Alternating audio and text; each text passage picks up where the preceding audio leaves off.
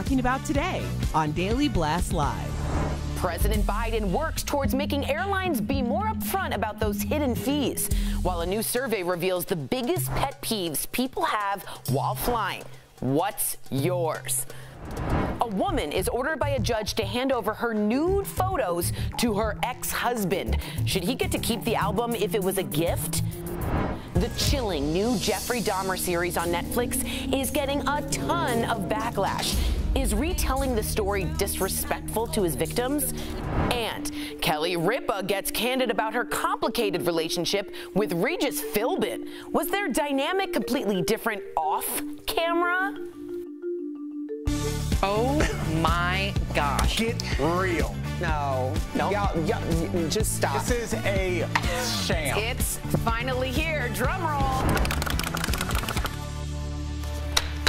You okay there, Tori? Yeah, I'm fine. You mean he zipped you up? No, it's fine. The mirror's fine. Nothing broke. We're good. Yes, the show has begun. I do not need seven years of bad luck, so do not break. Perfectly fine. Actually, that would happen to you. I was like, that's not. Why are you claiming her bad luck? It's all We're all one family here. Yeah, okay. Thank you. Well, all certain right, so things. welcome to DBL. Let's get to it. How much do you hate hidden fees, especially while trying to book a family vacation or a vacation period?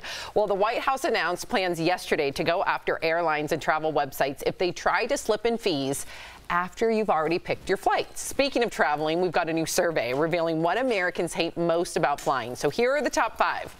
At number five, people who hog the armrest. There's actually a rule to that. Mm-hmm. Tell them. I'll get to that. Okay. Yes, I will. Yeah, so put a little bookmark in there. Number four, people who eat smelly food on a flight. Al. No, I don't. Yes. Bonnie. Yep. I was was the the one one who admitted Okay, to that. Erica now. Number three are parents who are inattentive to their kids. Number two are people who are, well, they have poor hygiene. They don't smell good. Or maybe they've even put on too much perfume. And the number one thing people hate about flying, Tori, drumroll please, is actually a tie. People who kick the back of your seat and people who are drunk or distracted. Sorry, she already said it. You don't have to drum roll I thought that's- over it. okay. Yeah. Yeah, I don't even know if the if the audience heard me. No. Good to know. Just Okay. Tori banging on the table. So DBL Nation, we always want to hear what you think. What is the worst part of flying? In your opinion, go to dblvote.com to weigh in. Uh, Erica, you Yeah. just came off a flight a couple days ago. Yeah, yeah. What, what's like your biggest pet peeve? Um, I, I honestly, I've been so excited to go places. I'm like Grateful. I'm like, yeah. I think I'm a little bit uh, less picky about things, especially because the past two flights that I've taken, I've barely made it on the plane. So at that point, I'm good.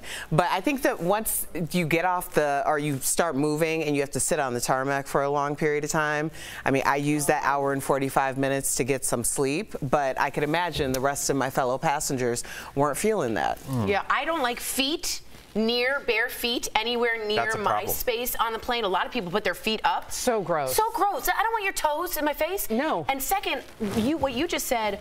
Um, I was on a plane and no AC on the tarmac, and I started to have a panic attack because of claustrophobia, and no one was saying anything full flight. So of course I said something, and I was like, "Are we gonna get AC?" You said something? I had to, and Brooks was like, "Keep your cool," and I almost lost it. Wow. So I, I, I just wish there was.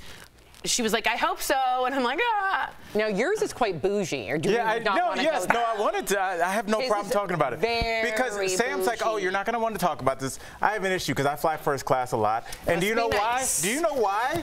Because while you guys were here on the ground, uh, falling in love, having kids, going on dog walks, I've been in a chair in the sky, okay, for 20 years. That's why I get to sit in first class because I've given up my life to sit in there because that, was my- that was my job. As a what- traveling comic. As a traveling comedian. So what I do not like is when people come from coach and come and destroy our restroom.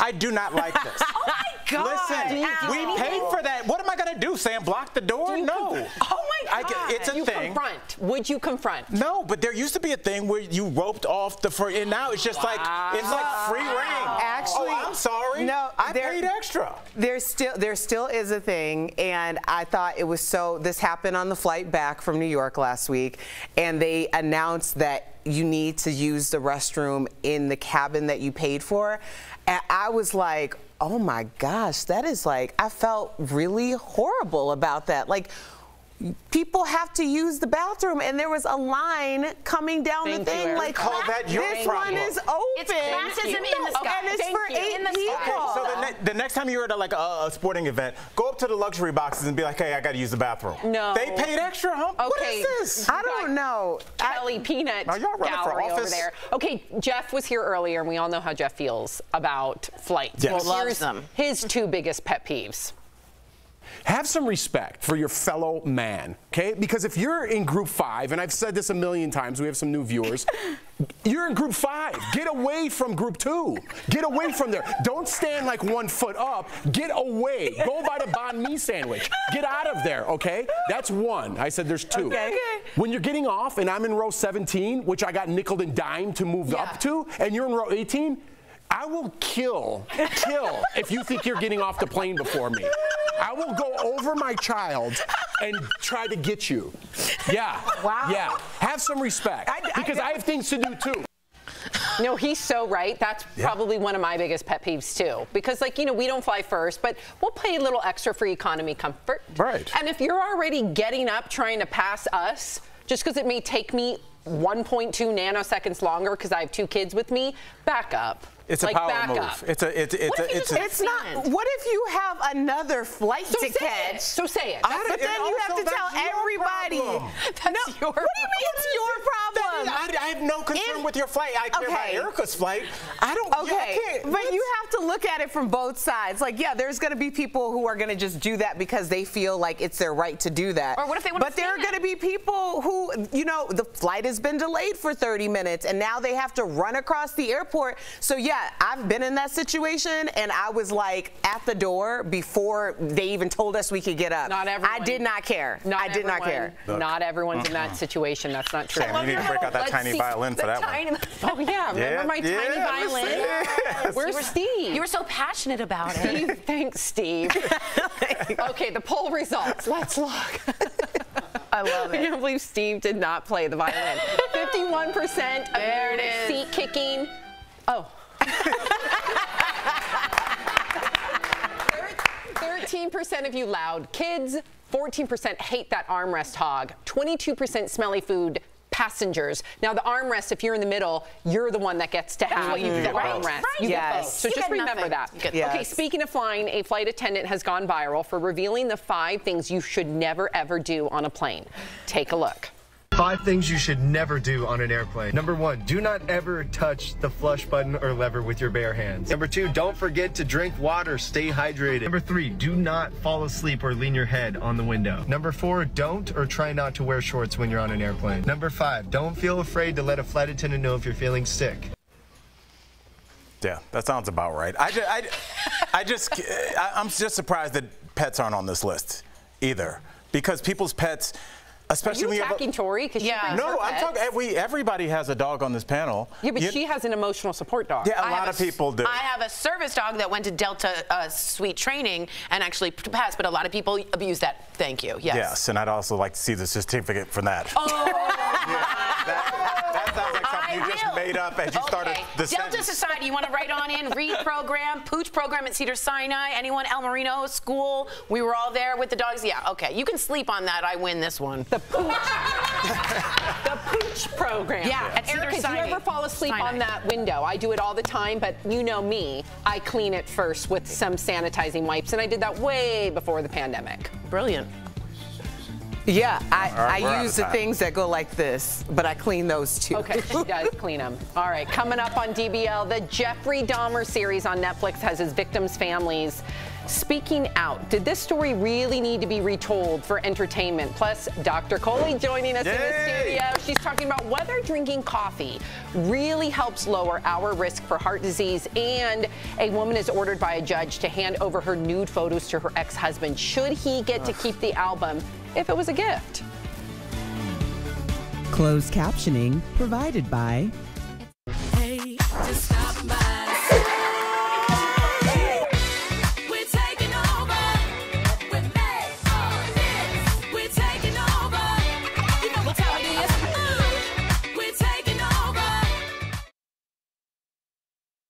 Ooh, We're. Yeah. talking. Yeah. Um, yeah, so apparently we have a difference Okay, of great. opinion when it Yep, comes to yep. flying. Well, now, this I says will resume say, cake. I Oh. understand Oh, here we that go. Yep, the got difference it. between Thank like you. Buying your It's on the way. upgraded ticket No, and Okay. having those amenities and stuff, but like in this case, when I was on the flight a few days ago, the line was go- going like probably a quarter way through, and I think a big part of it was the fact that we were on the tarmac for an hour and 45 minutes. So in first, there were only what eight seats, and those had been open the entire time. So people started going into the front of the cabin, which now I don't see an issue with. Like even Yeah. as somebody Right. Who was paid to to sit in that cabin. So You know when I see an issue? An hour into the the flight and it looks like Calcutta in there. has to see All it right? too. It is it is disgusting in there. It is there's stuff on the floor, there's stuff around the rim. And it's because 45 people have used it in the last hour and we just left a gigantic bathroom called the airport concourse. If you need to use that, go ahead and go ahead. There's hundreds of restrooms there. But you want to wait till we get in the sky? That's your problem. As I mentioned, we were on the tarmac for an That's hour and 45 an minutes exception for that. before we took off. So yes, a lot of people had to go to the bathroom, and they were told that they couldn't get get a up sound check? during that hour and 45 minutes. Wait, so let move around. you can't Can I really keep Okay, tell in a normal situation. Okay. Do you feel me in a normal Yeah, situation? perfect. I- a little lower. I, I talking, still Steve. have Thank some type. you. There's certain things that I feel can like pe- people should get grace Little for, and having to use the restroom when there's one available in the Thank you. vicinity.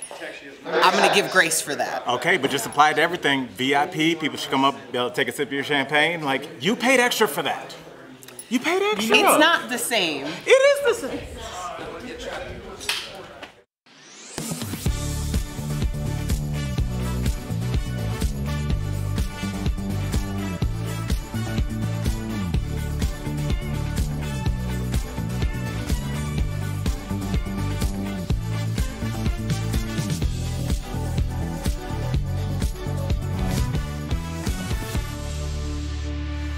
Welcome back. We've got a couple stories for you about relationships and who gets to keep what after a breakup. So, up first, a judge in Utah has ordered a woman to turn over a photo album of nude boudoir style photos to her ex husband as part of their divorce settlement. Now, the woman gifted the photos to her ex early on in their marriage and even wrote intimate messages inside the album that he says he wanted to keep for memory's sake. Now, the judge said the woman would edit her body out of the photos before returning them to her ex. But the question is, is this even fair?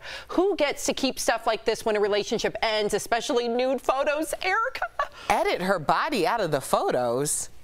Then isn't it just like a What, bed? what does that even mean? No, it means a third party could come in and make her pixelated or cover her with blurred or have some other third party come and edit so it's you don't see specific parts. Or he just gifts it back to her because that's her body? Or no, I don't know. Oh. So I did a little digging on this, and he's in the right here. In Utah, especially, there's federal laws about this. But there, I'm sorry if you give a gift during marital property, it's their personal property at the end of that day. Now, having a third party do it is makes me think distribution and leakage and all that. But um, he's not in the wrong here. Well, I just, I was actually agreeing with you because I thought that it was very important that you said in Utah. People need to know like where they're at and Yes. what's, a, what's a part of the laws in that jurisdiction, in that uh, county, whatever it is. Um, there are certain places that are notorious for perhaps being um, a little bit more favorable so, towards certain parties than others. The men more than the okay? women. so I'm not shocked Yeah. that this was the verdict in this situation, but I also find it extremely creepy on behalf of this ex-husband Yes. because why you want that? Right. Well, apparently, I'm trying. I'm trying to be the other side here, just devil's advocate. She had written love notes. in So it. what? They're not he wa- together. he wanted to keep those messages and be able to read them. And Yeah, if it was right. that's He what wants his to keep res- the so, messages. As a defense attorney, fakely up But here. if they're going to pixelate the photos, then they also could have just extracted the messages. Like they don't have to have her on it. That that reeks of ownership mm-hmm. over this person that he once was married to, and he wants to continue. Continue to have claim to her. There's no other explanation for that. It is creepy, and I hope that everybody knows who this man is because he's gonna do it to the next woman too. So make sure you know. And I think be- let be- them know, beyond sis. creepy, Erica, it's leverage. It's incredible. You are literally loading up the ammo for revenge porn. That's all it is. It's like now, oh, you want to leave me? You have a new boyfriend? How about if I send this to his parents? How about if I send? No, no, can- uh, no, you're- no, no. Listen very carefully. He does not have the right. Sorry to interrupt you like that. Please. He does not have the right to distribute any of the photos. That would be illegal. She, he doesn't have the copyright of those photos, right? But he does have a right as a gift. That's his personal property, property to keep those photos. But so there's no, a no one has the right to distribute, but they do it anyway. Well, if it's Just because I'm saying if something, he put it out there, just because something's legal doesn't mean it's moral. absolutely, Sam. I was being your immoral defense attorney on this panel. Yeah, and that's what you want from a defense attorney. Be immoral. Get me off. Yeah. yeah. Here's a question for you. After a breakup, do you continue to share your streaming service logins and passwords? The reason we're asking is because Selling Sunset star Chrishell Stause recently said she still has the login to her ex Jason Oppenheim's HBO account. That's amazing. And get this, she admitted she messes with him when he makes her mad by doing things like changing where he left off on his favorite show. What do you think about that, Erica? Y'all gotta let it go, okay? This is a what $14.99 uh, subscription. Y'all selling million dollar homes and showing us these very illustrious lives. Um, I'm gonna need you to get your own streaming uh, services subscription. It takes forever. I don't This is blame screaming storyline because Christine isn't there this season, from what I understand. Oh, you think this is part of it? That's interesting. But I think But this isn't it a thing. I think this is a thing with a lot of couples to keep you connected. Strangely, I mean, because this is the o- but No. I, first of all, my ex-wife and I still share passwords because my kids are in that house.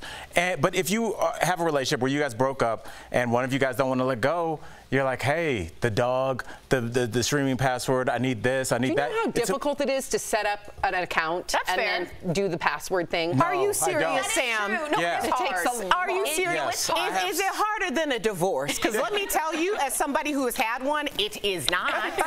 but you got to remember the password. I know. It is It's not. too much, and I have the remote that you can't speak into. Oh. So I have to hand No, do it. that's ridiculous. Wow. It takes forever. 1890s over there.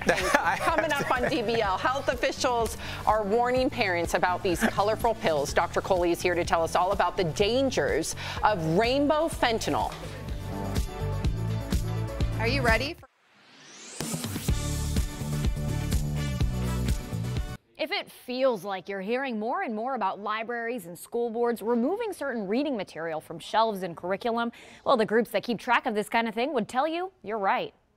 We looked at recent reports tracking book bans and talked to Will Creeley, legal director for the Foundation for Individual Rights and Expression, to verify how many books are getting formally pulled out of schools and libraries, where it's happening, and why. The American Library Association reports 2021 saw the largest number of attempted book bans since it began tracking that 20 years ago. There's always been some amount of book banning, right? But this is unprecedented. It is a tsunami. It is an avalanche of censorship. PEN America's extensive index of school book bans lists more than 1,600 titles challenged in the last year. Texas has the highest stack of banned books, followed by Florida and Pennsylvania. This is happening everywhere. Historically, challenged books have often centered around language or what might have been deemed mature topics, but targeted books increasingly center around characters and issues, quote, of people who are gay, trans, black, indigenous, people of color, immigrants, and refugees, according to the ALA. Five of the 10 most challenged books for the last year deal with LGBTQ issues. Creeley says it's a precedent that could impact a variety of beliefs. That axe swings both ways, right? Once you start banning books, it is a very slippery slope. The PEN America report found sometimes books are pulled in political moves from school board officials or even those high up in state government. But most of these book challenges come from local action and advocacy parent groups, typically conservative, aiming to amplify parents' voices in schools. Most of these have only been formed in the past few years. With your Verify, I'm Abby Llorico.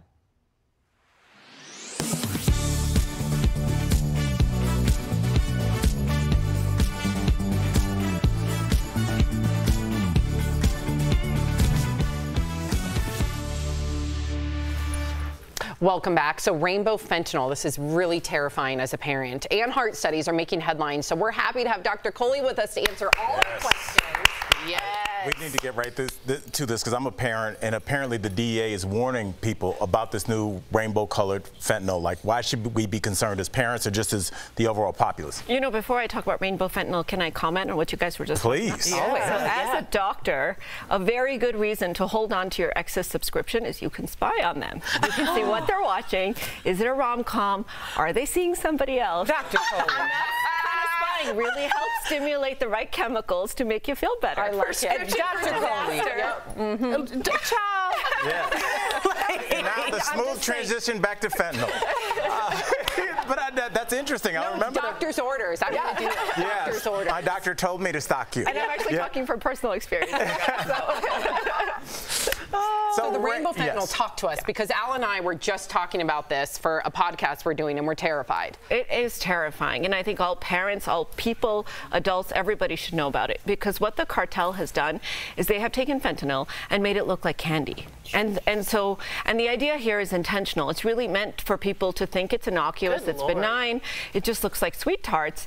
And whether it's our adolescents, our college-going kids, or even our young kids who might come across it accidentally in a park or something, they could just take it and have obviously get addicted, but have an unintentional overdose.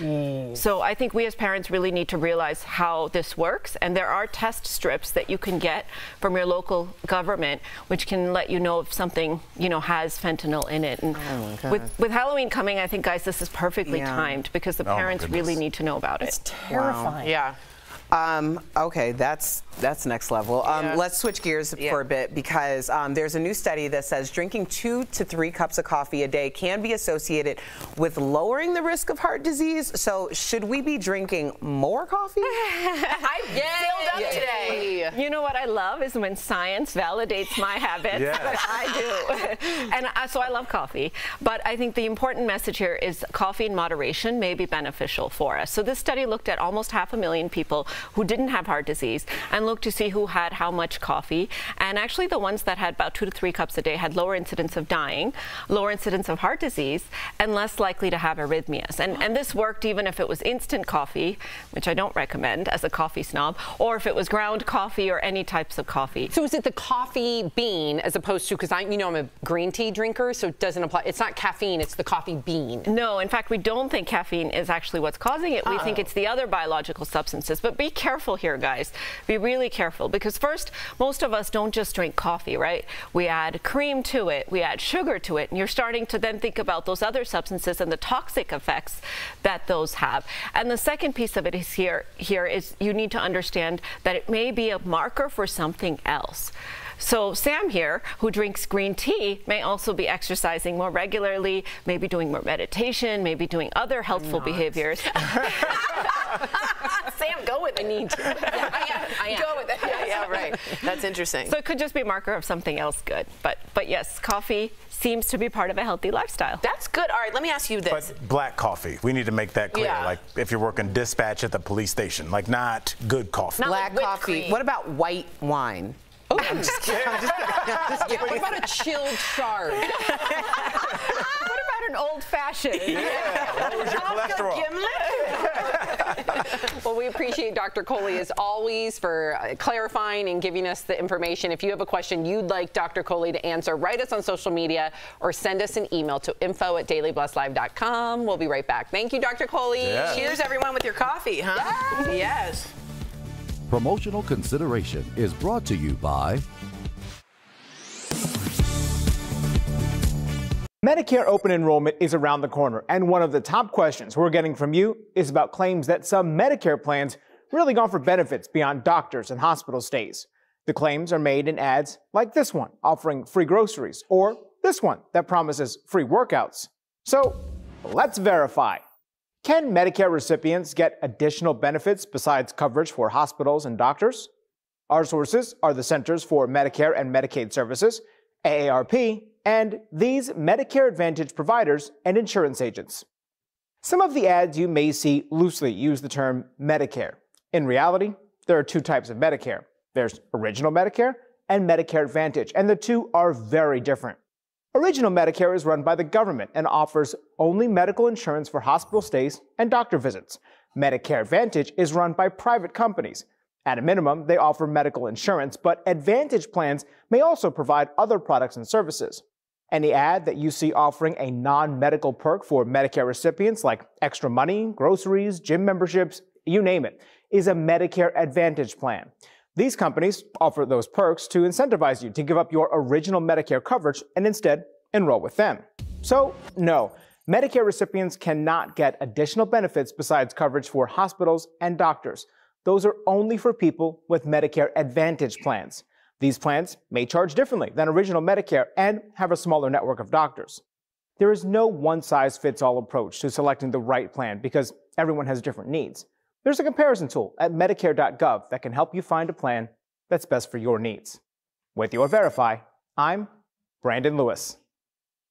Whether you love it or hate it, pumpkin spice season is here, and people are using the flavoring in all sorts of foods and drinks. But despite its popularity, some people are still confused about what actually goes into the pumpkin spice seasoning in a pumpkin spice latte. This person on Twitter claims there isn't any pumpkin in pumpkin spice. But is that true? Let's verify. We spoke to a spice expert, a licensed dietitian and nutritionist, and spice manufacturer McCormick and Company to get to the bottom of this. There is no pumpkin in the spice, but it's a blend of different spices that historically were used with pumpkin in pumpkin pies or pumpkin puddings. The blend usually contains four to five other spices you probably have in your cabinet cinnamon, ginger, cloves, nutmeg, and allspice. Spice giant McCormick Company first introduced a commercial pumpkin pie spice to the US in 1934. The goal was to flavor pumpkin pie all in one container, rather than bakers needing to get each individual spice. So we can verify no. Pumpkin spice does not contain any pumpkin. But despite the lack of pumpkiny goodness in pumpkin spice, both Frisch and Andrew say it's still possible the latte drink that you order may in fact contain pumpkin these days. And as it turns out, we can verify that the PSL at Starbucks has both pumpkin spice seasoning, which does not contain pumpkin, and real pumpkin. It says so right here on the drink's ingredient list. With your Verify and my very own pumpkin spice latte, I'm Ariane Till. That's not bad.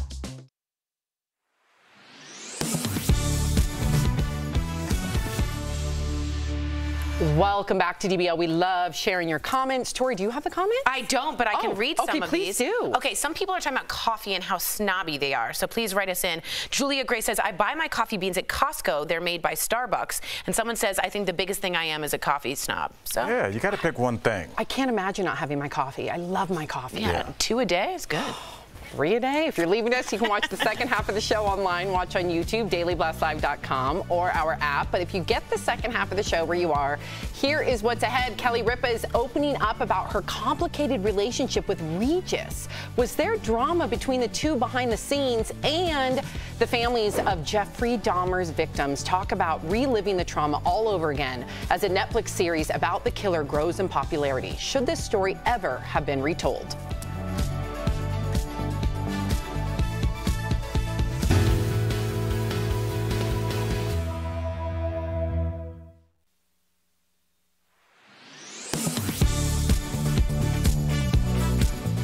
Walk into any pharmacy and you're probably inundated with advertisements urging you to get a flu shot and an updated COVID 19 booster. Several people on social media are wondering if it's safe to get both vaccines at the same time, or if they should space the two shots out. So let's verify. Can a person get the Omicron COVID 19 booster and the flu shot at the same time? Our sources are the Centers for Disease Control and Prevention, the Food and Drug Administration, Dr. Pyle Coley with the University of Colorado, and Dr. Sarah Lynn Mark, a former senior medical advisor to the White House. Traditionally, the flu vaccine is administered in the fall ahead of peak flu season in the winter. For the past two years, we've also seen cases of COVID 19 spike during these same months as people gather for the holidays. The CDC studied self reported data from more than 92,000 people who received a booster shot and a flu shot during the flu season and concluded it's safe to administer both vaccines at the same time. The study found that about 10% more people who received both vaccines reported typical symptoms associated with them, like fatigue, headache, and muscle ache, than those who only received the COVID 19 booster. But the reactions were usually mild and went away quickly.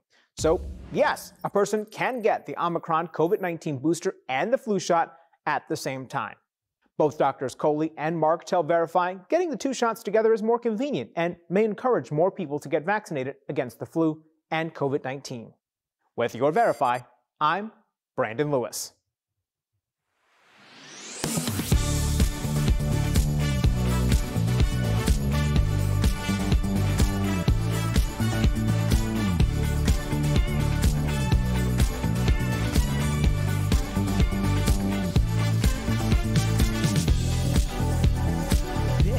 Is Daily Blast Live. We're talking about what you're talking about.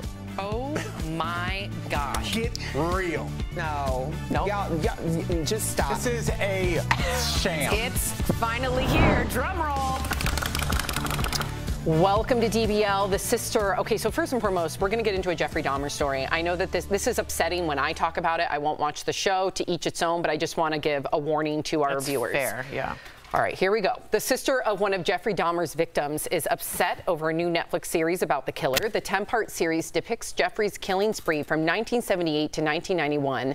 It's especially gruesome because Jeffrey also ate his victims. But Rita Isbell, whose brother was killed, said she and her family learned about the series just like everyone else and blames Netflix for making money off the tragedy without thinking about the families. Now, back in 1992, Rita gave an emotional impact statement where she screamed at Jeffrey. This is how it played out in court. Take a look. I don't want to ever see my mother have to go through this again. Never, Jeffrey. Jeffrey, I hate you. I hate you. Something's out of control. Don't me, Jeffrey. I kill you. I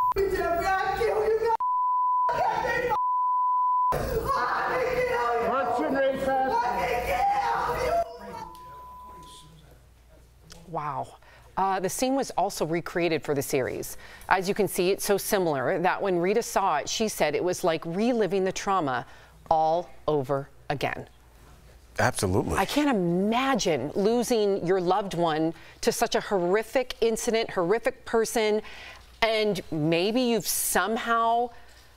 I don't think you can ever get past that trauma, but maybe you've you've made some small strides with help, and then this comes out. Is it? What do we do in situations like this? Well, there's no protocol for humanity, you know, so we're leaving it up to the networks. Like before we started the story, Sam, you said a warning to our viewers. That was not in our prompter, but that's in your heart. Like, I don't want you guys to be re traumatized because that was your call because you care about our viewers. If you are looking at plots on a data point and you're just saying this is what it's going to do, then why Netflix is not beholden to let the victims' families know. It'd be nice it'd be nice to maybe compensate them, pay for some trauma therapy, whatever they would need to do. But unfortunately, they don't have to. And I don't see a, a path in which we could ever legally obligate them to do so. I'm disappointed by this, but I somebody tell me different. Uh, to, to be perfectly honest, I agree with you, unfortunately. My feelings don't. I, I wouldn't want to watch this. I think it's insensitive, but it's 100% legal. It's, it's very popular, and the genre is clear. Now, let me be clear. All of the Dahmer stuff, the real Dahmer stuff on trial, was already put on court TV. So once that's out in the public legally, that's a part of American history. So for people who want to recreate JFK or the Pam and Tommy Lee, all those were out in the universe, available to Ryan Murphy, for instance, to remake it. Do you think it's in bad taste? Perhaps. But true crime right now is the number one thing you can go for, and Jeffrey Dahmer is at the top of that list. So do I understand making it? Yes, but not giving a heads up to the victims is very awful. Nothing illegal, just horrible. Right. I think. I, I mean, I understand. I understand both sides. I do think that it doesn't take a lot to like write a letter. Right. Phone call, something, especially when you are reenacting someone's most viscerally painful moment. Moment to moment. And as a, you know, I can't imagine, and I mean, as a sister, like, what that has to be like and everyone who has been impacted by this tragedy but to see it so well reenacted that's got to be a trauma like no other And so then seeing it every time you log onto Twitter, people like talking about it and Mhm. excited about it. I, listen, they should have somehow had some sort of restitution. A percentage of the something should have gone to the families. They should have thought about that. Yeah, but then the question becomes, do they have to do that for every That's story my now? question. Slippery slope. Do if you do that for everything, now is it every family that gets Right, it? it's so But terrible, though. Yeah. Terrible. Okay, so Kelly Ripa is revealing she had a, a complicated relationship with her former co-host, the late Regis Philbin. In a new book, Kelly said when she replaced Kathie Lee Gifford in 2001, it was not a cakewalk, and it took years for her to earn her place on the show. She remembers one time when she guest hosted and brought her own hair and makeup people. Kelly overheard Regis say, uh-oh, it has an entourage. Kelly realized Regis was just trying to be funny, but at the time she said it felt like an insult. She also revealed that Regis likely didn't want a new co-host, but she also didn't want to pass up on the opportunity. That's tough. What are you thinking, Erica? Yeah, I um, not to this magnitude, but I was the co-host on a almost 20-year running heritage uh, radio show in Chicago, and they had never had a female on the on the show. Um, I was also 24 and I was the first black female to be on that show. So there was a lot of pushback from the audience who felt like I was not the appropriate choice if there was ever going to be an appropriate choice. And like when you're walking into a situation like this, and again, I do not know to this extent, but this was my experience, it's like there's a part of you that wants to honor, like as a radio geek, I was just so excited to be working with two guys that I grew up listening to. So you want to honor that. You also want to be able to find your place in it. And then you also have to like be really like I don't know. You have to ignore all the naysayers. I don't know how I did that at 24 because that's it's very difficult. But she was on such a big platform, and the the noise was so loud coming up against her, and that is like such an impossible situation for someone who's like, this is a part of my destiny and my legacy too, and I'm going to fight for it. So when I hear people talking about like, why does she have to talk about this? Because it's a part of her story, and she was a part of, and still is this is her legacy as well. And I think it's only fair to just be honest about what it was and what it is. I mean, I don't see a problem with her talking about it. I agree with you, and it's part of her story. It's part of a lot of women's stories, right? Coming up with power roles, coming in younger, like you said. My only ick factor here is that he's not here to just say anything back. And I don't think she went all in on Regis. I don't think she spent chapters and chapters on it. But I always feel when you kind of give a dig, it's always nice. Like when you cross-examine someone, you can if they're passed away because you can't cross-examine that person. You don't get to hear Regis's side of it. Like if someone made a joke about me being like, "Oh, it needs an entourage," I would think that's funny, but I could totally understand how it wouldn't be funny for someone else. So, uh, just context there is the only thing. I just wonder too, if you read the whole book, I'm sure there's many pleasant stories between she and Regis. I feel like this is a sensational headline, and therefore people are going to prey upon that and blow it up bigger Right, than for- what it is. right. That's just me speculating. I have not read the book, but I would only imagine that there's also some beautiful nuggets in that book. I would think, if I'm wrong, I'm wrong, that they did have many joyous moments together. They did, but if that happened, you need to uh, put that in this initial statement because you have to understand that this is probably going to be She the didn't lead put it story. in the statement. It got plucked from the book. I'm, I'm saying, but if, it, if it's in the book, you need to put that. At first, I thought Regis was acting this way, but then I realized that's just his way. You know who I, I, I think about all the jobs I have. Anybody watching us right now in the break room, everybody has somebody that their job. Our boss, Bert, they crack jokes. They're kind of, you know, the tongue in cheek. Eh, myself, I'm, if somebody like wrote down what I said to Tori in black and white, I would be in HR. That's like Tori knows I would die for. I, I would love you guys. Yeah, but but when things are out of context and somebody can't defend themselves, I get worried for the people that, that at every job that try and keep it light. But this story is out of like this excerpt is out of context. People found that and they're running with that story, which is why I'm really in defense of the story being in the book because if you're going to tell an honest story, it should be the good, the bad, the ugly, True. the indifferent. I mean, yes, we are we've been together for what going on 6 years, Monday through Friday. I don't know why I said it like that. Yes. Monday through Friday, we've been Yeah, together yeah, some for six Saturdays. years. Yes. You know, that's a very different thing than walking into a legacy show with someone who is an icon and to not allow her the right to at least express that part of it has been really her experience since the beginning when she got there. And I can understand that. all right Well said.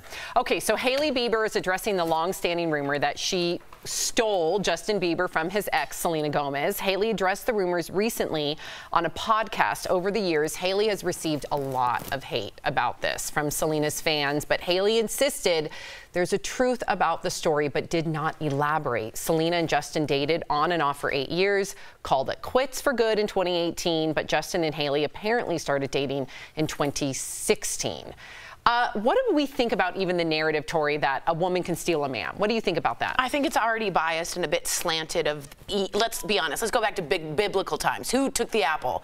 The woman. So it's all. I mean, it's sort of in there. See what y'all did? See, see what I'm saying? There's a sense that uh, the, the the temptress comes in, the vixen comes in, and I know for reading about her specifically, she gets death threats on the daily about people who are really obsessed with the other relationship, and she finally addressed it by doing this. Um, I think it's a dangerous narrative to go with. I think we can move on. They've moved on. I just think it's dangerous. I don't know why people think you can steal somebody. Yes. Like Speak to him. Uh, you uh, you cannot steal a man, a woman. Like that person was either halfway gone anyway. I know y'all gonna be mad at me, but I'm just telling you the truth. We trying to heal together, okay?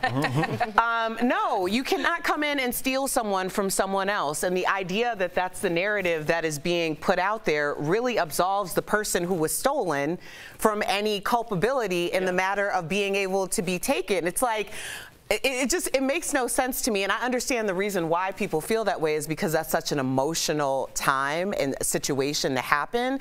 But at the end of the day you if it, if it wasn't going to be woman a it's going to be woman b c d e f g or all of the above. There might be a roster. Right. so if, so if one person can steal then everybody can steal because apparently he's been up for auction this whole time anyway. And Eric, Eric- I was going to say, Erica, you hit two things on the head. One, you're talking about nobody can be stolen, and the other part is just it's emotional. And when you start talking about emotional storylines, they don't leave a lot of space for nuance. And what the nuance is is probably they both either one or, or half, at least half, were not happy and already had one foot out the door and found somebody that did make them happy and is still currently making them happy. So if you want to look at that entire storyline, you look at other, it looks like both parties came out clean on the other side. But if you want the simple emotional narrative, he she stole him. He had no agency in this. It was just he was just a guy and he just was two women traded. fighting, like he did, all. like he got out of her backseat and got into somebody else's. Like this is not I ag- what happened. I agree, but amplify that now. Selena Gomez, I don't know if she still is, but at one point she was the most followed celebrity on Instagram. Mhm. How many She beat people? Hundred and just beat something me. million, 200 million, who knows? Imagine all of those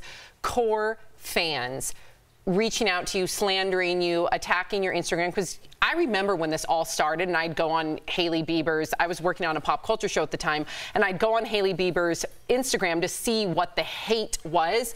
Her whole comment section would be flooded with Selena Gomez fans. So when does it cross that line though, where you as a celebrity would take onus to say, "Hey, you guys got to stop," like Right. almost like calling the dogs off, so to speak. I say that respectfully, but. It, it got bad. It I don't did. think people realize how bad death it threats. got. Absolutely. Yes. And that goes back to your point, excuse me, but for just for regulating stuff. Right. Regulating that and so that you're not inciting online bullying, cyberbullying, which it was. I don't know if we do we have an example of somebody calling off their fans. Yeah, Be- BeyHive has done it before. Uh, Taylor's done it before. The Swifties. It's when they just all swarm. I don't have any of that.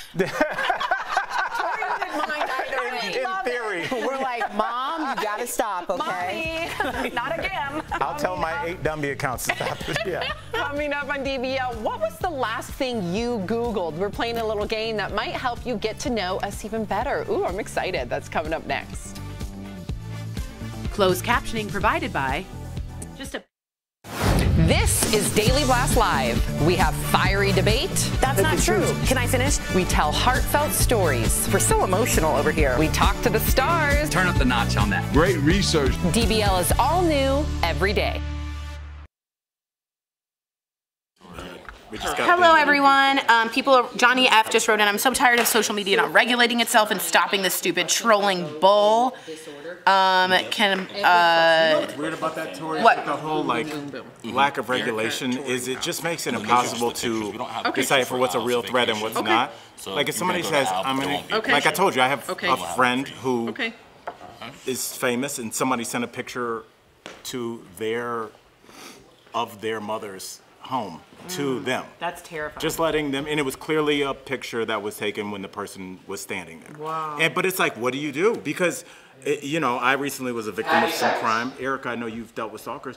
No matter what it is, you go to the cops and they're like, Yeah, it's let me know when they try something. Right. Like there's, it's, it's, you're already at a disadvantage because the law honestly can't do well, the anything or statutes, won't the stat. First of all, you're so right. They, there's unless they're in the middle of the crime, there's Right. very little that they do. But second, the statute states if a reasonable person thinks this crime and threat will be taken, that itself has now hit the threshold of a, a criminal activity. So if you're saying I'm going to go kill all the people in, well, I don't want to say anything, but somewhere, that's not a reasonable idea. But if I take a picture of your mom's house, Yeah. that's a very specific, reasonable idea. So Yeah. that would cross that It is threshold. actionable, and the police will show up to your house. That, that, yeah, Yes, at that will. kind of level, I would think that they would. That makes me happy. I mean, it just seems But like there's online they might not. Right, that's what I'm saying. Like, how do you prove it? No, and no, if no. Online. They still too. will? Okay. Yeah, yeah, I know. Okay, good. Yeah. yeah, yeah. because cyber, you're right. It's like the Wild West out there with online media. And Sam and Jeff very always spoke about regulation on social media, and I'm like, no, that's a First Amendment issue, and they've really changed my mind step by step about maybe we do need that. But bye, Bobby. Did you see my bracelet? Bobby Bennett.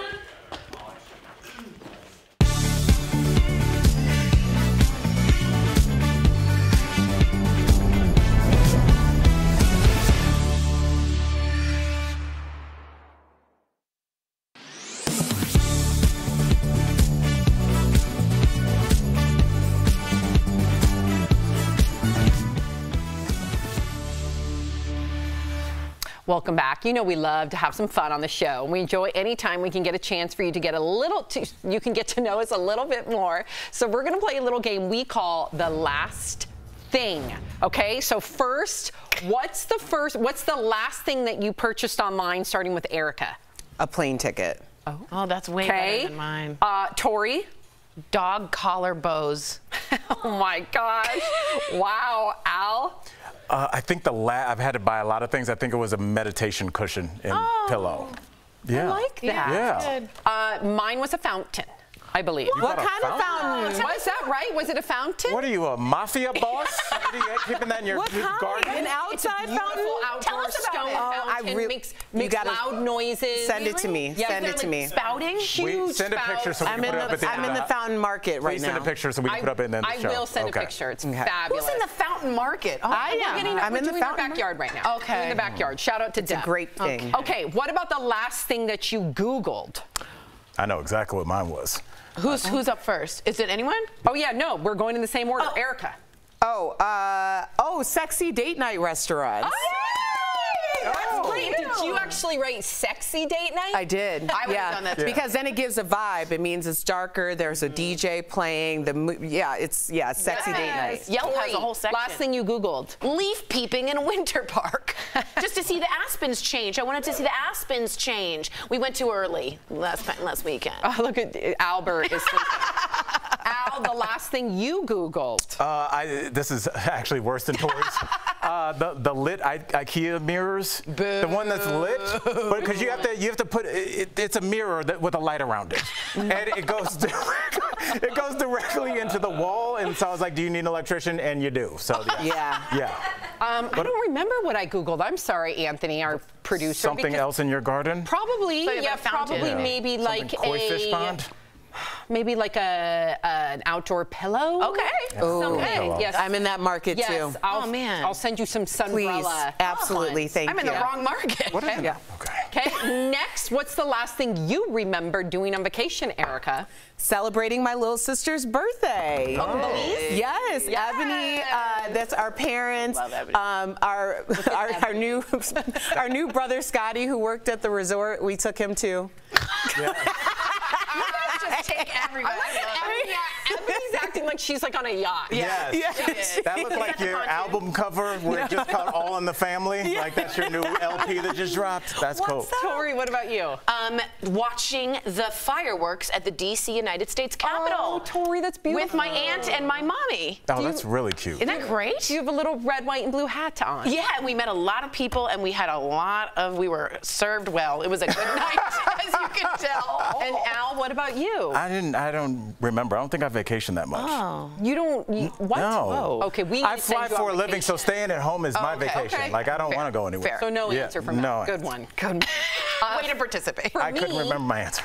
so for me, Mark and I recently went to Telluride and we did something really cool, and I'm going to look cool. cool. in this picture, but I was not good at it. What do you mean? We went BMX biking down the mountain, Jeez, ah. Sam. down a really steep That looks mountain. kinda gangster. Yeah. Yeah, and I looked cool in that picture, but let me tell you, Mark was so far ahead of me, and then he'd have to stop and wait. and then he'd go really fast, and then I boop, boop, boop, boop. Yeah. It's nerve We we just slept on something. We got to take Al on vacation. We're gonna have to get a Yeah. mountain home on the weekend. I don't know Yeah. Take them on vacation. DBL Mountain. Okay, what's the last thing you tried for the first time, Erica?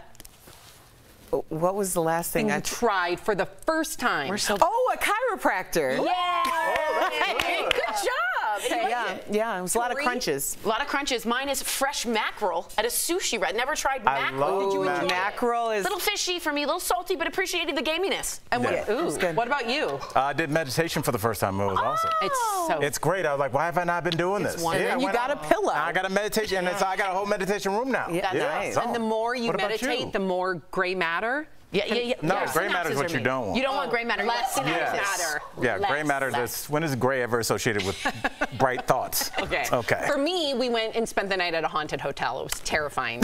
really? Yeah. You didn't love it. I think I have a picture. Oh. I sent in a picture. Didn't, didn't make the cut. Maybe the ghost took it. We'll be right back. Attention military personnel. If it feels like you're hearing more and more about libraries and school boards removing certain reading material from shelves and curriculum, well, the groups that keep track of this kind of thing would tell you you're right. We looked at recent reports tracking book bans and talked to Will Creeley, legal director for the Foundation for Individual Rights and Expression, to verify how many books are getting formally pulled out of schools and libraries, where it's happening, and why. The American Library Association reports 2021 saw the largest number of attempted book bans since it began tracking that 20 years ago. There's always been some amount of book banning, right? But this is unprecedented. It is a tsunami. It is an avalanche of censorship. PEN America's extensive index of school book bans lists more than 1,600 titles challenged in the last year. Texas has the highest stack of banned books, followed by Florida and Pennsylvania. This is happening everywhere. Historically challenged books have often centered around language or what might have been deemed mature topics, but targeted books increasingly center around characters and issues, quote, of people who are gay, trans, black, indigenous, people of color, immigrants, and refugees, according to the ALA. Five of the 10 most challenged books for the last year deal with LGBTQ issues. Creeley says it's a precedent that could impact a variety of beliefs. That act swings both ways, right? Once you start banning books, it is a very slippery slope. The PEN America report found sometimes books are pulled in political moves from school board officials or even those high up in state government. But most of these book challenges come from local action and advocacy parent groups, typically conservative, aiming to amplify parents' voices in schools. Most of these have only been formed in the past few years. With your Verify, I'm Abby Llorico.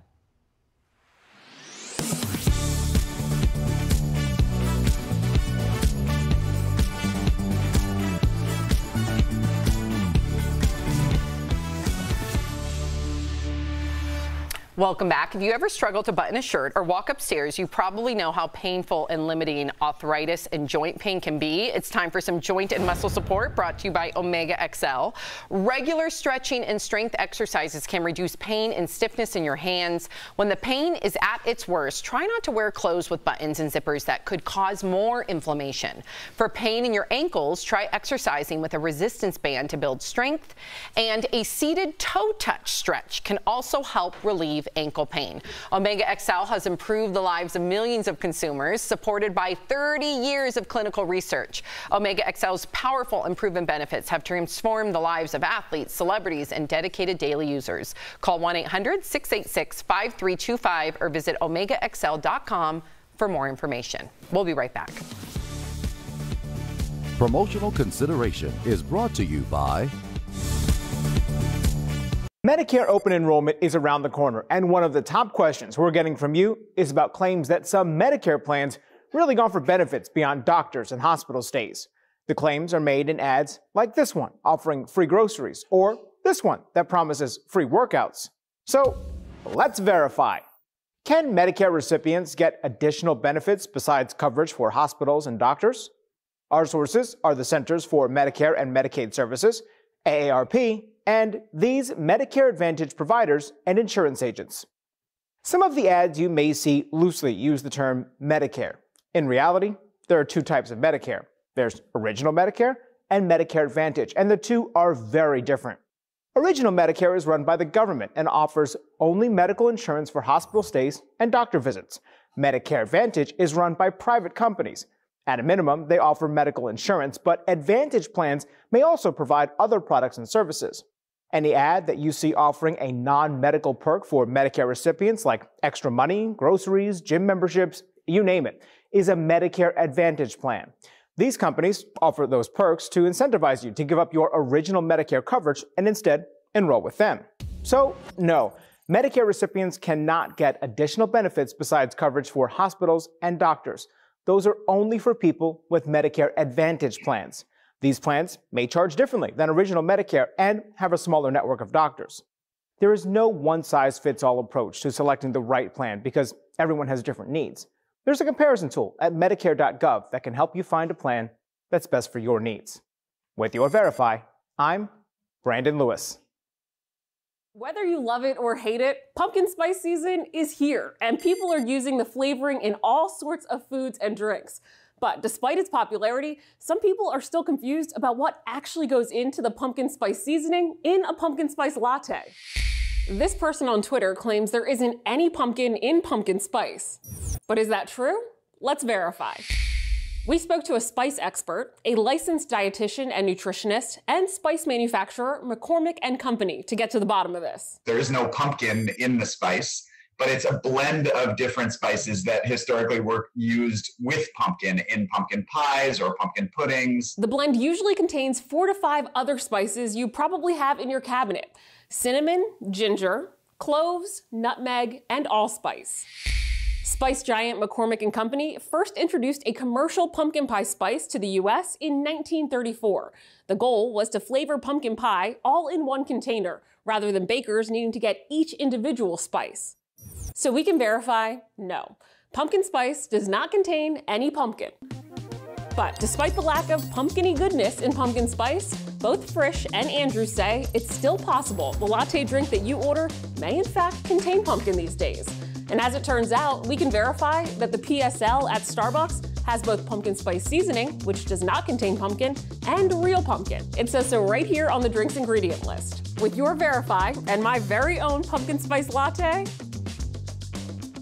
I'm Ariane Till. That's not bad.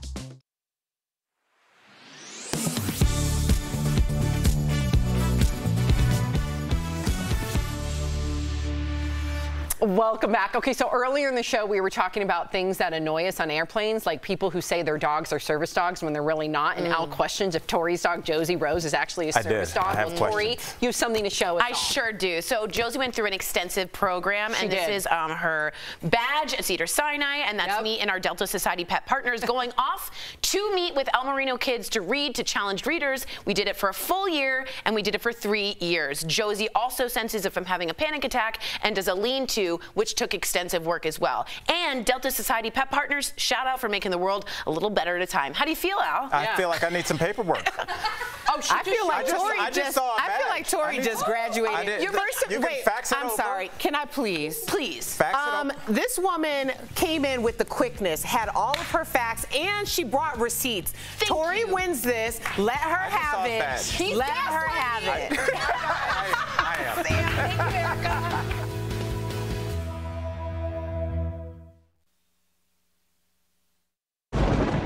Where hope finds help.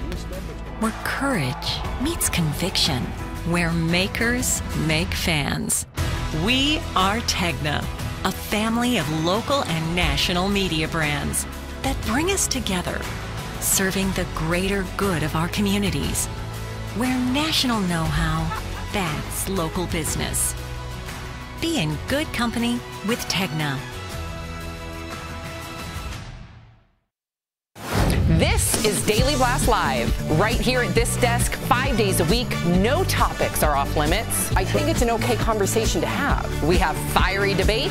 That's not true. Can I finish? You just got me all riled up. We tell heartfelt stories. We're so emotional over here. We talk to the stars. Turn up the notch on that. You on top of your game. Thank you. DBL is entertaining. I was like in shock. That's why we watch. It's time to be a part of the DBL family. DBL is all new every day.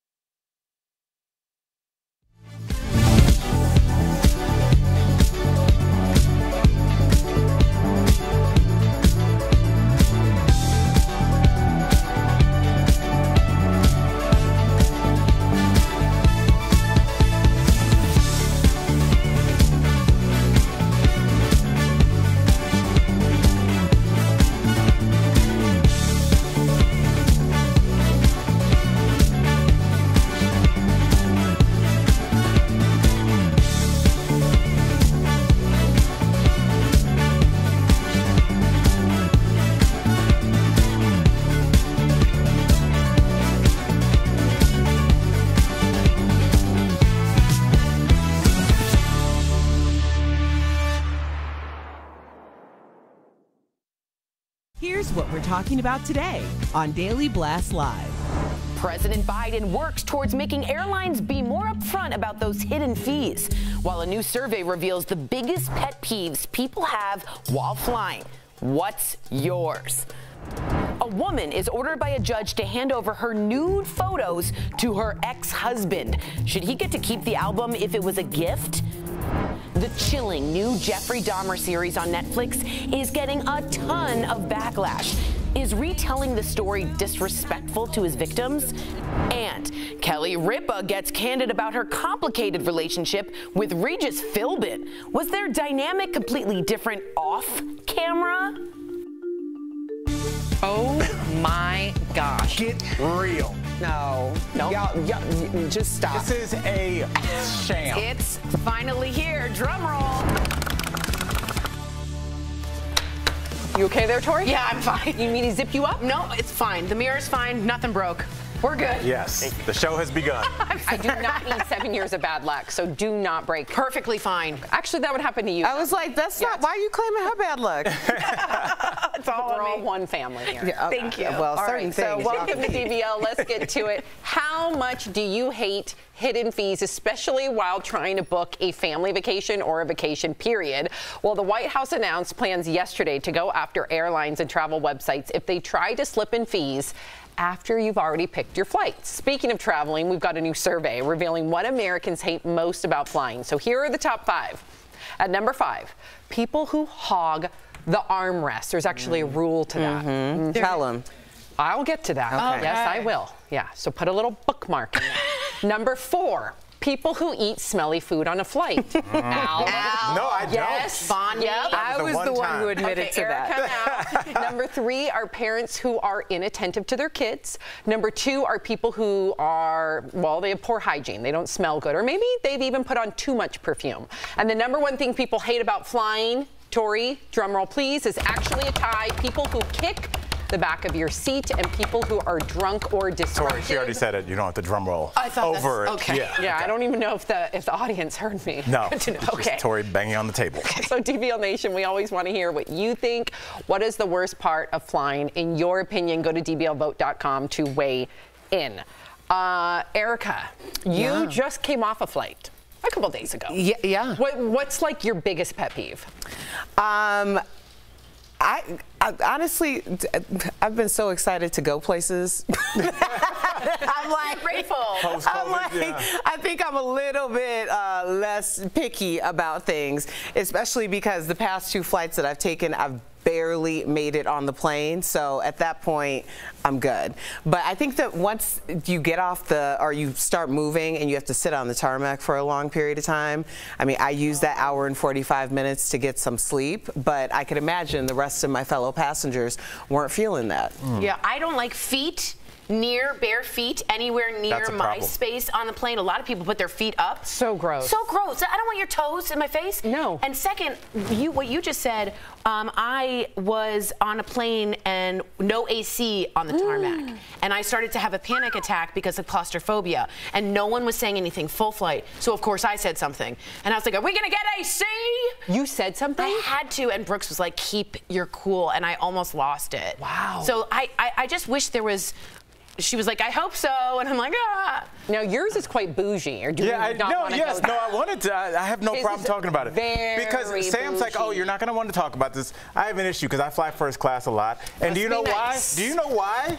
Because while you guys were here on the ground, uh, falling in love, having kids, going on dog walks, I've been in a chair in the sky, okay, for 20 years. That's why I get to sit in first class because I've given up my life to sit in there because that, was- that was my job. As a So what- traveling comic. As a traveling comedian. So what I do not like is when people come from Coach and come and destroy our restroom. I do not like this. Oh my God! Listen, Al. we paid for that. What am I gonna do, Sam? Block the door? No. Oh my God! get- it's a you thing. confront. Would you confront? No, but there used to be a thing where you roped off the free, and now it's just like it's like free rein. Oh, Actually, oh, I'm sorry. No, I there- paid extra. There still there still is a thing, and I thought it was so. This happened on the flight back from New York last week, and they announced that you need to use the restroom in the cabin that you paid for, and I was like, oh my gosh, that is like I felt really horrible about that, like. People have to use the bathroom, and there was a line coming down Thank the thing. Erica. like Call that your this problem. one is open. It's classism in the sky. and it's Thank for you. eight In the sky. people. So the, ne- the next time you're at a, like a, a sporting event, go up to the luxury boxes and be like, "Hey, I got to use the bathroom." No. They paid extra, huh? What Okay. is this? I don't know. I- Kelly Peanut Are y'all running for Gallery over office? there. Okay, Jeff was here earlier, and we all know how Jeff feels about flights. Yes. Well, Loves them. his two biggest pet peeves.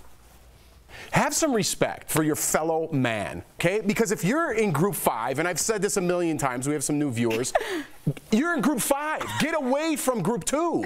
Get away from there. Don't stand like one foot up. Get away. Go by the banh mi sandwich. Get out of there, okay? That's one. I said there's two. Okay. When you're getting off, and I'm in row 17, which I got nickel and dime to move up to, and you're in row 18, I will kill, kill if you think you're getting off the plane before me. I will go over my child and try to get you. Yeah. Wow. Yeah. Have some respect I- I- because I have things to do too. No, he's so right. That's probably one of my biggest pet peeves too. Because like, you know, we don't fly first, but we'll pay a little extra for economy comfort. Right. And if you're already getting up trying to pass us, just because it may take me 1.2 nanoseconds longer because I have two kids with me, back up. It's like, a power back move. It's a it's it's a it's a, It's not. What if you have another flight So to catch? it. So say it. I- But then you have to tell everybody. problem. That's no, your What do you mean it's your problem? I, I have no concern If- with your flight. I care Okay. about Erica's flight.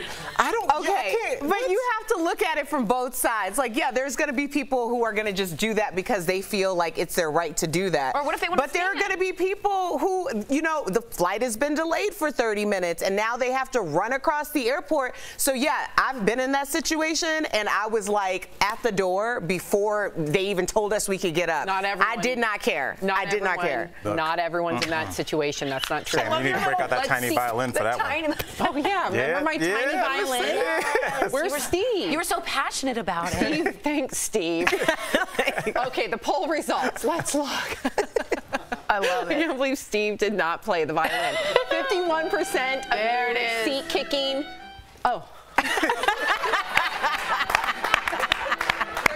13% of you loud kids, 14% hate that armrest hog, 22% smelly food passengers. Now the armrest, if you're in the middle, you're the one that gets to have what you the both. armrest. Right. You Yes. So You just remember nothing. that. Yes. Okay, speaking of flying, a flight attendant has gone viral for revealing the five things you should never ever do on a plane. Take a look. Five things you should never do on an airplane. Number one, do not ever touch the flush button or lever with your bare hands. Number two, don't forget to drink water, stay hydrated. Number three, do not fall asleep or lean your head on the window. Number four, don't or try not to wear shorts when you're on an airplane. Number five, don't feel afraid to let a flight attendant know if you're feeling sick. Yeah, that sounds about right. I just, I, I just, I, I'm just surprised that pets aren't on this list either, because people's pets. Especially Are when you you have a- attacking Tori? Because yeah. No, I'm talking. We everybody has a dog on this panel. Yeah, but You- she has an emotional support dog. Yeah, a I lot of a s- people do. I have a service dog that went to Delta uh, Suite training and actually passed, but a lot of people abuse that. Thank you. Yes. Yes, and I'd also like to see the certificate for that. that sounds like something you just made up as you started the Delta sentence. Society, you want to write on in? Read program, Pooch program at Cedar Sinai. Anyone? El Marino School. We were all there with the dogs. Yeah, okay. You can sleep on that. I win this one. The Pooch the pooch program. Yeah, at Cedar Erica, do you ever fall asleep Sinai. on that window? I do it all the time, but you know me. I clean it first with some sanitizing wipes, and I did that way before the pandemic. Brilliant. Yeah, I, All right, I use the things that go like this, but I clean those too. Okay, she does clean them. All right, coming up on DBL, the Jeffrey Dahmer series on Netflix has his victims' families speaking out. Did this story really need to be retold for entertainment? Plus, Dr. Coley joining us in the studio. She's talking about whether drinking coffee really helps lower our risk for heart disease. And a woman is ordered by a judge to hand over her nude photos to her ex husband. Should he get to keep the album if it was a gift? Closed captioning provided by Hey,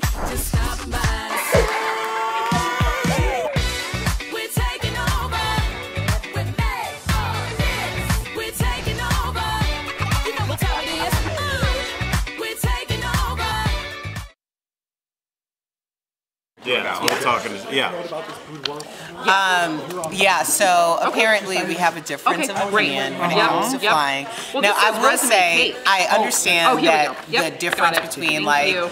Buying your It's upgraded ticket No, and Okay. having those amenities and stuff, but like in this case, when I was on the flight a few days ago, the line was go- going like probably a quarter way through, and I think a big part of it was the fact that we were on the tarmac for an hour and 45 minutes.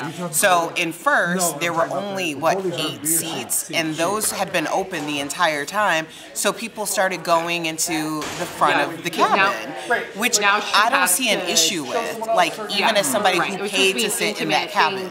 So You know when I see an issue? An husband hour into the the flight and it looks like Calcutta in there. has to see All it right, too. it is, it is disgusting in there. It is. There's stuff on the floor. There's stuff around the rim, and it's because 45 people have used it in the last hour, and we just left a gigantic bathroom called the airport concourse. If you need to use that, go ahead and go ahead. There's hundreds of restrooms there.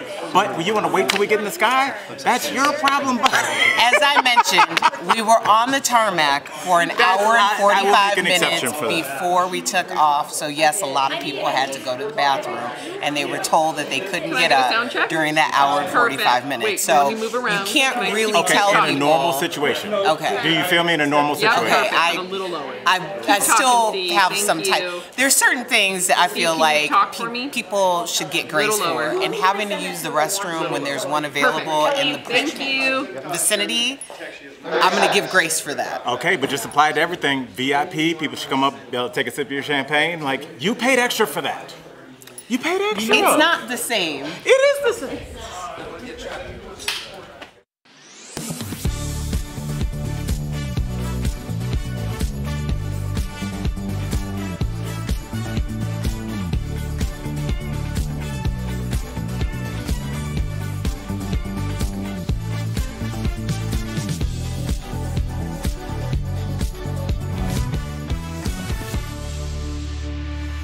Welcome back. We've got a couple stories for you about relationships and who gets to keep what after a breakup. So, up first, a judge in Utah has ordered a woman to turn over a photo album of nude, boudoir style photos to her ex husband as part of their divorce settlement. Now, the woman gifted the photos to her ex early on in their marriage and even wrote intimate messages inside the album that he says he wanted to keep for memory's sake. Now, the judge said the woman would edit her body out of the photos before returning them to her ex. But the question is, is this even fair? Who gets to keep stuff like this when a relationship ends, especially nude photos, Erica? Edit her body out of the photos. Then isn't it just like a bed? What does that even mean? No, it means a third party could come in and make her pixelated or cover her with blurred or have some other third party come and edit so it's you don't see specific parts. Or he just gifts it back to her because that's her body? Or no? I don't know. Oh. So I did a little digging on this, and he's in the right here. In Utah, especially, there's federal laws about this, but there, I'm sorry, if you give a gift during marital property, it's their personal property at the end of that day. Now, having a third party do it is makes me think distribution and leakage and all that, but um, he's not in the wrong here. Well, I just, I was actually agreeing with you because I thought that it was very important that you said in Utah. People need to know like where they're at and Yes. what's, uh, what's a part of the laws in that jurisdiction, in that uh, Mm-hmm. county, whatever it is. Um, there are certain places Mm-hmm. that are notorious for perhaps being um, a little bit more favorable cer- towards certain parties than others. The men more than the okay? women. so I'm not shocked Yeah. that this was the verdict in this situation, but I also find it extremely creepy on behalf of this ex-husband Yes. because why you want that? Right. Well, apparently, I'm trying. I'm trying to be the other side here, just devil's advocate. She had written love notes. So in it. what? They're not he wa- together. he wanted to keep those messages and be able to read them. And Yeah, if it was right. that's He what wants his to keep risk- the so- messages. As a defense attorney, fakely up But here. If they're going to pixelate the photos, then they also could have just extracted the messages. Like they don't have to have her on it. That that reeks of ownership mm-hmm. over this person that he once was married to, and he wants to continue to have claim to her. There's no other explanation for that. It is creepy, and I hope that everybody knows who this man is because he's gonna do it to the next woman too. So make sure you know. And I think be- let them know, beyond sis. creepy, Erica, it's leverage. It's incredible. You are literally loading up the ammo for revenge porn. That's all it is. It's like now, oh, you want to leave me? You have a new boyfriend? How about if I send this to his parents? How about if I send? No, you no, can- no, you're- no, no. Listen very carefully. He does not have the right. Sorry to interrupt you like that. Please. He does not have the right to distribute any of the photos. That would be illegal. She, he doesn't have the copyright of those photos, right? But he does have a right as a gift. That's his personal proper, property to keep those photos. But so there's no, a no one has the right to distribute, but they do it anyway. well, if it's Just because I'm saying if something, he put it out there, just because something's legal doesn't mean it's moral. absolutely, Sam. I was being your immoral defense attorney on this panel. Yeah, and that's what you want from a defense attorney. Be immoral, get me off. Yeah. yeah. Question for you. After a breakup, do you continue to share your streaming service logins and passwords? The reason we're asking is because Selling Sunset star Chrishell Stause recently said she still has the login to her ex Jason Oppenheim's HBO account. That's amazing. And get this, she admitted she messes with him when he makes her mad by doing things like changing where he left off on his favorite show. What do you think about that, Erica? Y'all gotta let it go, okay? This is a what $14.99 uh, subscription. Y'all selling million dollar homes and showing us these very illustrious lives. Um, I'm gonna need you to get your own streaming uh, services subscription. It takes forever. I don't This is blame streaming her. storyline because Christine isn't there this season, from what I understand. Oh, you think this is part of it? That's interesting. But I think this isn't it a thing. I think this is a thing with a lot of couples to keep you connected, strangely. I mean, because this is the only. No. I, first of all, my ex-wife and I still share passwords because my kids are in that house. And, but if you uh, have a relationship where you guys broke up and one of you guys don't want to let go, you're like, hey, the dog, the, the, the streaming password, I need this, I need Do you that. know how It's a- difficult it is to set up an account That's and fair. then do the password thing? Are you serious. Sam? That is true. No, Yeah. It takes hard. a Are you serious? Yes, I have- is, is it harder than a divorce? Because let me tell you, as somebody who has had one, it is not. but you got to remember the password. I know. It is It's not. too much. And I have the remote guys. that you can't speak into. Oh. So I have to hand No, do it. That's ridiculous. Wow. Takes forever. 1890s over there. Coming up on DBL, health officials are warning parents about these colorful pills. Dr. Coley is here to tell us all about the dangers of rainbow fentanyl. Are you ready? For- If it feels like you're hearing more and more about libraries and school boards removing certain reading material from shelves and curriculum, well, the groups that keep track of this kind of thing would tell you you're right. We looked at recent reports tracking book bans and talked to Will Creeley, legal director for the Foundation for Individual Rights and Expression, to verify how many books are getting formally pulled out of schools and libraries, where it's happening, and why.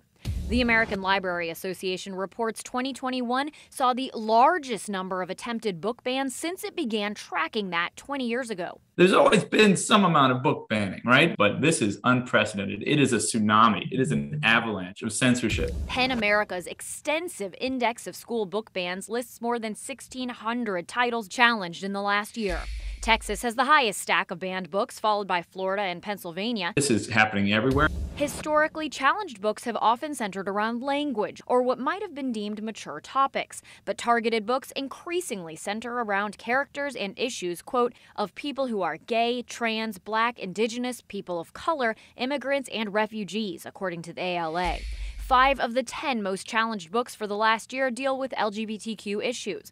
Creeley says it's a precedent that could impact a variety of beliefs. That axe swings both ways, right? Once you start banning books, it is a very slippery slope. The PEN America report found sometimes books are pulled in political moves from school board officials or even those high up in state government. But most of these book challenges come from local action and advocacy parent groups, typically conservative, aiming to amplify parents' voices in schools. Most of these have only been formed in the past few years. With your Verify, I'm Abby Llorico.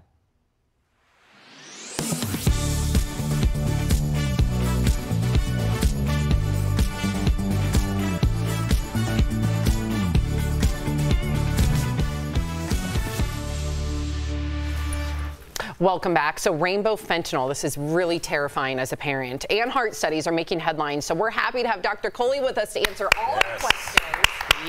Yes. We need to get right this, this, to this because I'm a parent, and apparently the DEA is warning people about this new rainbow-colored fentanyl. Like, why should we be concerned as parents or just as the overall populace? You know, before I talk about rainbow fentanyl, can I comment on what you guys were just Please. talking about? Yeah. As a doctor, a very good reason to hold on to your ex's subscription is you can spy on them. You can see what they're watching. Is it a rom-com? Are they seeing somebody else? Dr. Coley. spying really helps stimulate the right chemicals to make you feel better. I like it. Prescription Dr. for Coley. disaster. Yep. Mhm. Ciao. And now the smooth transition back to fentanyl. Uh, but I, that, that's interesting. I No, remember that. doctor's orders. I'm going to do it. Yes, Doctor's orders. my doctor told me to stock you. And I'm actually Yeah. talking from personal experience. So, Oh. the rainbow fentanyl, yes. talk to us because Al and I were just talking about this for a podcast we're doing, and we're terrified. It is terrifying, and I think all parents, all people, adults, everybody should know about it because what the cartel has done is they have taken fentanyl and made it look like candy. And and so and the idea here is intentional. It's really meant for people to think it's innocuous, Good it's Lord. benign, it just looks like SweeTarts. And whether it's our adolescents, our college-going kids, or even our young kids who might come across it accidentally in a park or something, they could just take it and have obviously get addicted, but have an unintentional overdose. So I think we as parents really need to realize how this works. And there are test strips that you can get from your local government, which can let you know if something, you know, has fentanyl in it. And God. with, with Halloween coming, I think, guys, this is perfectly Yeah. timed because the Oh, parents really need to know about it. It's Wow. Yeah.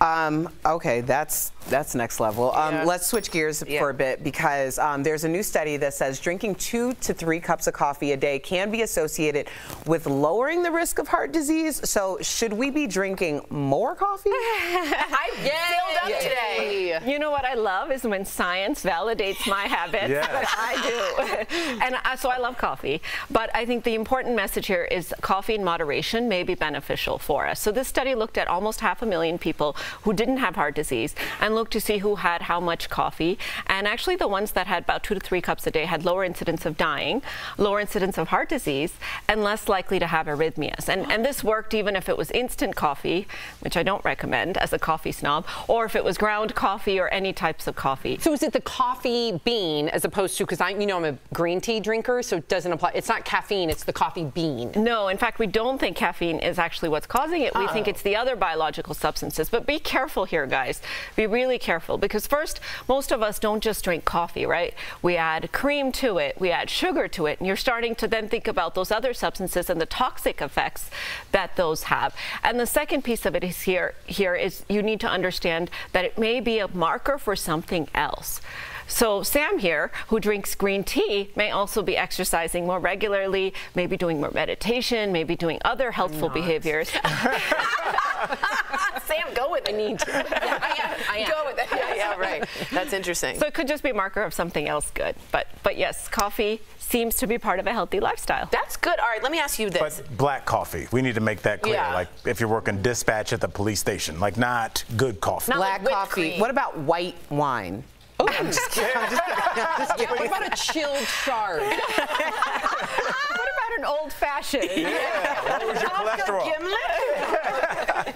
well, we appreciate Dr. Coley as always for uh, clarifying and giving us the information. If you have a question you'd like Dr. Coley to answer, write us on social media or send us an email to info at dailyblastlive.com. We'll be right back. Thank you, Dr. Coley. Yeah. Cheers, everyone, with your coffee, huh? Yes. Promotional consideration is brought to you by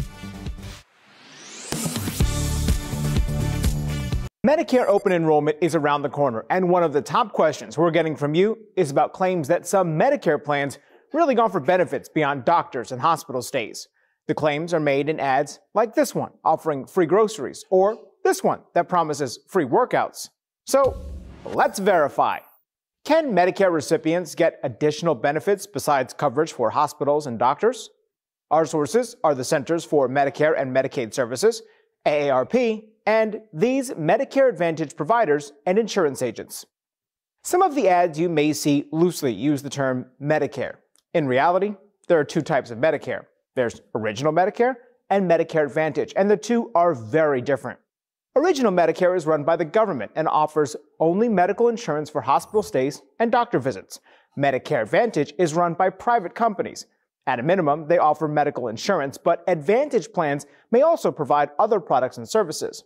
Any ad that you see offering a non medical perk for Medicare recipients, like extra money, groceries, gym memberships, you name it, is a Medicare Advantage plan. These companies offer those perks to incentivize you to give up your original Medicare coverage and instead enroll with them. So, no, Medicare recipients cannot get additional benefits besides coverage for hospitals and doctors. Those are only for people with Medicare Advantage plans. These plans may charge differently than original Medicare and have a smaller network of doctors. There is no one size fits all approach to selecting the right plan because everyone has different needs. There's a comparison tool at Medicare.gov that can help you find a plan that's best for your needs. With your Verify, I'm Brandon Lewis. Whether you love it or hate it, pumpkin spice season is here, and people are using the flavoring in all sorts of foods and drinks. But despite its popularity, some people are still confused about what actually goes into the pumpkin spice seasoning in a pumpkin spice latte. This person on Twitter claims there isn't any pumpkin in pumpkin spice. But is that true? Let's verify. We spoke to a spice expert, a licensed dietitian and nutritionist, and spice manufacturer McCormick and Company to get to the bottom of this. There is no pumpkin in the spice, but it's a blend of different spices that historically were used with pumpkin in pumpkin pies or pumpkin puddings. The blend usually contains four to five other spices you probably have in your cabinet cinnamon, ginger, cloves, nutmeg, and allspice. Spice giant McCormick Company first introduced a commercial pumpkin pie spice to the US in 1934. The goal was to flavor pumpkin pie all in one container, rather than bakers needing to get each individual spice. So we can verify, no. Pumpkin spice does not contain any pumpkin. But despite the lack of pumpkiny goodness in pumpkin spice, both Frisch and Andrew say it's still possible the latte drink that you order may in fact contain pumpkin these days.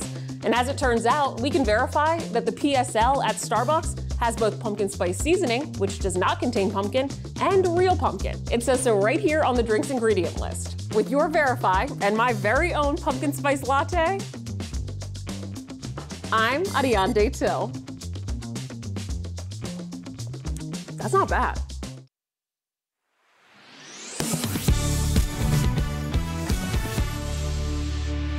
Welcome back to DBL. We love sharing your comments. Tori, do you have the comment? I don't, but I can Oh, read okay, some of please these. do. Okay, some people are talking about coffee and how snobby they are. So please write us in. Julia Gray says, I buy my coffee beans at Costco. They're made by Starbucks. And someone says, I think the biggest thing I am is a coffee snob. So Yeah, you got to pick one thing. I can't imagine not having my coffee. I love my coffee. yeah, two a day is good. Three a day. If you're leaving us, you can watch the second half of the show online. Watch on YouTube, dailyblastlive.com, or our app. But if you get the second half of the show where you are, here is what's ahead. Kelly Ripa is opening up about her complicated relationship with Regis. Was there drama between the two behind the scenes? And the families of Jeffrey Dahmer's victims talk about reliving the trauma all over again as a Netflix series about the killer grows in popularity. Should this story ever have been retold?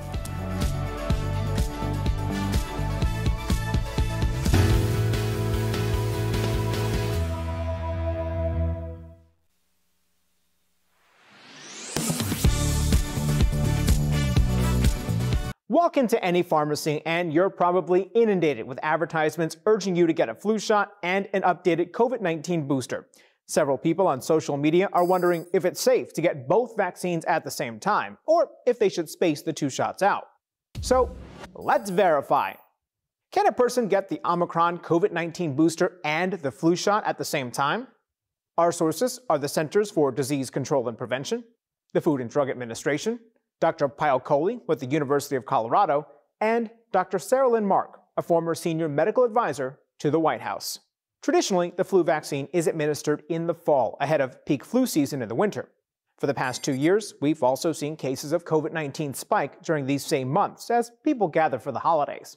The CDC studied self reported data from more than 92,000 people who received a booster shot and a flu shot during the flu season and concluded it's safe to administer both vaccines at the same time. The study found that about 10% more people who received both vaccines reported typical symptoms associated with them, like fatigue, headache, and muscle ache, than those who only received the COVID 19 booster. But the reactions were usually mild and went away quickly. So, yes, a person can get the Omicron COVID 19 booster and the flu shot at the same time. Both doctors Kohli and Mark tell Verify getting the two shots together is more convenient and may encourage more people to get vaccinated against the flu and COVID 19. With your Verify, I'm Brandon Lewis.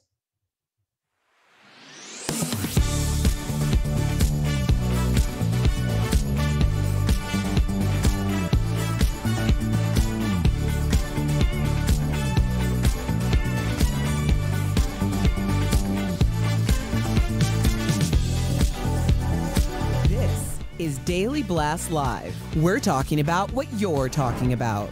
Oh my gosh. Get real. No. No. Y'all, y'all, just stop. This is a sham. It's finally here. Drum roll.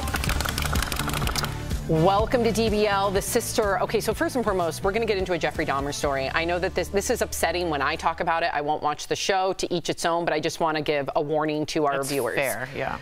All right, here we go. The sister of one of Jeffrey Dahmer's victims is upset over a new Netflix series about the killer. The 10 part series depicts Jeffrey's killing spree from 1978 to 1991. It's especially gruesome because Jeffrey also ate his victims. But Rita Isbell, whose brother was killed, said she and her family learned about the series just like everyone else and blames Netflix for making money off the tragedy without thinking about the families. Now, back in 1992, Rita gave an emotional impact statement where she screamed at Jeffrey. This is how it played out in court. Take a look. I don't want to ever see my mother have to go through this again. Never, Jeffrey. Jeffrey, I hate you. I hate you. Something's out of control. Don't me, Jeffrey. I kill you. I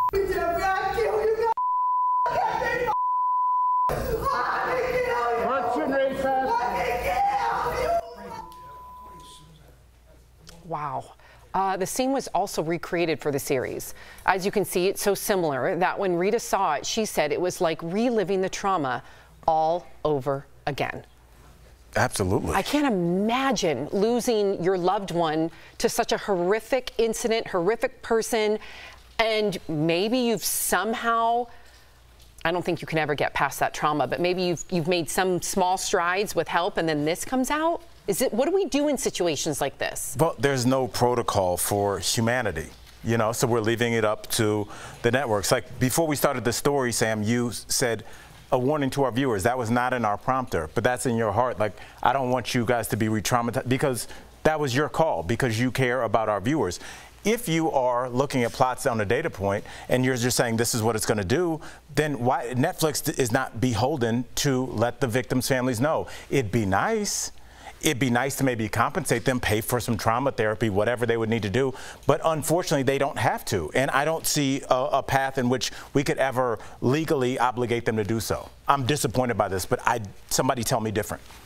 To, to, be perfectly honest, I agree with you, unfortunately. My feelings don't. I, I wouldn't want to watch this. I think it's insensitive, but it's 100% legal. It's, it's very popular, and the genre is clear. Now, let me be clear. All of the Dahmer stuff, the real Dahmer stuff on trial, was already put on court TV. So once that's out in the public legally, That's a part of American history. So for people who want to recreate JFK or the Pam and Tommy Lee, all those were out in the universe, available to Ryan Murphy, for instance, to remake it.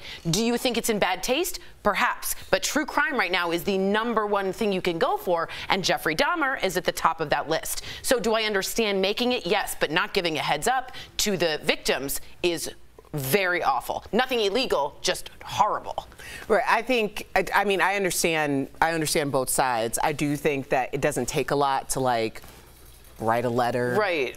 Phone call, something, especially when you are reenacting someone's most viscerally painful moment. Moment to moment. And as a, you know, I can't imagine, and I mean, as a sister, like, what that has to be like and everyone who has been impacted by this tragedy but to see it so well reenacted that's got to be a trauma like no other And so then seeing it every time you log onto Twitter, people like talking about it and Mhm. excited about it. I, listen, they should have somehow had some sort of restitution, a percentage of the something should have gone to the families. They should have thought about that. Yeah, that. but then the question becomes, do they have to do that for every That's story my now? question. Slippery slope. Do if you do that for everything, now is it every family that gets Right, it? it's so- But terrible though. Yeah. Terrible.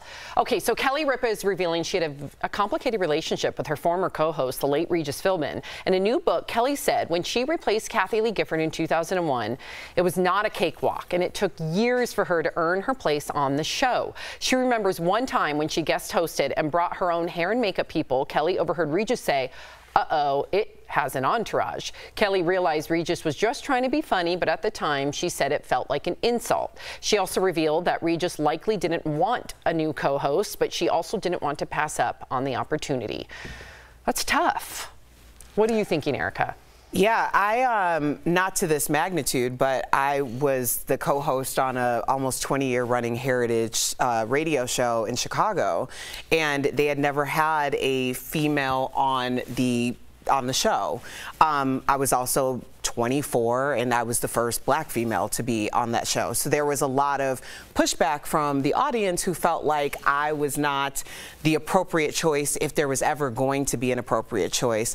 And like when you're walking into a situation like this, and again, I do not know to this extent, but this was my experience, it's like there's a part of you that wants to honor, like as a radio geek, I was just so excited to be working with two guys that I grew up listening to. So you want to honor that. You also want to be able to find your place in it. And then you also have to like be really like I don't know. You have to ignore all the naysayers. I don't know how I did that at 24 because that's it's very difficult. But she was on such a big platform, and the the noise was so loud coming up against her, and that is like such an impossible situation for someone who's like, this is a part of my destiny and my legacy too, and I'm going to fight for it. So when I hear people talking about like, why does she have to talk about this? Because it's a part of her story, and she was a part of, and still is this is her legacy as well. And I think it's only fair to just be honest about what it was and what it is. I mean, I don't see a problem with her talking about it. I agree with you, and it's part of her story. It's part of a lot of women's stories, right? Coming up with power roles, coming in younger, like you said. My only ick factor here is that he's not here to just say anything back. And I don't think she went all in on Regis. I don't think she spent chapters and chapters on it.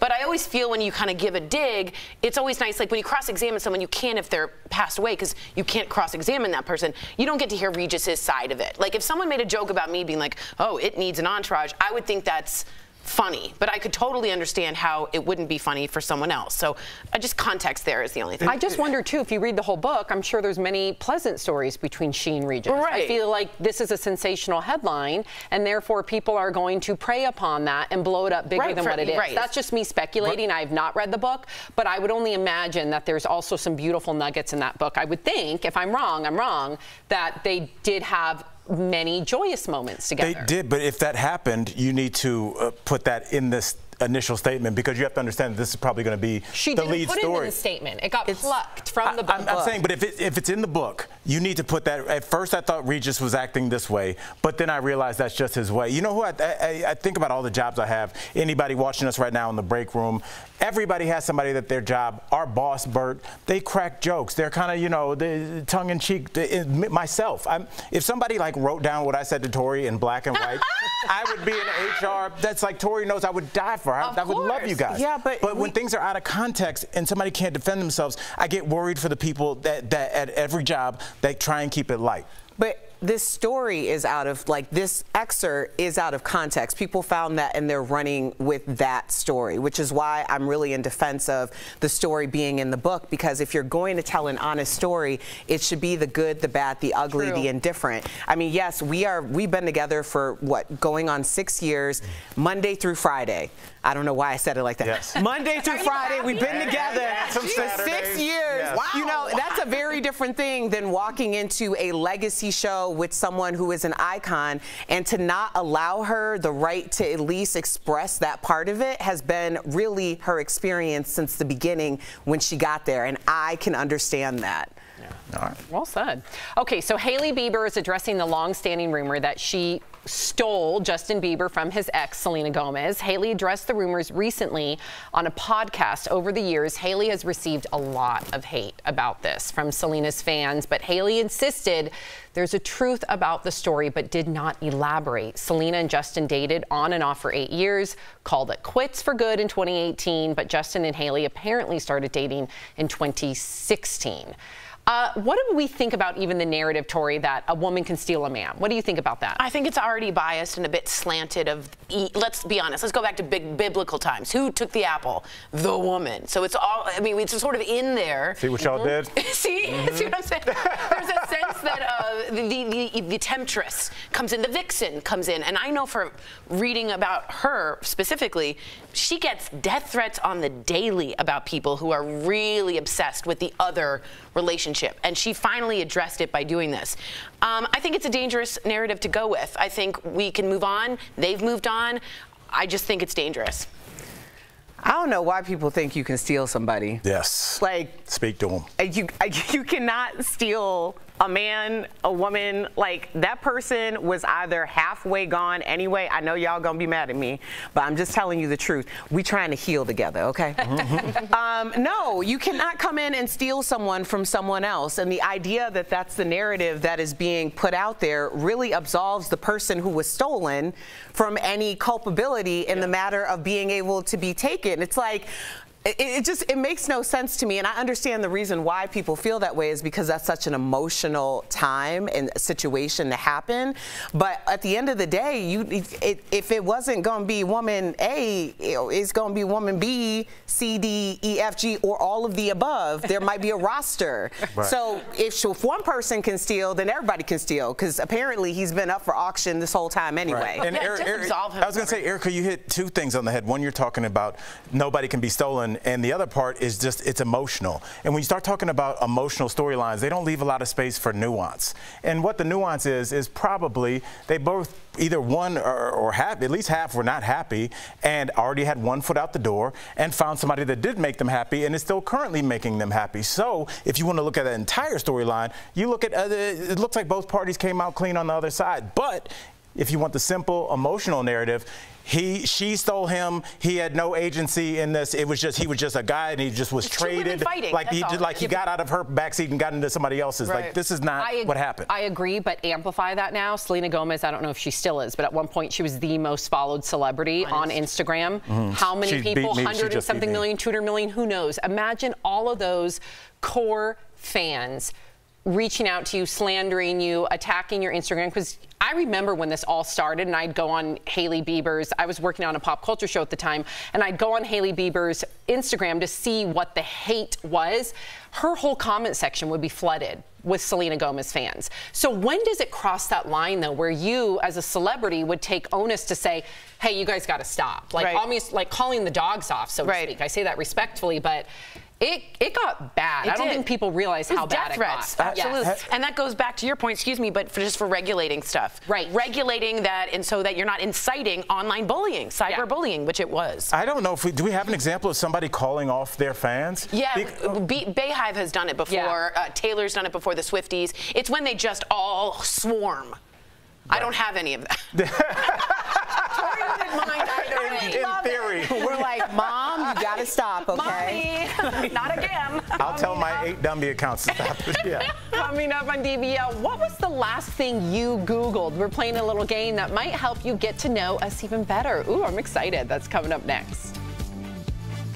Closed captioning provided by just a This is Daily Blast Live. We have fiery debate. That's not true. Can I finish? We tell heartfelt stories. We're so emotional over here. We talk to the stars. Turn up the notch on that. Great research. DBL is all new every day. Hello, everyone. Um, people, are, Johnny F just wrote in. I'm so tired of social media not regulating itself and stopping this stupid trolling bull. Um, can uh, What's weird about that, Tori? What? is The whole like lack of regulation is it just makes it impossible to Okay. for what's a real threat and what's Okay. not.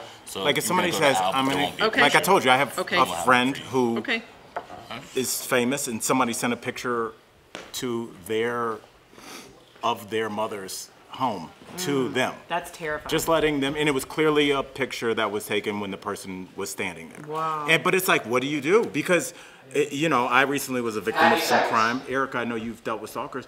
No matter what it is, you go to the cops and they're like, Yeah, it's let very me know when they try something. Right. Like there's, it's, it's, you're already at a disadvantage because the law honestly can't do well, the anything or statutes, won't do anything. the stat. First of all, you're so right. They, there's unless they're in the middle of the crime, there's Right. very little that they do. But second, the statute states if a reasonable person thinks this crime and threat will be taken, that itself has now hit the threshold of a, a criminal activity. So if you're saying I'm going to go kill all the people in, well, I don't want to say anything, but somewhere, that's not a reasonable idea. But if I take a picture of your mom's house, Yeah. that's a very specific, reasonable idea. So Yeah. that would cross that threshold. It is actionable, and the police will show up to your house. That, that, Yes, yeah, at they that kind of level, I would think that they would. That makes me happy. I mean, it just seems But like there's online, they might not. Right, that's what I'm saying. Like, how do you prove it? No, and no, no. Online They still too. will? Okay. Yeah, yeah, I know. Okay, good. Yeah. Yeah, yeah. because cyber, you're right. It's like the Wild West out there with online media. And Sam and Jeff very always spoke about regulation on social media, and I'm like, no, that's a First Amendment issue, and they've really changed my mind step by step about maybe we do need that. But bye, Bobby. Bobby Burnett?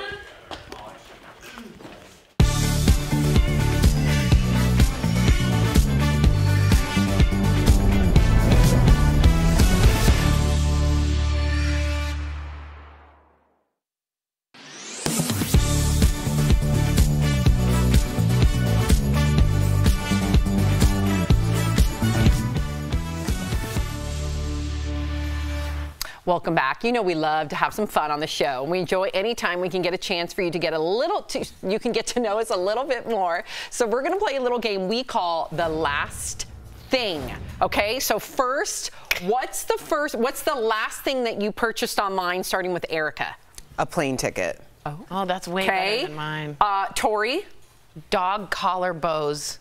oh my gosh. wow. Al? Uh, I think the la- I've had to buy a lot of things. I think it was a meditation cushion and pillow. Yeah. Oh, I like that. Yeah. Uh, mine was a fountain, I believe. You What got a kind of fountain? fountain? Was that right? Was it a fountain? What are you, a mafia boss? what are you keeping that in your, What kind? garden? An outside It's a fountain? outdoor Tell us about stone it. Oh, I fountain. re- makes you makes gotta loud noises. Send it to me. Yeah, Send it there, to me. Spouting? Huge send a picture so we I'm can in put it up the, at the I'm end in the fountain market right Please now. send a picture so we can put up at the end of I the show. will send okay. a picture. It's Okay. fabulous. Who's in the fountain market? Oh, I we're am. getting- I'm in the our fountain backyard right now. Okay. In the backyard. Shout out to It's a great thing. Okay, what about the last thing that you Googled? I know exactly what mine was. Who's who's up first? Is it anyone? Oh yeah, no, we're going in the same order. Erica. Oh, uh, oh, sexy date night restaurants. That's oh, great. Did Did you actually write sexy date night? I did. I would yeah. have done that too. Because then it gives a vibe. It means it's darker. There's a DJ playing. The mo- yeah, it's yeah, sexy date night. Yelp has a whole section. Last thing you Googled. Leaf peeping in a winter park. Just to see the aspens change. I wanted to see the aspens change. We went too early last last weekend. Oh, look at Albert is sleeping. Al, the last thing you Googled. Uh, I, this is actually worse than Tori's. uh, the the lit I, IKEA mirrors, the one that's lit, because you have to you have to put it, it's a mirror that, with a light around it, and it goes direct, it goes directly into the wall. And so I was like, "Do you need an electrician?" And you do. So yeah, yeah. Um, I don't remember what I Googled. I'm sorry, Anthony, our producer. Something else in your garden? Probably, Something yeah, about a fountain. probably Yeah. maybe Something like koi a fish pond? Maybe like a an outdoor pillow. Okay. Ooh. Okay. Yes. I'm in that market Yes. too. I'll, Oh, man. I'll send you some Please, sunbrella. absolutely, ones. thank I'm in the wrong market. What is it? Yeah. Okay. Okay. Next, what's the last thing you remember doing on vacation, Erica? Celebrating my little sister's birthday. Oh. Yes, Ebony. Uh, that's our parents. Love Um, our our, our new our new brother Scotty, who worked at the resort. We took him to. I'm just take everybody. Ebony, Ebony's acting like she's like on a yacht. Yes. Yes. That looked like your album cover where it just called All in the Family. Like that's your new LP that just dropped. That's cool. Tori, what about you? Um, watching the fireworks at the D.C. United States Capitol. Oh, Tori, that's beautiful. With my aunt and my mommy. Oh, that's really cute. Isn't that great? You have a little red, white, and blue hat on. Yeah, and we met a lot of people, and we had a lot of. We were served well. It was a good night, as you can tell. And Al, what about you? I didn't. I don't remember. I don't think I vacationed that much. Oh. You don't. You, what? No. Okay, we. I need to send fly you for a on living, so staying at home is Oh, my okay, vacation. okay. Like I don't want to go anywhere. fair. So no Yeah, answer from no that. Good one. Good. Uh, Way to participate. for I couldn't remember my answer. so for me, Mark and I recently went to Telluride and we did something really cool, and I'm going to look cool. cool. in this picture, but I was not good at it. What do you mean? We went BMX biking down the mountain, Jeez, Sam. down a really steep That looks mountain. kinda gangsta. Yeah. Yeah, and I looked cool in that picture, but let me tell you, Mark was so far ahead of me, and then he'd have to stop and wait. And then he'd go really fast, and then I'd boop, boop, boop, boop. Yeah. It's nerve We we just slept on something. We got to take Al on vacation. We're gonna have to get a Yeah. mountain home on the weekend. I don't know Take them on vacation. DBL Mountain. Okay, what's the last thing you tried for the first time, Erica? What was the last thing Thing I you tried for the first time. We're so. Oh, a chiropractor. Yeah. Oh, good job. Okay. Yeah, yeah. It was a lot of crunches. A lot of crunches. Mine is fresh mackerel at a sushi restaurant. Never tried I mackerel. love Did you enjoy mackerel it? is- little fishy for me, a little salty, but appreciated the gaminess. And what, Yeah. ooh, good. what about you? Uh, I did meditation for the first time. It was awesome. It's so. It's great. I was like, why have I not been doing this? And then I you got out- a pillow. I got a meditation, and it's, I got a whole meditation room now. Yeah, nice. so- and the more you What meditate, you? the more gray matter. Yeah, yeah, yeah. No, yeah, gray matter is what you made. don't want. You don't want gray matter. Less synapses. synapses. matter. Yeah, gray matter. less. Is, when is gray ever associated with bright thoughts? Okay. Okay. For me, we went and spent the night at a haunted hotel. It was terrifying. really? Yeah. You didn't love it. I think I have a picture. Oh. I sent in a picture. Didn't, didn't make the cut. Maybe the ghost took it. we'll be right back. Attention military personnel. If it feels like you're hearing more and more about libraries and school boards removing certain reading material from shelves and curriculum, well, the groups that keep track of this kind of thing would tell you you're right. We looked at recent reports tracking book bans and talked to Will Creeley, legal director for the Foundation for Individual Rights and Expression, to verify how many books are getting formally pulled out of schools and libraries, where it's happening, and why. The American Library Association reports 2021 saw the largest number of attempted book bans since it began tracking that 20 years ago. There's always been some amount of book banning, right? But this is unprecedented. It is a tsunami. It is an avalanche of censorship. PEN America's extensive index of school book bans lists more than 1,600 titles challenged in the last year. Texas has the highest stack of banned books, followed by Florida and Pennsylvania. This is happening everywhere. Historically, challenged books have often centered around language or what might have been deemed mature topics, but targeted books increasingly center around characters and issues, quote, of people who are gay, trans, black, indigenous, people of color, immigrants, and refugees, according to the ALA. Five of the 10 most challenged books for the last year deal with LGBTQ issues. Creeley says it's a precedent that could impact a variety of beliefs. That act swings both ways, right? Once you start banning books, it is a very slippery slope. The PEN America report found sometimes books are pulled in political moves from school board officials or even those high up in state government. But most of these book challenges come from local action and advocacy parent groups, typically conservative, aiming to amplify parents' voices in schools. Most of these have only been formed in the past few years. With your Verify, I'm Abby Llorico.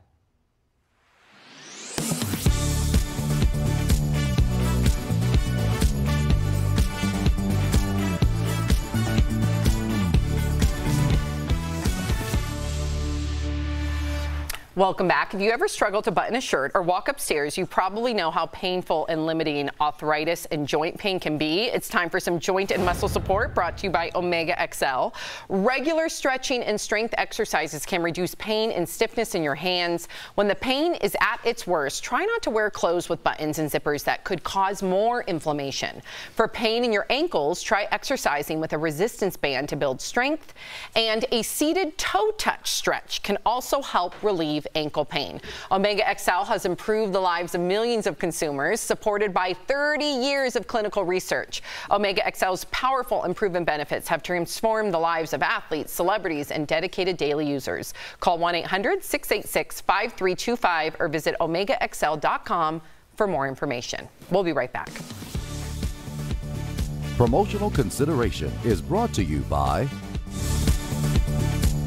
Medicare open enrollment is around the corner, and one of the top questions we're getting from you is about claims that some Medicare plans really offer benefits beyond doctors and hospital stays. The claims are made in ads like this one, offering free groceries, or this one that promises free workouts. So let's verify. Can Medicare recipients get additional benefits besides coverage for hospitals and doctors?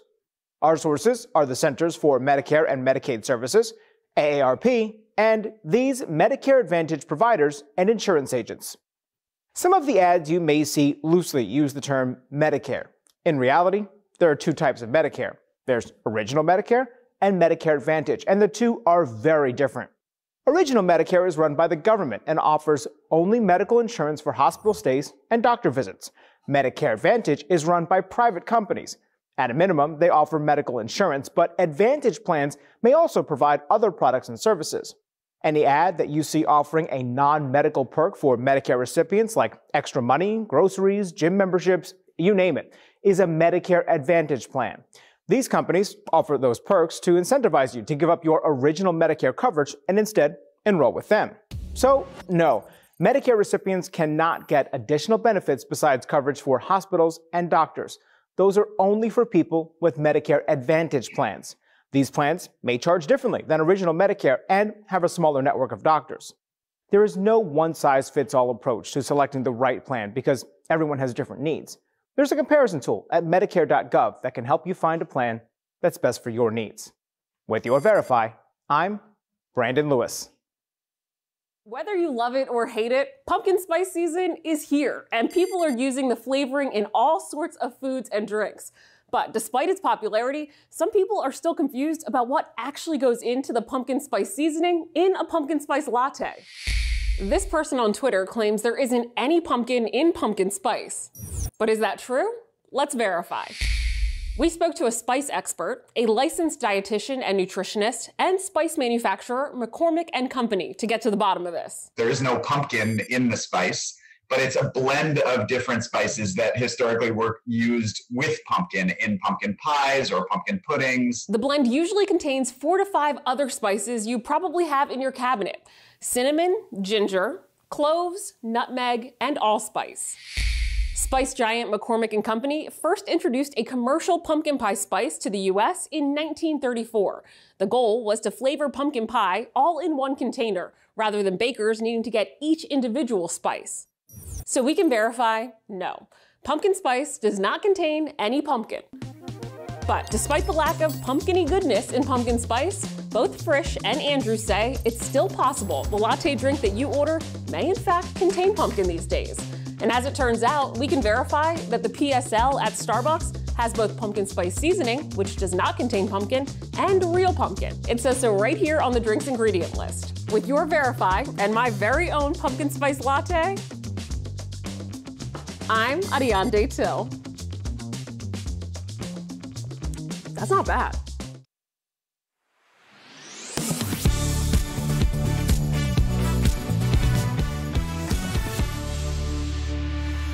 Welcome back. Okay, so earlier in the show, we were talking about things that annoy us on airplanes, like people who say their dogs are service dogs when they're really not. And Al questions if Tori's dog, Josie Rose, is actually a I did. service dog. I have well, Tori, questions. you have something to show us. I sure do. So Josie went through an extensive program, She and this did. is um, her badge at Cedar Sinai, and that's me and our Delta Society pet partners going off to meet with El Marino kids to read to challenged readers. We did it for a full year, and we did it for three years. Josie also senses if I'm having a panic attack and does a lean-to, which took extensive work as well. And Delta Society pet partners, shout out for making the world a little better at a time. How do you feel, Al? I feel like I need some paperwork.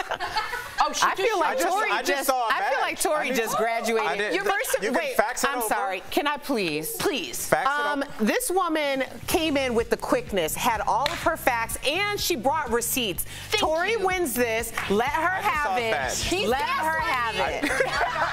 I am.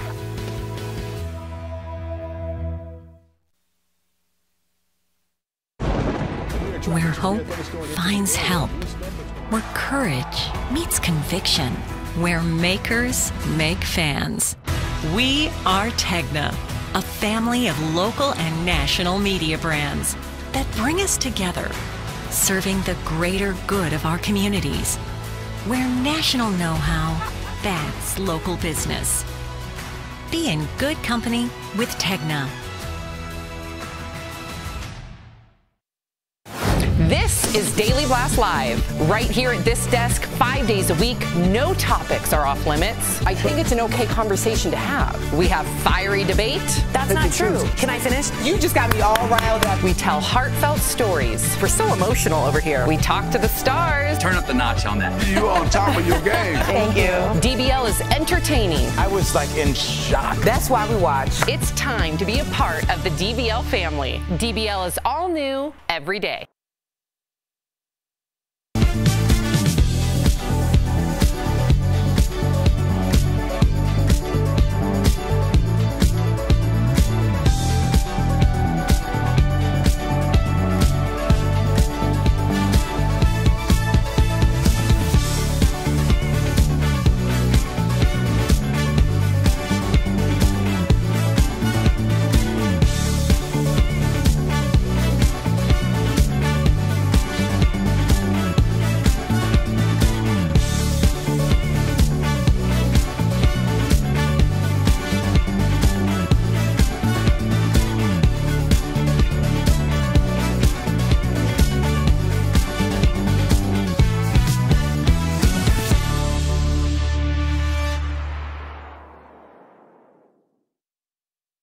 What we're talking about today on Daily Blast Live.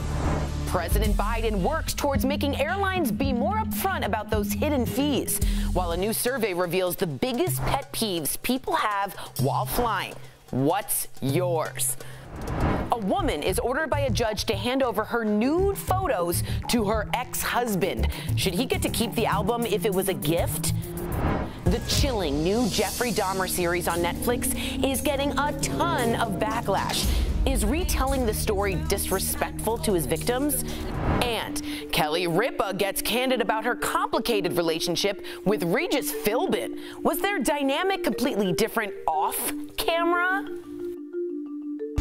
Oh my gosh. Get real. No. No. Y'all, y'all, just stop. This is a sham. It's finally here. Drum roll. You okay there, Tori? Yeah, I'm fine. You mean he zipped you up? No, it's fine. The mirror's fine. Nothing broke. We're good. Yes, the show has begun. I do not need seven years of bad luck, so do not break. Perfectly fine. Actually, that would happen to you. I was like, that's not. Why are you claiming her bad luck? it's all We're all one family here. Yeah, okay. Thank you. Well, All certain right, things. so welcome to DBL. Let's get to it. How how much do you hate hidden fees, especially while trying to book a family vacation or a vacation period? Well, the White House announced plans yesterday to go after airlines and travel websites if they try to slip in fees after you've already picked your flight. Speaking of traveling, we've got a new survey revealing what Americans hate most about flying. So here are the top five. At number five, people who hog the armrest. There's actually a rule to that. Mhm. them. I'll get to that. Okay. Yes, I will. Yeah, so put a little bookmark in there. number four, people who eat smelly food on a flight. Mm. Al. No, I don't. Yes. Bonnie. Yep. That was the I was the one one who admitted okay, to that. Erica now. Number three are parents who are inattentive to their kids. Number two are people who are, well, they have poor hygiene. They don't smell good. Or maybe they've even put on too much perfume.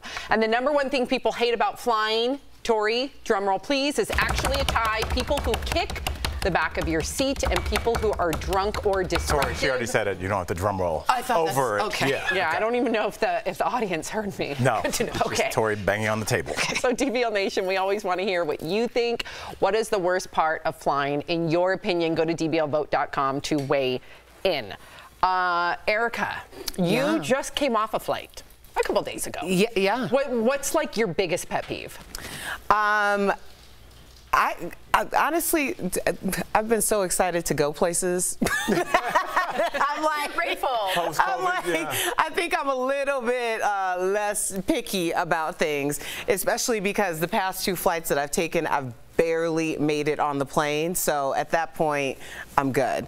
But I think that once you get off the, or you start moving and you have to sit on the tarmac for a long period of time, I mean, I use that hour and 45 minutes to get some sleep, but I could imagine the rest of my fellow passengers weren't feeling that. Mm. Yeah, I don't like feet near bare feet anywhere near my problem. space on the plane. A lot of people put their feet up. So gross. So gross. I don't want your toes in my face. No. And second, you what you just said. Um, I was on a plane and no AC on the tarmac, and I started to have a panic attack because of claustrophobia, and no one was saying anything full flight. So of course I said something, and I was like, "Are we gonna get AC?" You said something. I had to, and Brooks was like, "Keep your cool," and I almost lost it. Wow. So I, I, I just wish there was. She was like, "I hope so," and I'm like, "Ah." Now yours is quite bougie, or do yeah, you I, not no, want to yes, go no, I wanted to. I, I have no His problem talking about it very because Sam's like, "Oh, you're not going to want to talk about this." I have an issue because I fly first class a lot, and do you know Must be why? Do you know why? Because while you guys were here on the ground, uh, falling in love, having kids, going on dog walks, I've been in a chair in the sky, okay, for 20 years. That's why I get to sit in first class because I've given up my life to sit in there because that, that was my job. As a So what- traveling comic. As a traveling comedian. So what I do not like is when people come from Coach and come and destroy our restroom. I do not like this. oh my God! Listen, we paid for that. What am I gonna do, Sam? Block the door? No. Oh my God! get- it's a you thing. confront. Would you confront? No, but there used to be a thing where you roped off the free, and now it's just like it's like free rein. Actually, oh, I'm sorry. No, I there- paid extra. There still there still is a thing, and I thought it was so. This happened on the flight back from New York last week, and they announced that you need to use the restroom in the cabin that you paid for, and I was like, oh my gosh, that is like I felt really horrible about that, like. People have to use the bathroom, and there was a line coming down Thank the thing. Erica. like Call that your this problem. one is open. It's classism in the sky. and it's Thank for you. eight In the people. sky. So the, ne- the next time you're at a, like a, a sporting event, go up to the luxury boxes and be like, "Hey, I got to use the bathroom." No. They paid extra, huh? What Okay. is this? I don't know. Kelly Peanut Are y'all running for gallery over office? there. Okay, Jeff was here earlier, and we all know how Jeff feels about flights. Yes. Well, Loves here's them. his two biggest pet peeves.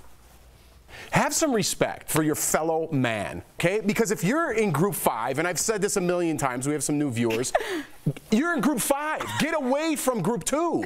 Get away from there. Don't stand like one foot up. Get away. Go by the banh mi sandwich. Get out of there, okay? That's one. I said there's two. Okay. When you're getting off and I'm in row 17, which I got nickel and dime to move up to, and you're in row 18, I will kill, kill if you think you're getting off the plane before me. I will go over my child and try to get you. Yeah. Wow. Yeah. Have some respect because I have things to do too.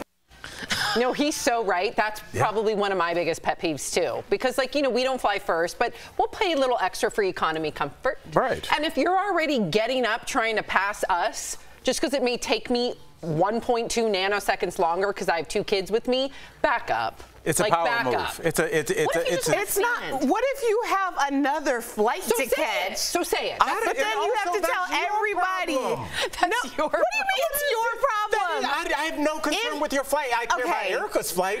I don't. Okay, I can't- but you have to look at it from both sides. Like, yeah, there's going to be people who are going to just do that because they feel like it's their right to do that. Or what if they wanna But there are going to be people who, you know, the flight has been delayed for 30 minutes and now they have to run across the airport. So yeah, I've been in that situation and I was like at the door before they even told us we could get up. Not everyone. I did not care. Not I did not care. Look. Not everyone's in that situation. That's not true. Sam, you need to break out that tiny see- violin for the that tiny, one. Oh yeah, remember Yeah, my yeah, tiny violin? yes. Where's You were- Steve? You were so passionate about it. Steve, thanks, Steve. okay, the poll results. Let's look. I love I it. can't believe Steve did not play the violin. 51% of There it is. seat kicking. Oh. 13% of you loud kids, 14% hate that armrest hog, 22% smelly food passengers. Now the armrest, if you're in the middle, you're the one that gets to have what you the get, right? armrest. Right. You Yes. So You just remember nothing. that. Yes. Okay, speaking of flying, a flight attendant has gone viral for revealing the five things you should never ever do on a plane. Take a look. Five things you should never do on an airplane. Number one, do not ever touch the flush button or lever with your bare hands. Number two, don't forget to drink water, stay hydrated. Number three, do not fall asleep or lean your head on the window. Number four, don't or try not to wear shorts when you're on an airplane. Number five, don't feel afraid to let a flight attendant know if you're feeling sick. Yeah, that sounds about right. I just, I, I just, I'm just surprised that pets aren't on this list either, because people's pets, Are especially you when you have. attacking Tori? Because Yeah. No, I'm talking. We everybody has a dog on this panel. Yeah, but You- she has an emotional support dog. Yeah, a I lot of a s- people do. I have a service dog that went to Delta uh, Suite training and actually passed, but a lot of people abuse that. Thank you. Yes. Yes, and I'd also like to see the certificate for that. that sounds like something you just will. made up as you started the Delta sentence. Society, you want to write on in? Read program, Pooch program at Cedar Sinai. Anyone? El Marino School. We were all there with the dogs. Yeah, okay. You can sleep on that. I win this one. The pooch the Pooch program. Yeah, at Cedar Erica, do you ever fall asleep Sinai. on that window? I do it all the time, but you know me. I clean it first with some sanitizing wipes, and I did that way before the pandemic. Brilliant. Yeah, I, All right, I use the things that go like this, but I clean those too. Okay, she does clean them. All right, coming up on DBL, the Jeffrey Dahmer series on Netflix has his victims' families speaking out. Did this story really need to be retold for entertainment? Plus, Dr. Coley joining us in the studio. She's talking about whether drinking coffee really helps lower our risk for heart disease. And a woman is ordered by a judge to hand over her nude photos to her ex-husband. Should he get to keep the album if it was a gift? Closed captioning provided by Hey,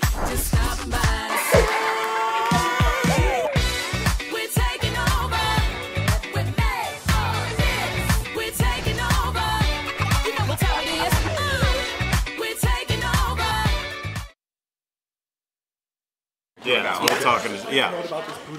Um, yeah, so apparently we have a difference Okay, of opinion when it comes to flying. Well, now, I says will say, cake. I Oh. understand Oh, here that. Yep, the difference between like you. Buying your It's upgraded ticket No, and Okay. having those amenities and stuff, but like in this case, when I was on the flight a few days ago, the line was go- going like probably a quarter way through, and I think a big part of it was the fact that we were on the tarmac for an hour and 45 minutes. So in first, there were only what eight seats, and those had been open the entire time. So people started going into the front of the cabin, which Now I don't see an issue with. Like even Yeah. as somebody Right. Who paid to to sit in that cabin. So You know when I see an issue? An husband hour into the the flight and it looks like Calcutta in there. has to see All it right, too. it is. It is disgusting in there. It is. There's stuff on the floor. There's stuff around the rim, and it's because 45 people have used it in the last hour, and we just left a gigantic bathroom called the airport concourse. If you need to use that, go ahead and go ahead. There's hundreds of restrooms there. But you want to wait till we get in the sky? That's your problem. As I mentioned, we were on the tarmac for an That's- hour and 45 an minutes before we took off. So yes, a lot of people had to go to the bathroom, and they were told that they couldn't get get a up sound check? during that hour and 45 minutes. Wait, so let around. you can't really Okay, tell in a normal situation. Okay. Do you feel me in a normal Yeah, situation? Okay, I, a little lower. I, Keep I still talking, have Thank some type. you. There's certain things that I Steve, feel like pe- people should get grace for, and having to use the restroom when there's one available in the Thank you. vicinity. I'm gonna give grace for that. Okay, but just apply it to everything. VIP, people should come up, they'll take a sip of your champagne. Like, you paid extra for that. You paid extra. It's not the same. It is the same.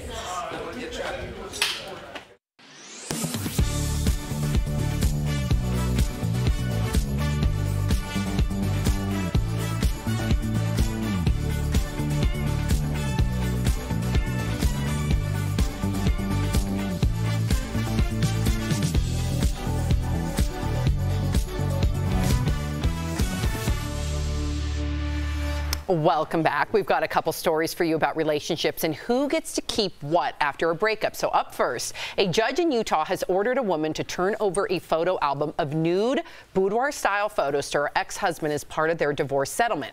Now, the woman gifted the photos to her ex early on in their marriage and even wrote intimate messages inside the album that he says he wanted to keep for memory's sake. Now, the judge said the woman would edit her body out of the photos before returning them to her ex. But the question is, is this even fair?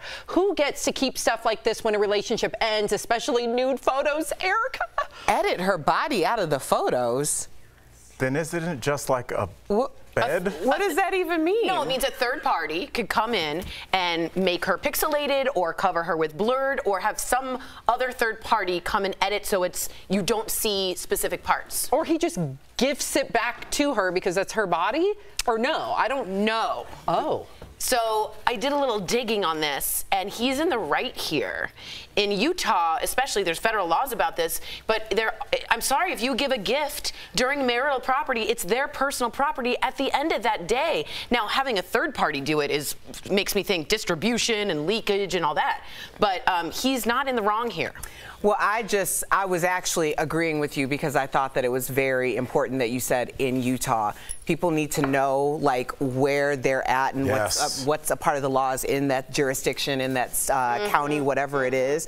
Um, there are certain places Mm-hmm. that are notorious for perhaps being um, a little bit more favorable so, towards certain parties than others. The men more than the okay? women. so I'm not shocked Yeah. that this was the verdict in this situation, but I also find it extremely creepy on behalf of this ex-husband Yes. because why you want that? Right. Well, apparently, I'm trying. I'm trying to be the other side here, just devil's advocate. She had written love notes. So in it. what? They're not he wa- together. he wanted to keep those messages and be able to read them. And Yeah, if it was right. that's He what wants his to keep so- the messages. As a defense attorney, fakely up But here. if they're going to pixelate the photos, then they also could have just extracted the messages. Like they don't have to have her on it. That that reeks of ownership mm-hmm. over this person that he once was married to, and he wants to continue to have claim to her. There's no other explanation for that. It is creepy, and I hope that everybody knows who this man is because he's gonna do it to the next woman too. So make sure you know. And I think be- let them know, beyond sis. creepy, Erica, it's leverage. It's incredible. You are literally loading up the ammo for revenge porn. That's all it is. It's like now, oh, you want to leave me? You have a new boyfriend? How about if I send this to his parents? How about if I send? No, no, can- uh, no, you're- no, no. Listen very carefully. He does not have the right. Sorry to interrupt you like that. Please. He does not have the right to distribute any of the photos. That would be illegal. She, he doesn't have the copyright of those photos, right? But he does have a right as a gift. That's his personal property property to keep those photos. But so there's no, a difference. no one has the right to distribute, but they do it anyway. Well, if it's Just because I'm saying if he put it out there, just because something's legal doesn't mean it's moral. absolutely, Sam. I was being your immoral defense attorney on this panel. Yeah, and that's what you want from a defense attorney. Be immoral, get me off. Yeah. yeah. question for you. After a breakup, do you continue to share your streaming service logins and passwords? The reason we're asking is because Selling Sunset star Chrishell Stause recently said she still has the login to her ex Jason Oppenheim's HBO account. That's amazing. And get this, she admitted she messes with him when he makes her mad by doing things like changing where he left off on his favorite show. What do you think about that, Erica? Y'all gotta let it go, okay? This is a what $14.99 uh, subscription. Y'all selling million dollar homes and showing us these very illustrious lives.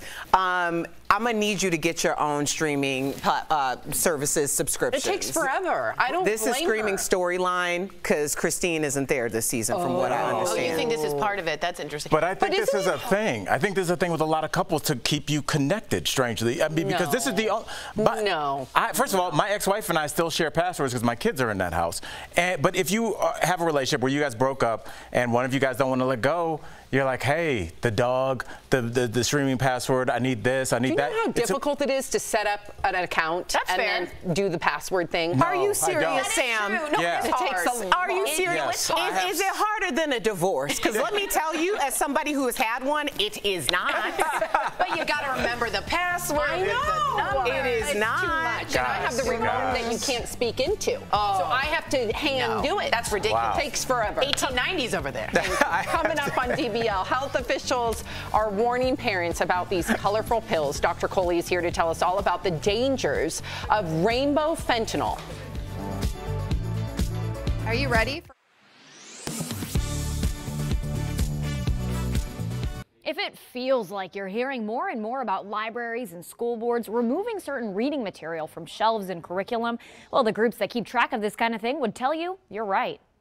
We looked at recent reports tracking book bans and talked to Will Creeley, legal director for the Foundation for Individual Rights and Expression, to verify how many books are getting formally pulled out of schools and libraries, where it's happening, and why.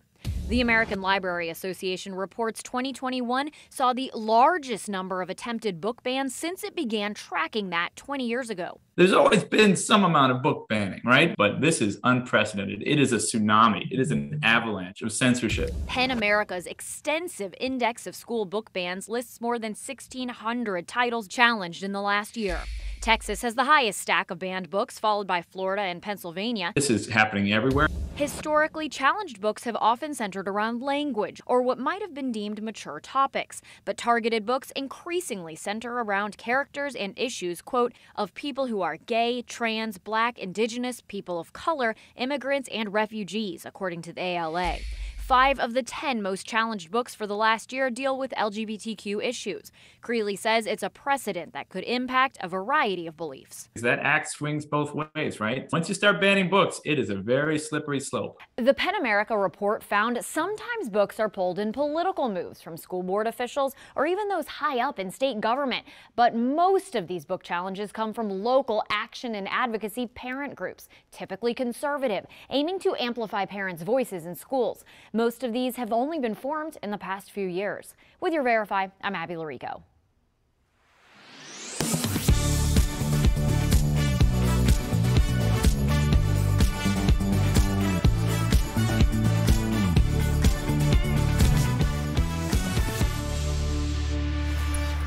Welcome back. So, rainbow fentanyl, this is really terrifying as a parent. And heart studies are making headlines. So, we're happy to have Dr. Coley with us to answer all our questions. Yes. We need to get right this, this, to this because I'm a parent, and apparently the DEA is warning people about this new rainbow-colored fentanyl. Like, why should we be concerned as parents or just as the overall populace? You know, before I talk about rainbow fentanyl, can I comment on what you guys were just Please. talking about? Yeah. As a doctor, a very good reason to hold on to your excess subscription is you can spy on them. You can see what they're watching. Is it a rom-com? Are they seeing somebody else? Dr. Coley. Really helps stimulate the right chemicals to make you feel better. I like it. Prescription Dr. for Coley. disaster. Yep. Mhm. Ciao. And now the smooth transition back to fentanyl. Uh, but I, that, that's interesting. I No, remember that. doctor's orders. I'm going to do it. Yes, Doctor's orders. my doctor told me to stock you. And I'm actually Yeah. talking from personal experience. So, Oh. the rainbow fentanyl, yes. talk to us because Al and I were just talking about this for a podcast we're doing, and we're terrified. It is terrifying, and I think all parents, all people, adults, everybody should know about it because what the cartel has done is they have taken fentanyl and made it look like candy. And and so and the idea here is intentional. It's really meant for people to think it's innocuous, Good it's Lord. benign, it just looks like SweeTarts. And whether it's our adolescents, our college-going kids, or even our young kids who might come across it accidentally in a park or something, they could just take it and have obviously get addicted, but have an unintentional overdose. So I think we as parents really need to realize how this works. And there are test strips that you can get from your local government, which can let you know if something, you know, has fentanyl in it. And oh God. with, with Halloween coming, I think, guys, this is perfectly Yeah. timed because the Oh, parents really need to know about it. it's Wow. Yeah. Um, okay, that's that's next level. Um, Yeah. Let's switch gears for a bit because um, there's a new study that says drinking two to three cups of coffee a day can be associated with lowering the risk of heart disease. So should we be drinking more coffee? I filled up today. You know what I love is when science validates my habits. Yes. But I do. and I, so I love coffee. But I think the important message here is coffee in moderation may be beneficial for us. So this study looked at almost half a million people who didn't have heart disease and looked to see who had how much coffee. And actually the ones that had about two to three cups a day had lower incidence of dying, lower incidence of heart disease, and less likely to have arrhythmias. And, and this worked even if it was instant coffee, which I don't recommend as a coffee snob, or if it was ground coffee or any types of coffee. So is it the coffee bean as opposed to because I, you know, I'm a green tea drinker, so it doesn't apply. It's not caffeine; it's the coffee bean. No, in fact, we don't think caffeine is actually what's causing it. We oh. think Oh. it's the other biological substances. But be careful here, guys. Be really careful because first, most of us don't just drink coffee, right? We add cream to it, we add sugar to it, and you're starting to then think about those other substances and the toxic effects that those have. And the second piece of it is here here is you need to understand that it may be a marker for something else. So Sam here, who drinks green tea, may also be exercising more regularly, maybe doing more meditation, maybe doing other healthful behaviors. Sam, go with it. I need to. I am. I am. Go with it. Yeah, yeah, right. That's interesting. So it could just be a marker of something else good. But but yes, coffee seems to be part of a healthy lifestyle. That's good. All right, let me ask you this. But black coffee, we need to make that clear. Yeah. Like if you're working dispatch at the police station, like not good coffee. Black coffee. What about white wine? I'm just kidding. I'm just kidding. I'm just kidding. What about a chilled chard? what about an old fashioned? Yeah. What was your cholesterol? well, we appreciate Dr. Coley as always for uh, clarifying and giving us the information. If you have a question you'd like Dr. Coley to answer, write us on social media or send us an email to info at dailyblastlive.com. We'll be right back. Thank you, Dr. Coley. Yeah. Cheers, everyone, with your coffee, huh? Yes. Promotional consideration is brought to you by Medicare open enrollment is around the corner, and one of the top questions we're getting from you is about claims that some Medicare plans really offer benefits beyond doctors and hospital stays. The claims are made in ads like this one, offering free groceries, or this one that promises free workouts. So let's verify. Can Medicare recipients get additional benefits besides coverage for hospitals and doctors? Our sources are the Centers for Medicare and Medicaid Services, AARP, and these Medicare Advantage providers and insurance agents. Some of the ads you may see loosely use the term Medicare. In reality, there are two types of Medicare there's Original Medicare and Medicare Advantage, and the two are very different. Original Medicare is run by the government and offers only medical insurance for hospital stays and doctor visits. Medicare Advantage is run by private companies. At a minimum, they offer medical insurance, but Advantage plans may also provide other products and services. Any ad that you see offering a non medical perk for Medicare recipients, like extra money, groceries, gym memberships, you name it, is a Medicare Advantage plan. These companies offer those perks to incentivize you to give up your original Medicare coverage and instead enroll with them. So, no, Medicare recipients cannot get additional benefits besides coverage for hospitals and doctors. Those are only for people with Medicare Advantage plans. These plans may charge differently than original Medicare and have a smaller network of doctors. There is no one size fits all approach to selecting the right plan because everyone has different needs. There's a comparison tool at Medicare.gov that can help you find a plan that's best for your needs.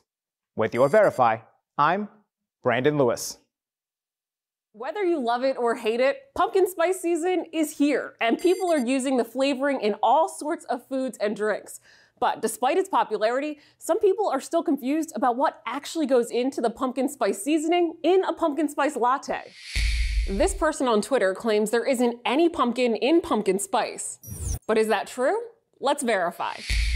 We spoke to a spice expert, a licensed dietitian and nutritionist, and spice manufacturer McCormick and Company to get to the bottom of this. There is no pumpkin in the spice, but it's a blend of different spices that historically were used with pumpkin in pumpkin pies or pumpkin puddings. The blend usually contains four to five other spices you probably have in your cabinet cinnamon, ginger, cloves, nutmeg, and allspice. Spice giant McCormick and Company first introduced a commercial pumpkin pie spice to the US in 1934. The goal was to flavor pumpkin pie all in one container, rather than bakers needing to get each individual spice. So we can verify no.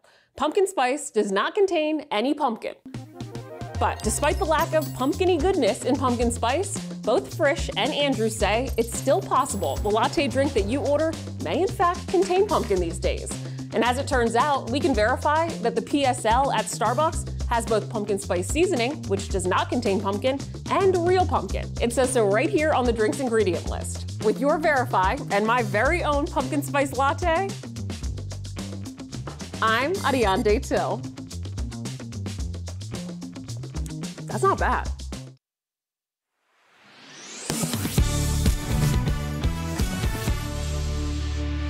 Welcome back to DBL. We love sharing your comments. Tori, do you have the comment? I don't, but I can Oh, read okay, some of please these. do. Okay, some people are talking about coffee and how snobby they are. So please write us in. Julia Gray says, I buy my coffee beans at Costco. They're made by Starbucks. And someone says, I think the biggest thing I am is a coffee snob. So Yeah, you got to pick one thing. I can't imagine not having my coffee. I love my coffee. yeah, two a day is good.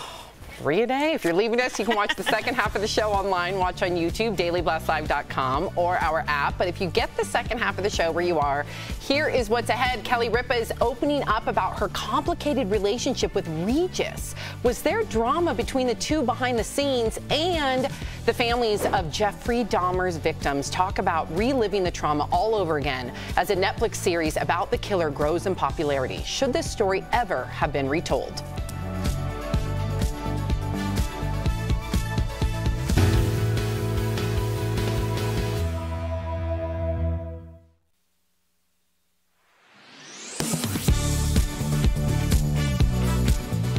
Walk into any pharmacy and you're probably inundated with advertisements urging you to get a flu shot and an updated COVID 19 booster.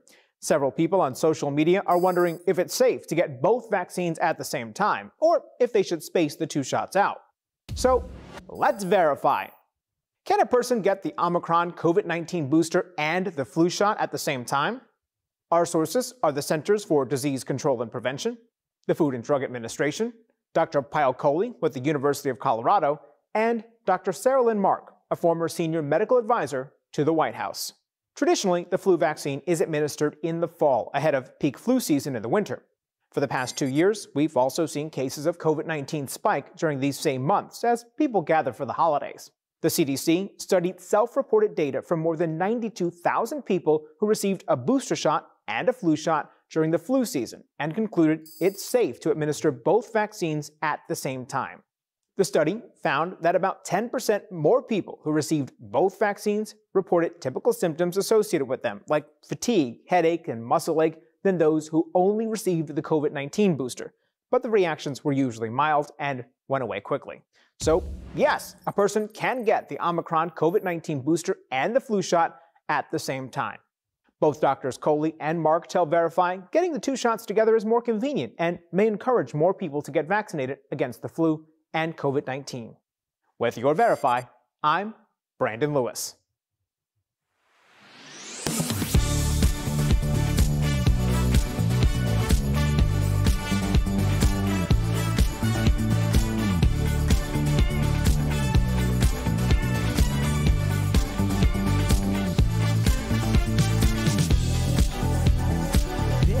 Is Daily Blast Live. We're talking about what you're talking about.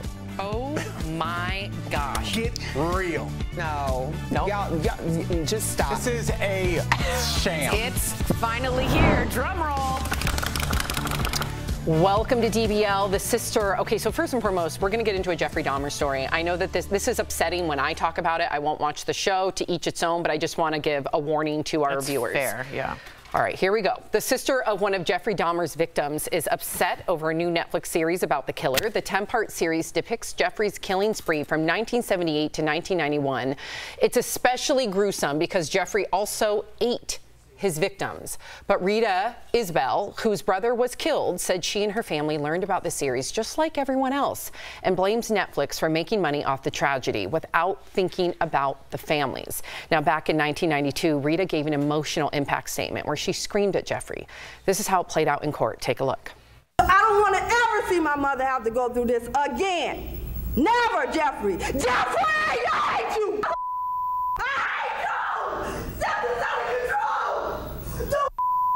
I kill you. I can't kill you. Question rate Wow. Uh, the scene was also recreated for the series.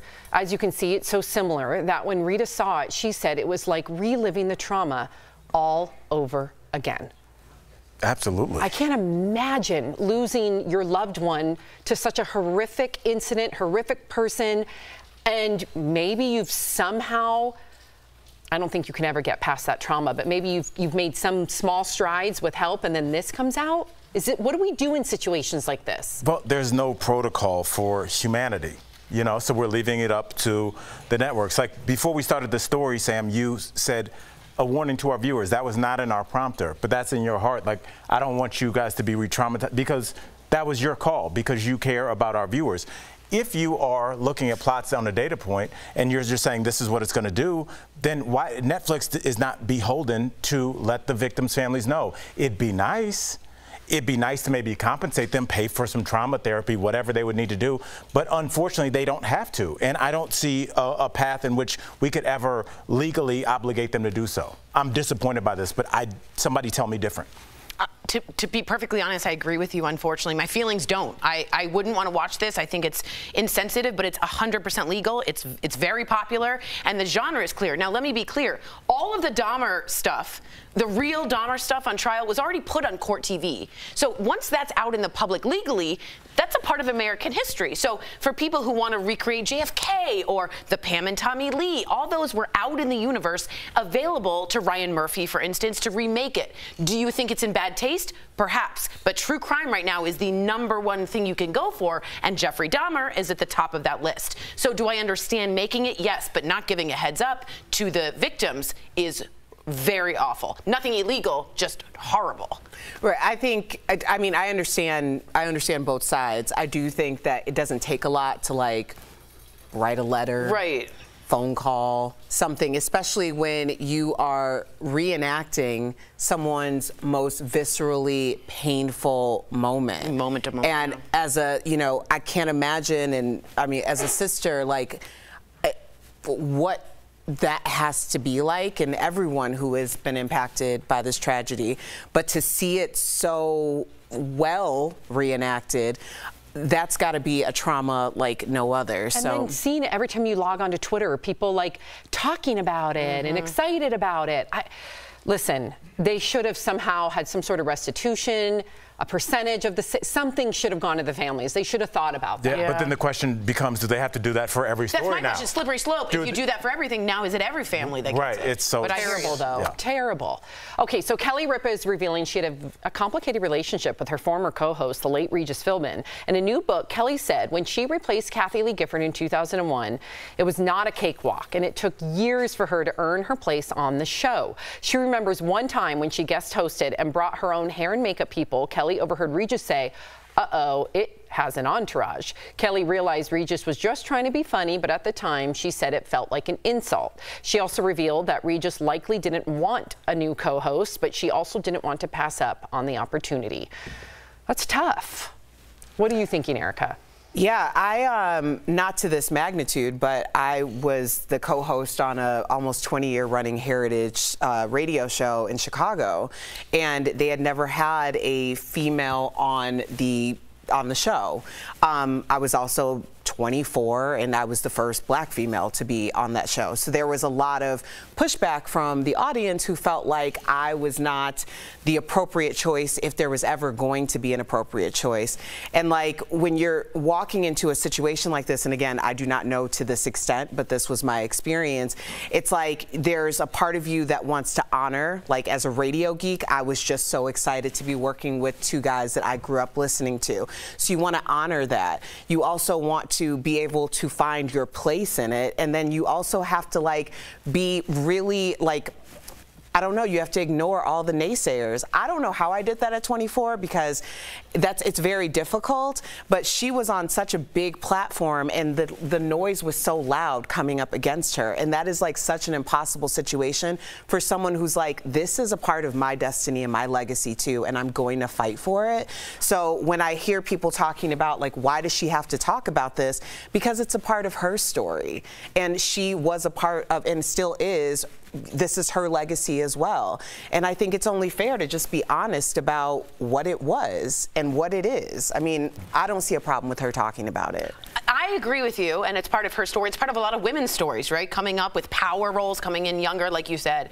My only ick factor here is that he's not here to just say anything back. And I don't think she went all in on Regis. I don't think she spent chapters and chapters on it.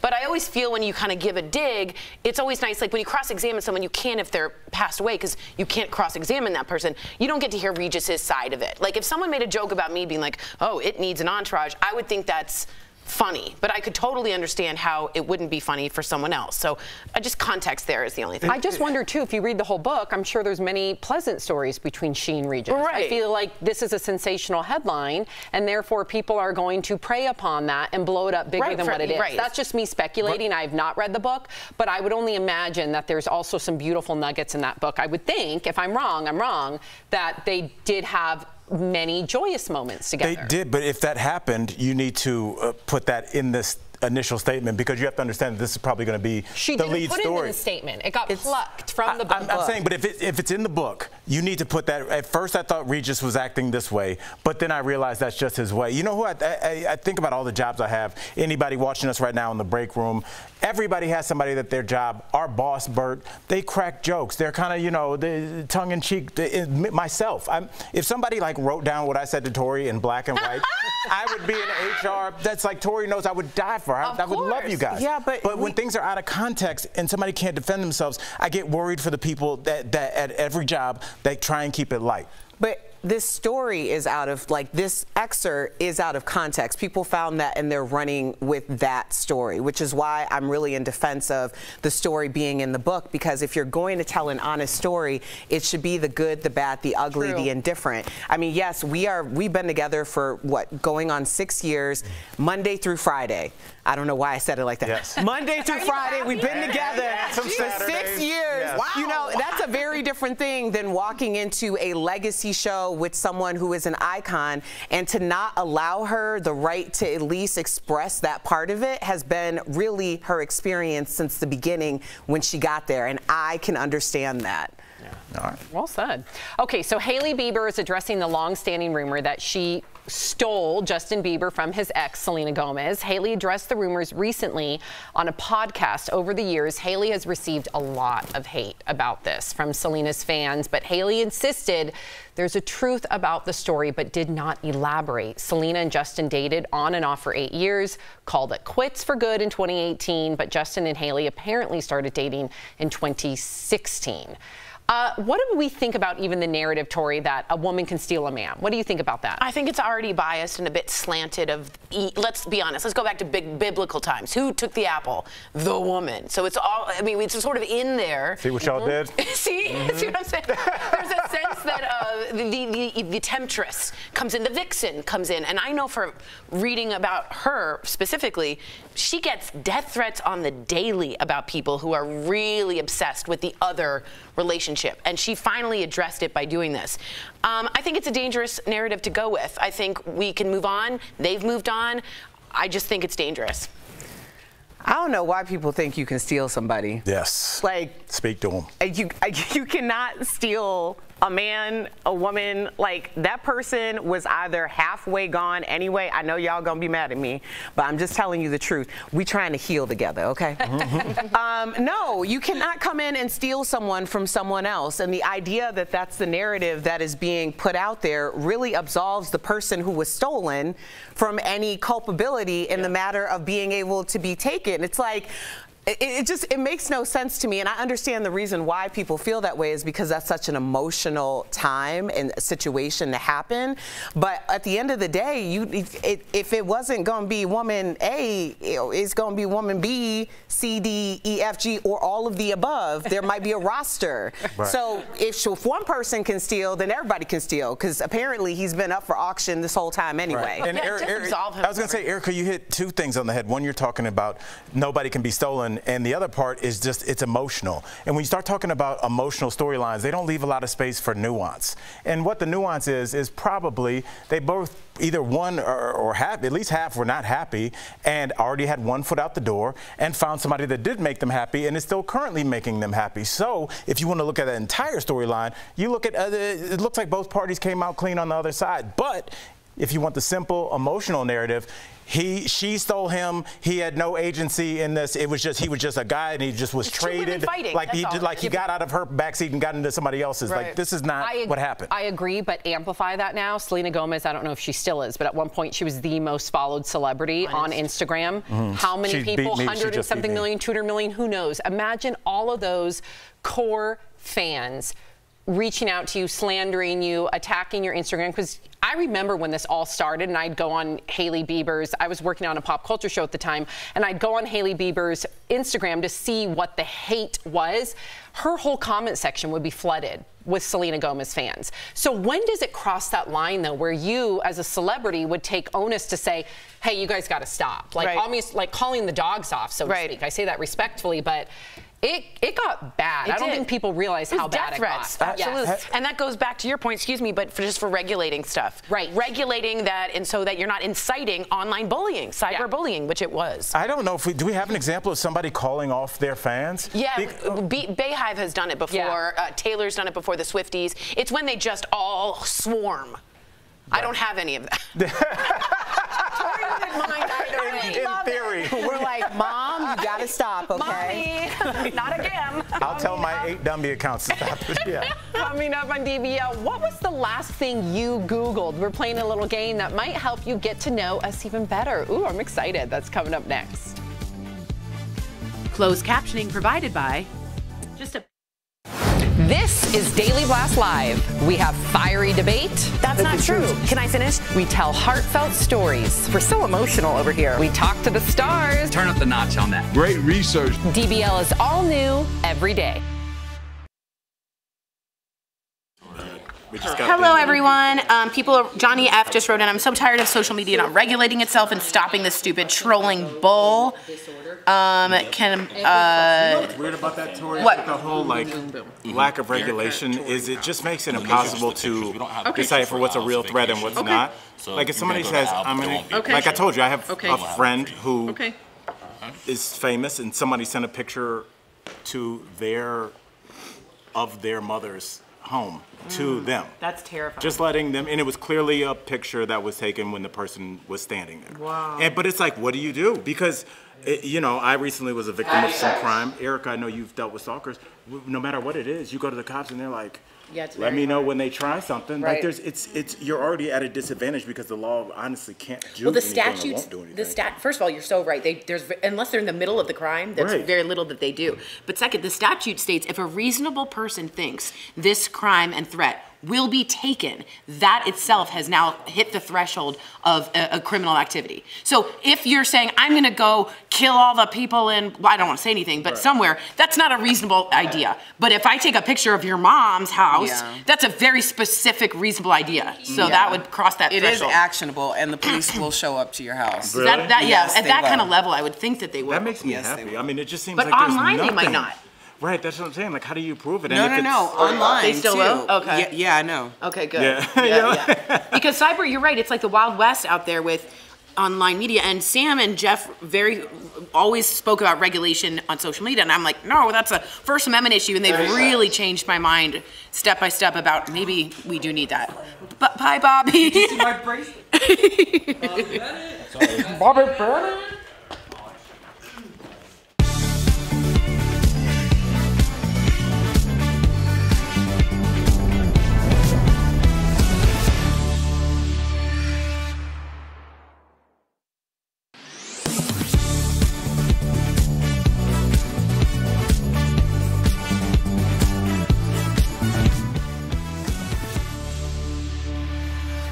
Welcome back. You know we love to have some fun on the show. We enjoy any time we can get a chance for you to get a little, to, you can get to know us a little bit more. So we're going to play a little game we call the last thing. Okay, so first, what's the first, what's the last thing that you purchased online starting with Erica?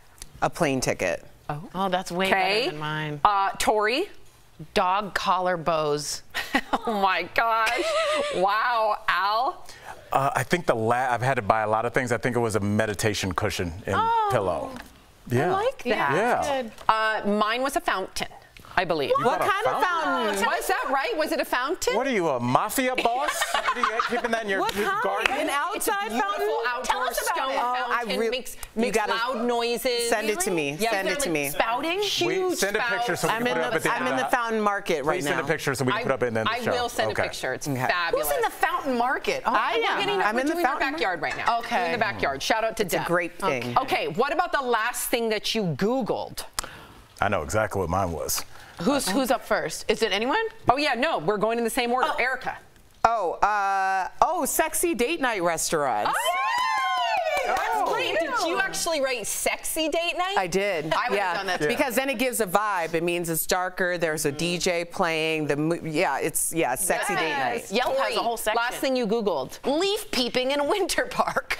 Just to see the aspens change. I wanted to see the aspens change. We went too early last last weekend. Oh, look at Albert is sleeping. Al, the last thing you Googled. Uh, I, this is actually worse than Tori's. uh, the the lit I, IKEA mirrors, the one that's lit, because you have to you have to put it, it's a mirror that, with a light around it, and it goes direct, it goes directly into the wall. And so I was like, "Do you need an electrician?" And you do. So Yeah. yeah. Um, I don't remember what I Googled. I'm sorry, Anthony, our producer. Something else in your garden? Probably, So yeah, probably Yeah. maybe Something like koi a fish pond? Maybe like a an outdoor pillow. Okay. Ooh. Something. Pillow. Yes. I'm in that market Yes, too. I'll, Oh, man. I'll send you some Please, sunbrella. absolutely, ones. thank I'm in you. the wrong market. What is it? Yeah. Okay. Okay, next, what's the last thing you remember doing on vacation, Erica? Celebrating my little sister's birthday. Oh, Belize? Yes, Ebony. Uh, that's our parents. Um, our our, our new our new brother Scotty, who worked at the resort. We took him to. Just take everybody. Ebony, Ebony's acting like she's like on a yacht. Yes. Yes. That looked like your album cover where it just called All in the Family. Like that's your new LP that just dropped. That's cool. Tori, what about you? Um, watching the fireworks at the D.C. United States Capitol. Oh, Tori, that's beautiful. With my aunt and my mommy. Oh, that's really cute. Isn't that great? You have a little red, white, and blue hat on. Yeah, and we met a lot of people, and we had a lot of. We were served well. It was a good night, as you can tell. And Al, what about you? I didn't. I don't remember. I don't think I vacation that much. Oh. You don't. You, what? No. Whoa. Okay, we. I need send fly you for a living, so staying at home is my Okay, vacation. okay. Like I don't want to go anywhere. fair. So no Yeah, answer from no that. Good one. Good. Uh, Way to participate. for I couldn't remember my answer. so for me, Mark and I recently went to Telluride and we did something really cool, and I'm going to look cool. cool. in this picture, but I was not good at it. What do you mean? We went BMX biking down the mountain, Jeez, Sam. down a really steep That looks mountain. kinda gangsta. Yeah. Yeah, and I looked cool in that picture, but let me tell you, Mark was so far ahead of me, and then he'd have to stop and wait. And then he'd go really fast, and then I'd boop, boop, boop, boop. Yeah. It's nerve We we just slept on something. We got to take Al on vacation. We're gonna have to get a Yeah. mountain home on the weekend. I don't know Take them on vacation. DBL Mountain. Okay, what's the last thing you tried for the first time, Erica? What was the last thing Thing I you tried for the first time. So Oh, a chiropractor. Yeah. Oh, good job. It. He Yeah, it. yeah, it was a lot of crunches. A lot of crunches. Mine is fresh mackerel at a sushi restaurant. Never tried I mackerel. love Did you enjoy mackerel. it? is- a little fishy for me, a little salty, but appreciated the gaminess. And what, Yeah. ooh, what about you? I did meditation for the first time. It was awesome. Oh. It's so. It's great. I was like, why have I not been doing It's this? wonderful. I And you got out- a pillow. I got a meditation, and it's, I got a whole meditation room now. That's nice. so- And the more you What meditate, you? the more gray matter. Yeah, yeah, yeah. No, yeah, gray matter is what you don't want. You don't want gray matter. Less You want Yes. matter. Yeah, gray Less. matter. This when is gray ever associated with bright thoughts? Okay. Okay. For me, we went and spent the night at a haunted hotel. It was terrifying. really? Yeah. You didn't love it. I think I have a picture. Oh. I sent in a picture. Didn't, didn't make the cut. Maybe the ghost took it. We'll be right back. Attention military personnel. If it feels like you're hearing more and more about libraries and school boards removing certain reading material from shelves and curriculum, well, the groups that keep track of this kind of thing would tell you you're right. We looked at recent reports tracking book bans and talked to Will Creeley, legal director for the Foundation for Individual Rights and Expression, to verify how many books are getting formally pulled out of schools and libraries, where it's happening, and why. The American Library Association reports 2021 saw the largest number of attempted book bans since it began tracking that 20 years ago. There's always been some amount of book banning, right? But this is unprecedented. It is a tsunami. It is an avalanche of censorship. PEN America's extensive index of school book bans lists more than 1,600 titles challenged in the last year. Texas has the highest stack of banned books, followed by Florida and Pennsylvania. This is happening everywhere. Historically, challenged books have often centered around language or what might have been deemed mature topics, but targeted books increasingly center around characters and issues, quote, of people who are gay, trans, black, indigenous, people of color, immigrants, and refugees, according to the ALA. Five of the 10 most challenged books for the last year deal with LGBTQ issues. Creeley says it's a precedent that could impact a variety of beliefs. That act swings both ways, right? Once you start banning books, it is a very slippery slope. The PEN America report found sometimes books are pulled in political moves from school board officials or even those high up in state government. But most of these book challenges come from local action and advocacy parent groups, typically conservative, aiming to amplify parents' voices in schools. Most of these have only been formed in the past few years. With your Verify, I'm Abby Llorico.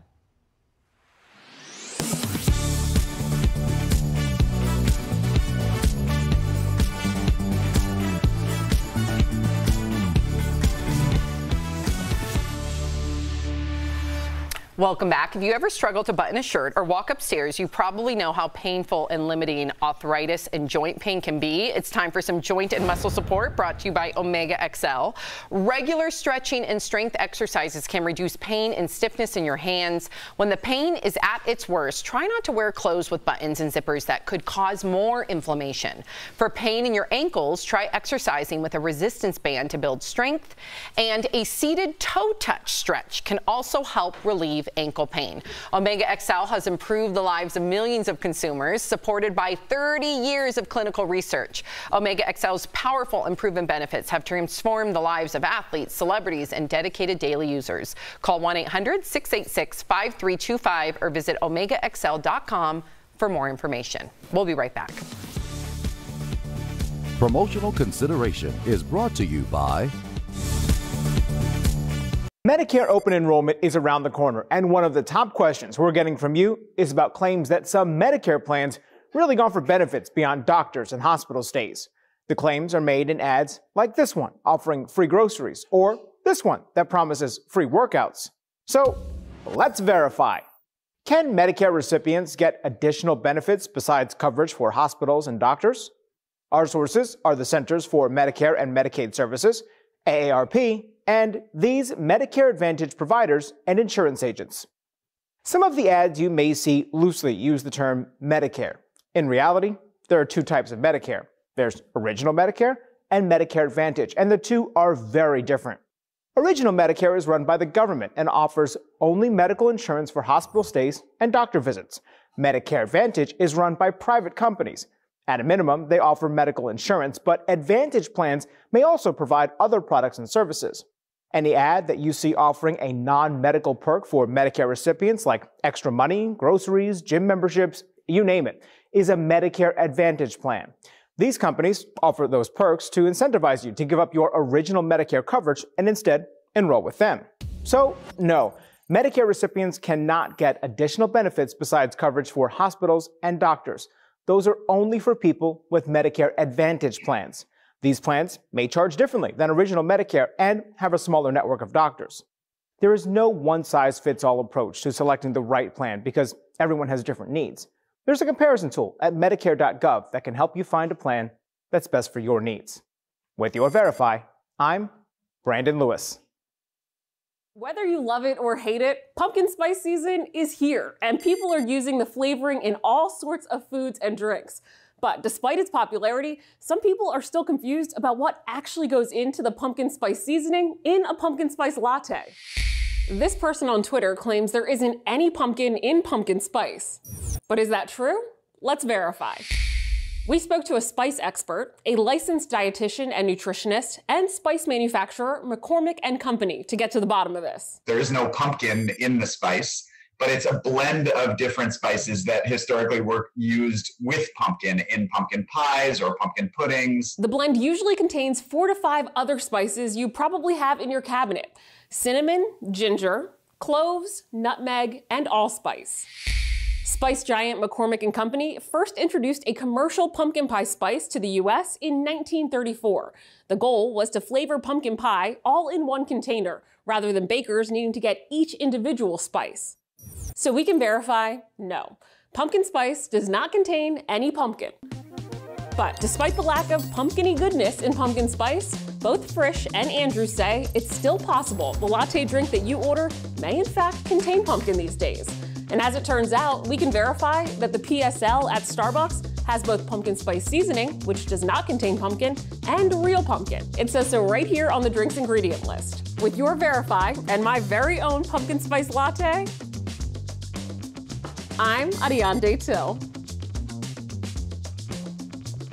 That's not bad.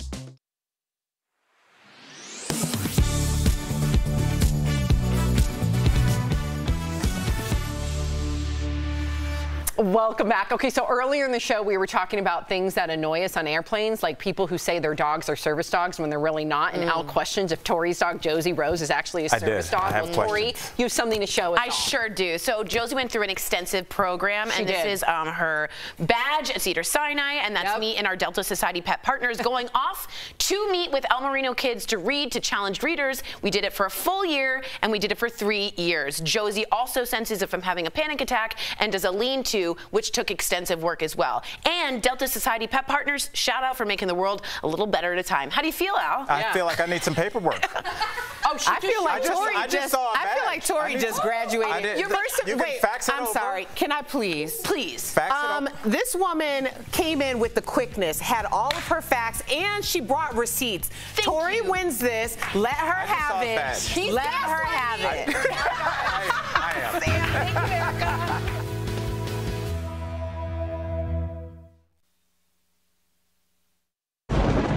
Where hope finds help. Where courage meets conviction.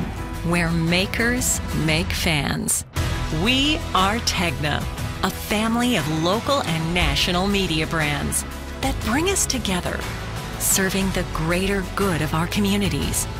Where national know how backs local business. Be in good company with Tegna.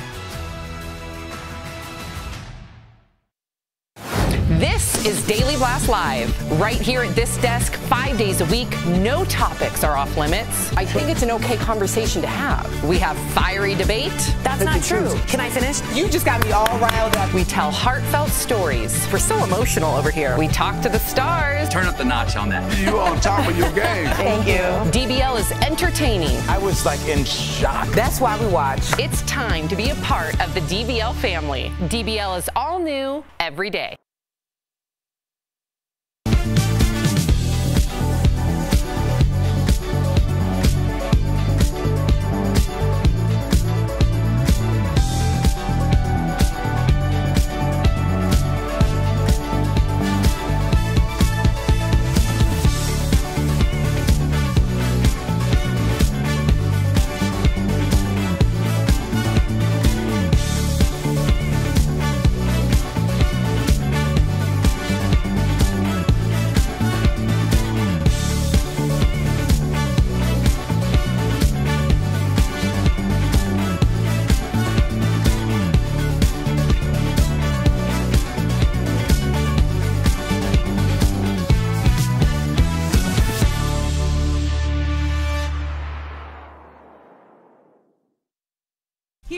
Talking about today on Daily Blast Live. President Biden works towards making airlines be more upfront about those hidden fees, while a new survey reveals the biggest pet peeves people have while flying. What's yours? A woman is ordered by a judge to hand over her nude photos to her ex husband. Should he get to keep the album if it was a gift? The chilling new Jeffrey Dahmer series on Netflix is getting a ton of backlash. Is retelling the story disrespectful to his victims? And Kelly Ripa gets candid about her complicated relationship with Regis Philbin. Was their dynamic completely different off camera? Oh my gosh. Get real. No. No. Y'all, y'all, just stop. This is a sham. It's finally here. Drum roll. You okay there, Tori? Yeah, I'm fine. You mean he zipped you up? No, it's fine. The mirror's fine. Nothing broke. We're good. Yes, the show has begun. I do not need seven years of bad luck, so do not break. Perfectly fine. Actually, that would happen to you. I was like, that's not. Why are you claiming her bad luck? it's all We're all one family here. Yeah, okay. Thank you. Well, all certain right, so things. welcome to DBL. Let's get to it. How much do you hate hidden fees, especially while trying to book a family vacation or a vacation period? Well, the White House announced plans yesterday to go after airlines and travel websites if they try to slip in fees after you've already picked your flight. Speaking of traveling, we've got a new survey revealing what Americans hate most about flying. So here are the top five. At number five, people who hog the armrest. There's actually a rule to that. Mhm. There- Tell 'em. I'll get to that. Okay. Yes, I will. Yeah, so put a little bookmark in there. number four, people who eat smelly food on a flight. Mm. Al. No, I don't. Yes, Vaughn. Yep. I was the one who admitted Okay, to that. Erica now. Number three are parents who are inattentive to their kids. Number two are people who are, well, they have poor hygiene. They don't smell good. Or maybe they've even put on too much perfume. And the number one thing people hate about flying, Tori, drumroll please, is actually a tie. People who kick the back of your seat and people who are drunk or Sorry, she already said it. You don't have to drum roll I thought that's- over it. okay. Yeah. Yeah, I don't even know if the if the audience heard me. No. Good to know. Okay. Tori banging on the table. So, DBL Nation, we always want to hear what you think. What is the worst part of flying? In your opinion, go to dblvote.com to weigh in. Uh, Erica, you Yeah. just came off a flight a couple days ago. Yeah, yeah. What, what's like your biggest pet peeve?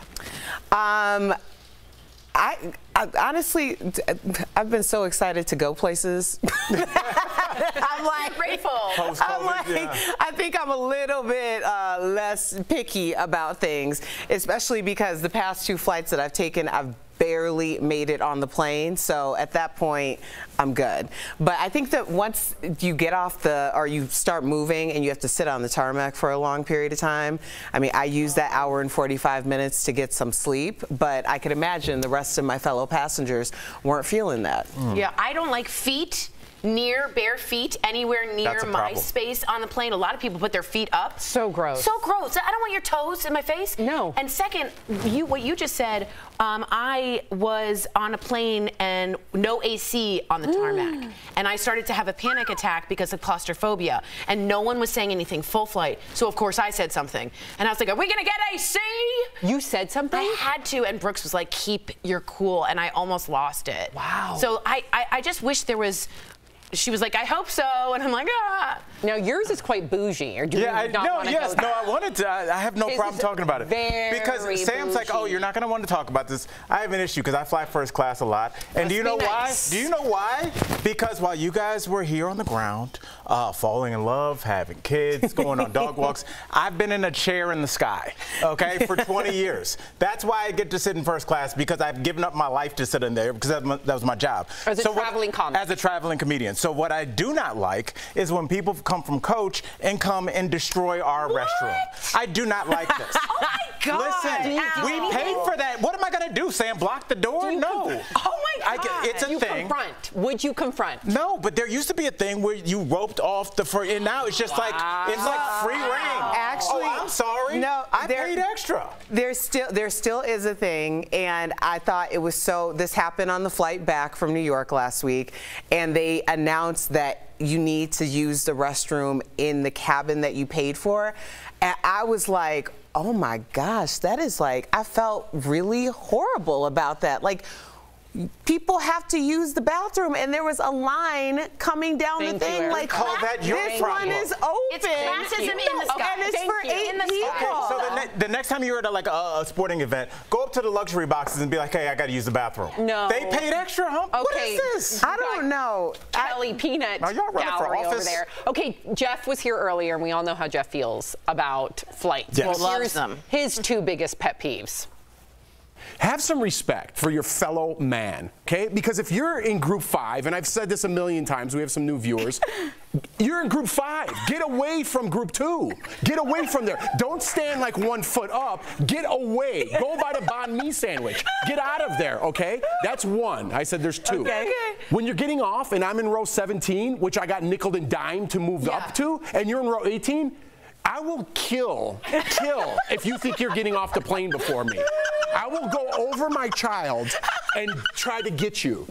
Yeah. Wow. Yeah. Have some respect because I have things to do too. No, he's so right. That's probably one of my biggest pet peeves too. Because like, you know, we don't fly first, but we'll pay a little extra for economy comfort. Right. And if you're already getting up trying to pass us, just because it may take me 1.2 nanoseconds longer because I have two kids with me, back up. It's a like, power back move. It's a it's it's a it's a, It's not. What if you have another flight So to catch? it. So say it. I- But then you have to tell everybody. problem. That's no, your What do you mean it's your problem? I, I have no concern If- with your flight. I care about Okay. Erica's flight.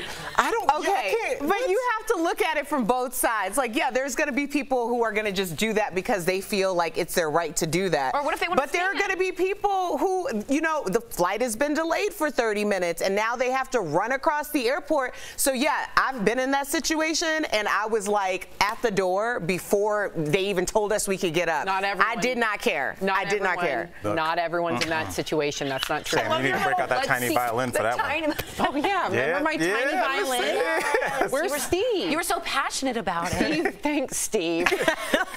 okay, the poll results. Let's look. I love I it. can't believe Steve did not play the violin. 51% of There it is. seat kicking. Oh. 13% of you loud kids, 14% hate that armrest hog, 22% smelly food passengers. Now the armrest, if you're in the middle, you're the one that gets to have you the get both. armrest. Right. You get Yes. both. So You just get remember nothing. that. Yes. Okay, speaking of flying, a flight attendant has gone viral for revealing the five things you should never ever do on a plane. Take a look. Five things you should never do on an airplane. Number one, do not ever touch the flush button or lever with your bare hands. Number two, don't forget to drink water, stay hydrated. Number three, do not fall asleep or lean your head on the window. Number four, don't or try not to wear shorts when you're on an airplane. Number five, don't feel afraid to let a flight attendant know if you're feeling sick. Yeah, that sounds about right. I just, I, I just, I, I'm just surprised that pets aren't on this list either, because people's pets, especially Are when you you have. a- attacking Tori? Because Yeah. no, I'm talking. We everybody has a dog on this panel. Yeah, but You- she has an emotional support dog. Yeah, a I lot of a s- people do. I have a service dog that went to Delta uh, Suite training and actually passed, but a lot of people abuse that. Thank you. Yes. Yes, and I'd also like to see the certificate for that.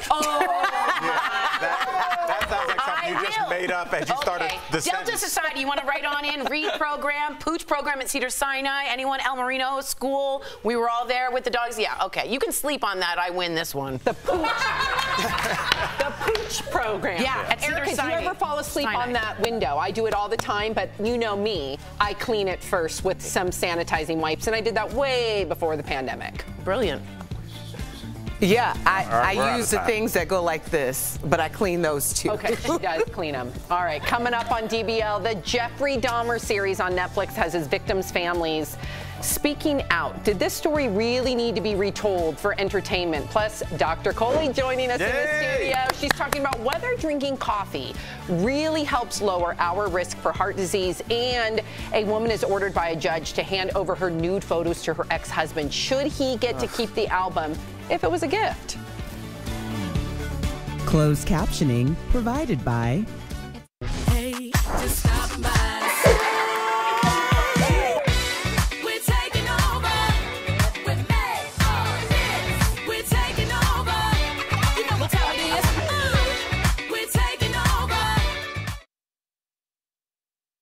Yeah, I'm talking to Yeah. Um, yeah, so apparently we have a difference Okay, of great. opinion when it comes to yep. flying. Well, now, I says will say, cake. I Oh. understand Oh, here that. Yep, the difference between Thank like you. Buying your It's upgraded ticket No, and Okay. having those amenities and stuff, but like in this case, when I was on the flight a few days ago, the line was go- going like probably a quarter way through, and I think a big part of it was the fact that we were on the tarmac for an hour and 45 minutes. So in first, there were only what eight seats, and those had been open the entire time. So people started going into the front of the Now- cabin, which Now I don't see an issue with. Like even Yeah, as somebody right. Who paid to sit in that cabin.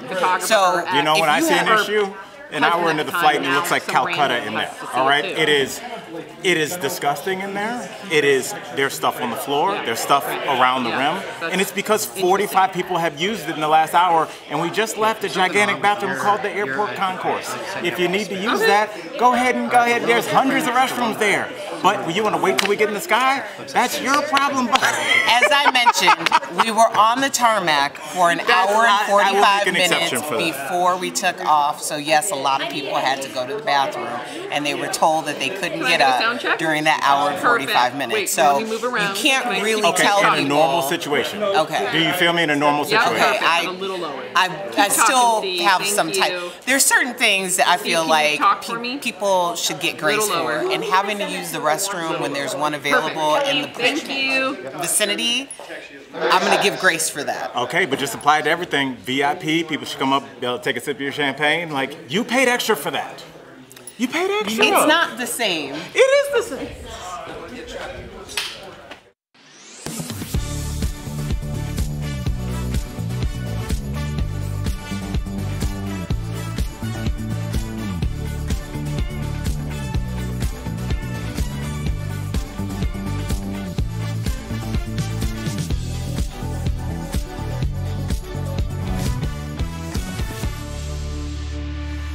Welcome back. We've got a couple stories for you about relationships and who gets to keep what after a breakup. So, up first, a judge in Utah has ordered a woman to turn over a photo album of nude boudoir style photos to her ex husband as part of their divorce settlement. Now, the woman gifted the photos to her ex early on in their marriage and even wrote intimate messages inside the album that he says he wanted to keep for memory's sake. Now, the judge said the woman would edit her body out of the photos before returning them to her ex. But the question is, is this even fair? Who gets to keep stuff like this when a relationship ends, especially nude photos, Erica? Edit her body out of the photos.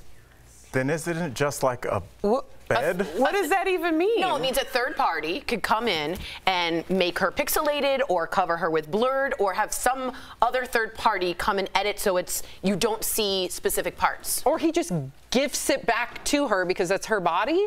Or no, I don't know. Oh. So I did a little digging on this, and he's in the right here. In Utah, especially, there's federal laws about this. But there, I'm sorry if you give a gift during marital property, it's their personal property at the end of that day. Now, having a third party do it is makes me think distribution and leakage and all that. But um, he's not in the wrong here. Well, I just, I was actually agreeing with you because I thought that it was very important that you said in Utah. People need to know like where they're at and Yes. what's, uh, what's a part of the laws in that jurisdiction, in that uh, Mm-hmm. county, whatever it is. Um, there are certain places Mm-hmm. that are notorious for perhaps being um, a little bit more favorable so, towards certain parties than others. The men more than the okay? women. so I'm not shocked Yeah. that this was the verdict in this situation, but I also find it extremely creepy on behalf of this ex-husband Yes. because why you want that? Right. Well, apparently, I'm trying. I'm trying to be the other side here, just devil's advocate. She had written love notes. in So it. what? They're not he wa- together. he wanted to keep those messages and be able to read them. And Yeah, if it was right. that's He what wants his to keep res- the so- messages. As a defense attorney, fakely up But here. if they're going to pixelate the photos, then they also could have just extracted the messages. Like they don't have to have her on it. That that reeks of ownership mm-hmm. over this person that he once was married to and he wants to continue continue to have claim to her. There's no other explanation for that. It is creepy, and I hope that everybody knows who this man is because he's gonna do it to the next woman too.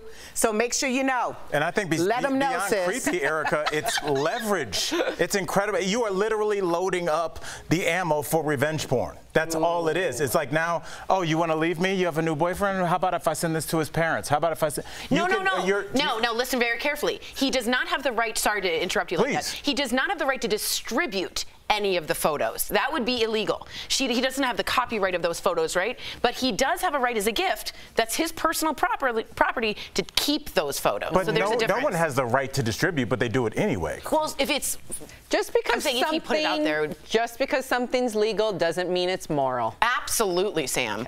I was being your immoral defense attorney on this panel. Yeah, and that's what you want from a defense attorney. Be immoral. Get me off. Yeah. yeah. Here's a question for you.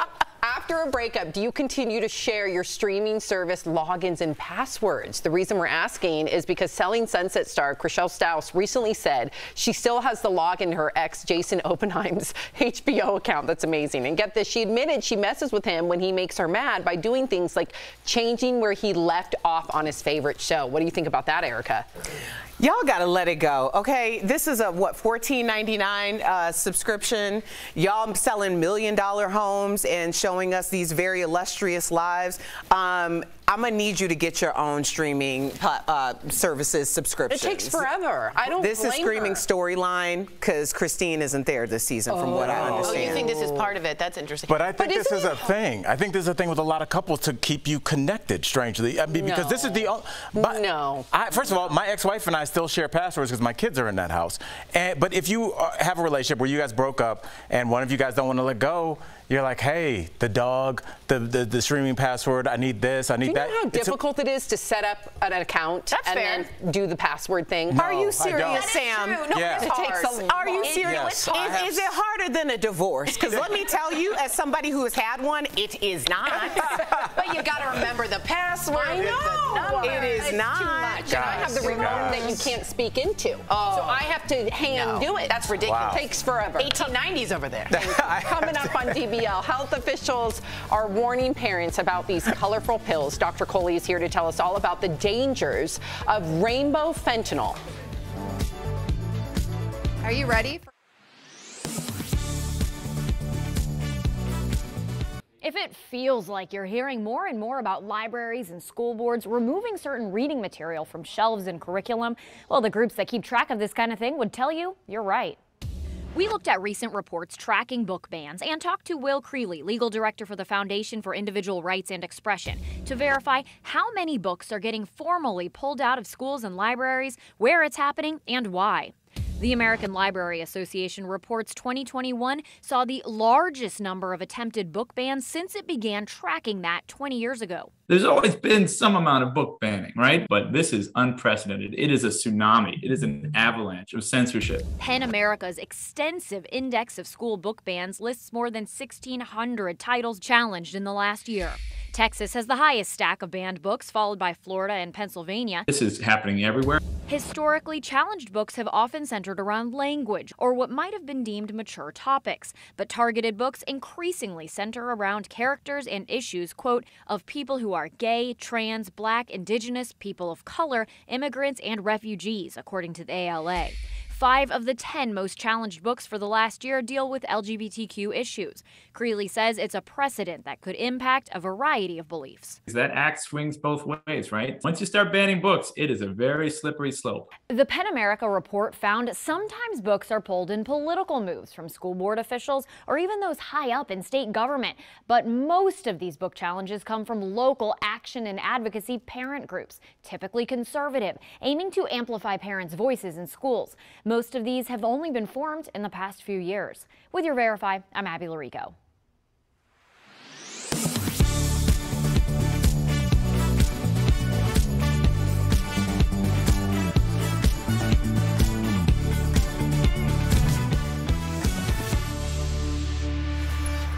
Welcome back. So, rainbow fentanyl, this is really terrifying as a parent. And heart studies are making headlines. So, we're happy to have Dr. Kohli with us to answer all our questions. Yes. We need to get right this, this, to this because I'm a parent, and apparently the DEA is warning people about this new rainbow-colored fentanyl. Like, why should we be concerned as parents or just as the overall populace? You know, before I talk about rainbow fentanyl, can I comment on what you guys were just Please. talking about? Yeah. So as a doctor, a very good reason to hold on to your excess subscription is you can spy on them. You can see what they're watching. Is it a rom-com?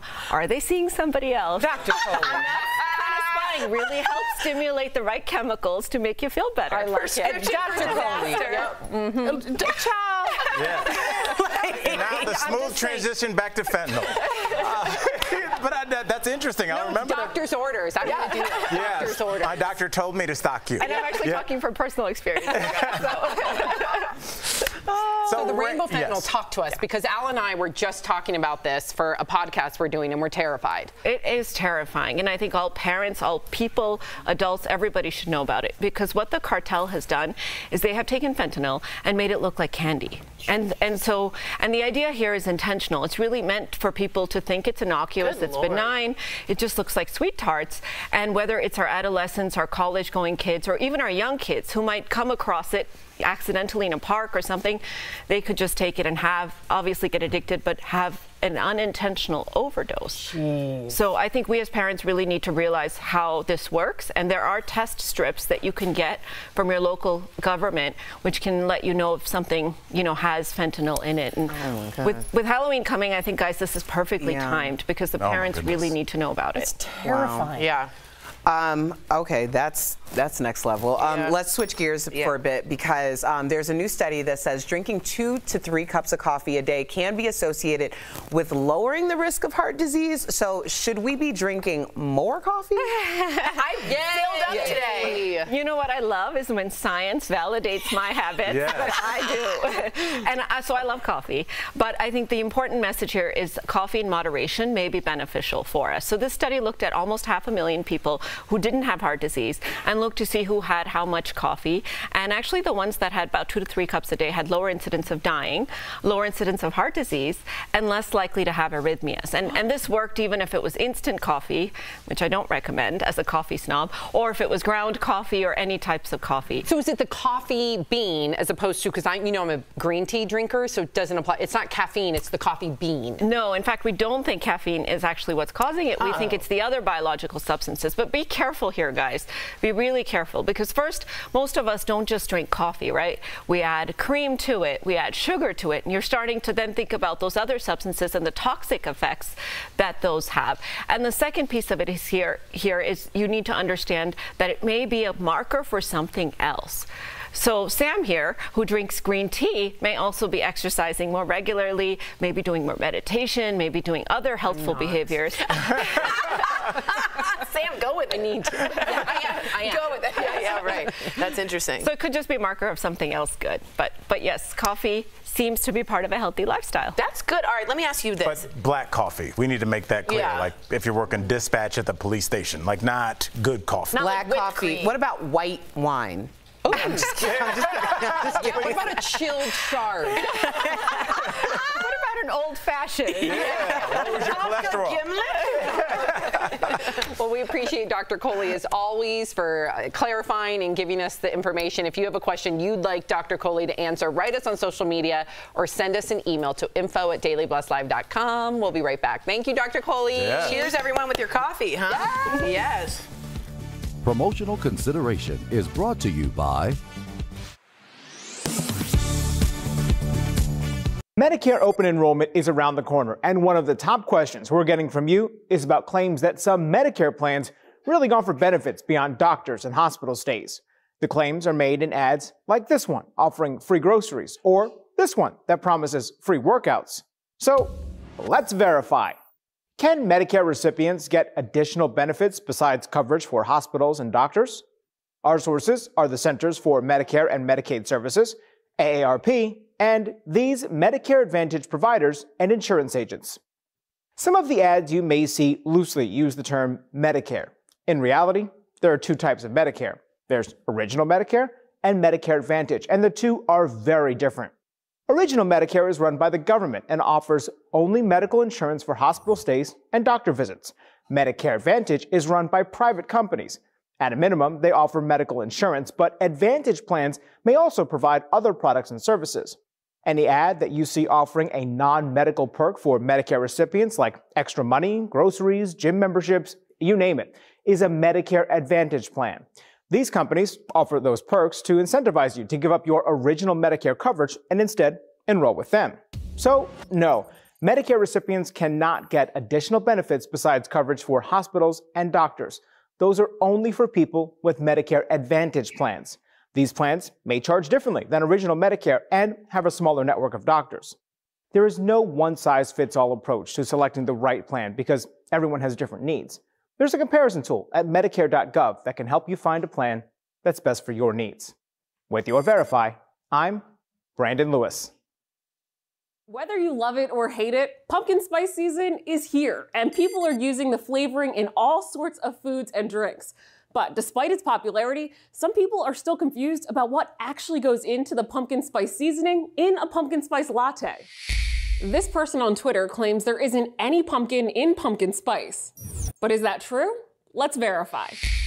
We spoke to a spice expert, a licensed dietitian and nutritionist, and spice manufacturer McCormick and Company to get to the bottom of this. There is no pumpkin in the spice, but it's a blend of different spices that historically were used with pumpkin in pumpkin pies or pumpkin puddings. The blend usually contains four to five other spices you probably have in your cabinet cinnamon, ginger, cloves, nutmeg, and allspice. Spice giant McCormick and Company first introduced a commercial pumpkin pie spice to the US in 1934. The goal was to flavor pumpkin pie all in one container, rather than bakers needing to get each individual spice. So we can verify no.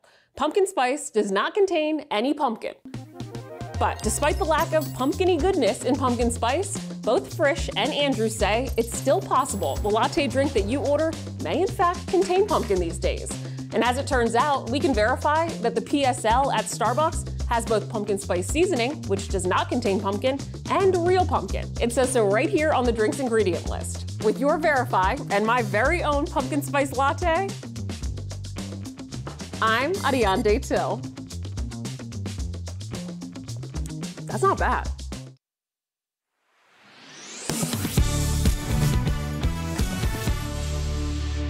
Welcome back to DBL. We love sharing your comments. Tori, do you have the comment? I don't, but I can Oh, read okay, some of please these. do. Okay, some people are talking about coffee and how snobby they are. So please write us in. Julia Gray says, I buy my coffee beans at Costco. They're made by Starbucks. And someone says, I think the biggest thing I am is a coffee snob. So Yeah, you got to pick one thing. I can't imagine not having my coffee. I love my coffee. yeah, two a day is good.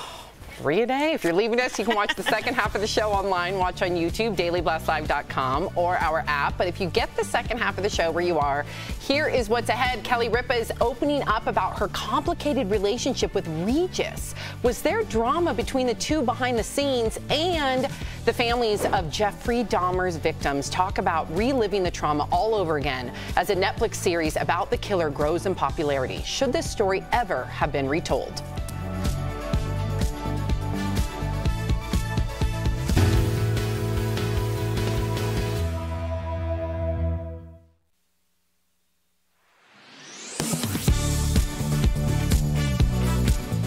Walk into any pharmacy and you're probably inundated with advertisements urging you to get a flu shot and an updated COVID 19 booster. Several people on social media are wondering if it's safe to get both vaccines at the same time, or if they should space the two shots out. So let's verify. Can a person get the Omicron COVID 19 booster and the flu shot at the same time? Our sources are the Centers for Disease Control and Prevention, the Food and Drug Administration, Dr. Payal Kohli with the University of Colorado, and Dr. Saralyn Mark, a former senior medical advisor to the White House. Traditionally, the flu vaccine is administered in the fall, ahead of peak flu season in the winter. For the past two years, we've also seen cases of COVID 19 spike during these same months as people gather for the holidays. The CDC studied self reported data from more than 92,000 people who received a booster shot and a flu shot during the flu season and concluded it's safe to administer both vaccines at the same time. The study found that about 10% more people who received both vaccines reported typical symptoms associated with them, like fatigue, headache, and muscle ache, than those who only received the COVID 19 booster. But the reactions were usually mild and went away quickly.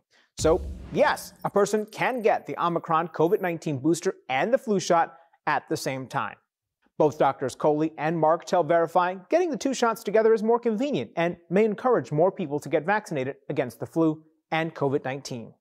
With your Verify, I'm Brandon Lewis.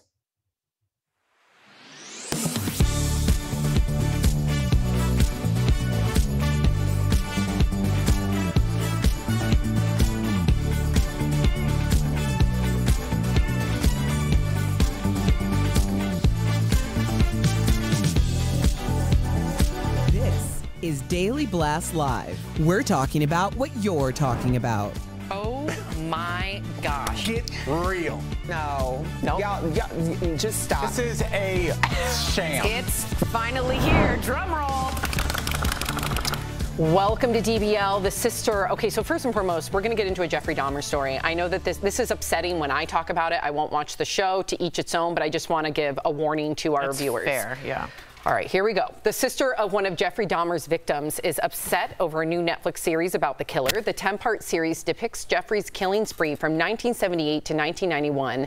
It's especially gruesome because Jeffrey also ate his victims. But Rita Isbell, whose brother was killed, said she and her family learned about the series just like everyone else and blames Netflix for making money off the tragedy without thinking about the families. Now, back in 1992, Rita gave an emotional impact statement where she screamed at Jeffrey. This is how it played out in court. Take a look. I don't want to ever see my mother have to go through this again. Never, Jeffrey. Jeffrey, I hate you. I hate you.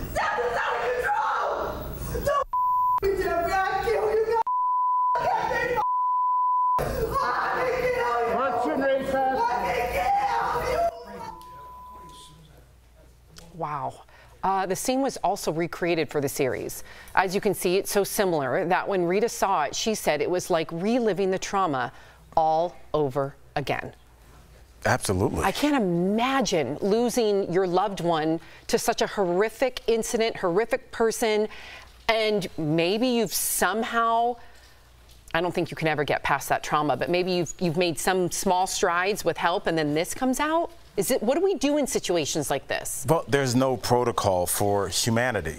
You know, so we're leaving it up to the networks. Like before we started the story, Sam, you said a warning to our viewers. That was not in our prompter, but that's in your heart. Like, I don't want you guys to be re traumatized because that was your call because you care about our viewers.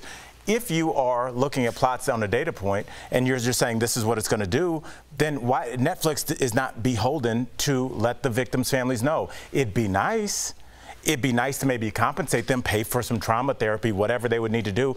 But unfortunately, they don't have to. And I don't see a, a, path in which we could ever legally obligate them to do so. I'm disappointed by this, but I somebody tell me different. Uh, to, to, be perfectly honest, I agree with you, unfortunately. My feelings don't. I, I wouldn't want to watch this. I think it's insensitive, but it's 100% legal. It's, it's very popular, and the genre is clear. Now, let me be clear.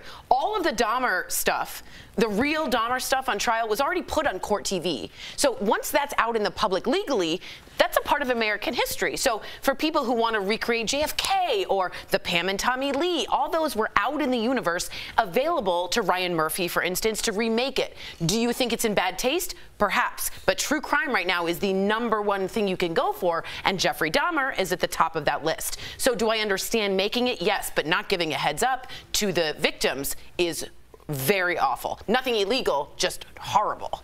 Right. I think. I, I, mean, I understand. I understand both sides. I do think that it doesn't take a lot to like write a letter. Right. Phone call, something, especially when you are reenacting someone's most viscerally painful moment. Moment to moment. And as a, you know, I can't imagine, and I mean, as a sister, like, what that has to be like, and everyone who has been impacted by this tragedy.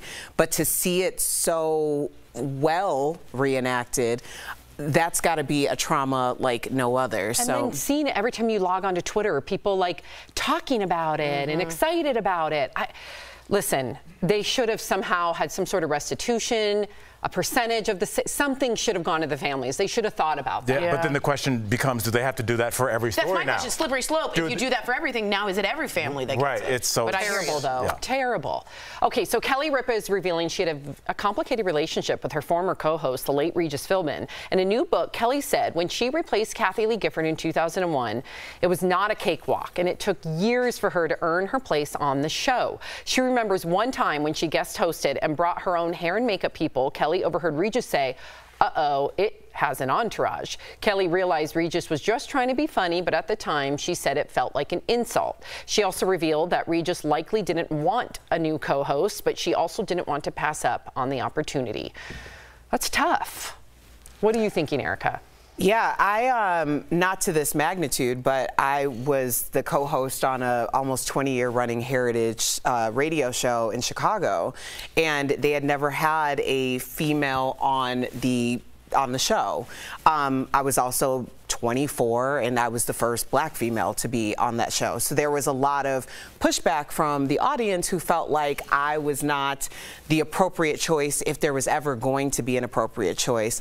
And like when you're walking into a situation like this, and again, I do not know to this extent, but this was my experience, it's like there's a part of you that wants to honor, like as a radio geek, I was just so excited to be working with two guys that I grew up listening to. So you want to honor that. You also want to be able to find your place in it. And then you also have to like be really like I don't know. You have to ignore all the naysayers. I don't know how I did that at 24 because that's it's very difficult. But she was on such a big platform, and the the noise was so loud coming up against her, and that is like such an impossible situation for someone who's like, this is a part of my destiny and my legacy too, and I'm going to fight for it. So when I hear people talking about like, why does she have to talk about this? Because it's a part of her story, and she was a part of, and still is this is her legacy as well. And I think it's only fair to just be honest about what it was and what it is. I mean, I don't see a problem with her talking about it. I agree with you, and it's part of her story. It's part of a lot of women's stories, right? Coming up with power roles, coming in younger, like you said. My only ick factor here is that he's not here to just say anything back. And I don't think she went all in on Regis. I don't think she spent chapters and chapters on it. But I always feel when you kind of give a dig, it's always nice. Like when you cross-examine someone, you can if they're passed away because you can't cross-examine that person. You don't get to hear Regis's side of it. Like if someone made a joke about me being like, "Oh, it needs an entourage," I would think that's funny, but I could totally understand how it wouldn't be funny for someone else. So uh, just context there is the only thing. I just wonder too, if you read the whole book, I'm sure there's many pleasant stories between she and Regis. I feel like this is a sensational headline, and therefore people are going to prey upon that and blow it up bigger Right, than for- what it is. right. That's just me speculating. I've not read the book, but I would only imagine that there's also some beautiful nuggets in that book. I would think, if I'm wrong, I'm wrong, that they did have many joyous moments together. They did, but if that happened, you need to uh, put that in this initial statement because you have to understand that this is probably going to be She the lead put it story. in the statement. It got plucked from the book. I'm, I'm saying, but if, it, if it's in the book, you need to put that. At first, I thought Regis was acting this way, but then I realized that's just his way. You know who I, I, I think about all the jobs I have. Anybody watching us right now in the break room, everybody has somebody that their job. Our boss, Bert, they crack jokes. They're kind of, you know, the tongue in cheek. Myself, I'm, if somebody like wrote down what I said to Tori in black and white, I would be in HR. That's like Tori knows I would die for her. I, I would love you guys. Yeah, but but when things are out of context and somebody can't defend themselves, I get worried for the people that, that at every job that try and keep it light. But this story is out of like this excerpt is out of context. People found that and they're running with that story, which is why I'm really in defense of the story being in the book because if you're going to tell an honest story, it should be the good, the bad, the ugly, True. the indifferent. I mean, yes, we are we've been together for what going on 6 years, Monday through Friday.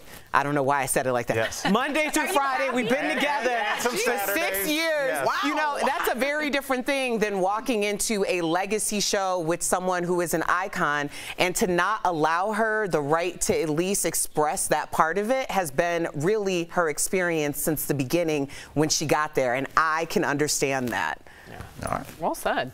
Okay, so Hailey Bieber is addressing the long-standing rumor that she stole Justin Bieber from his ex, Selena Gomez. Hailey addressed the rumors recently on a podcast. Over the years, Hailey has received a lot of hate about this from Selena's fans, but Hailey insisted there's a truth about the story, but did not elaborate. Selena and Justin dated on and off for eight years, called it quits for good in 2018, but Justin and Hailey apparently started dating in 2016.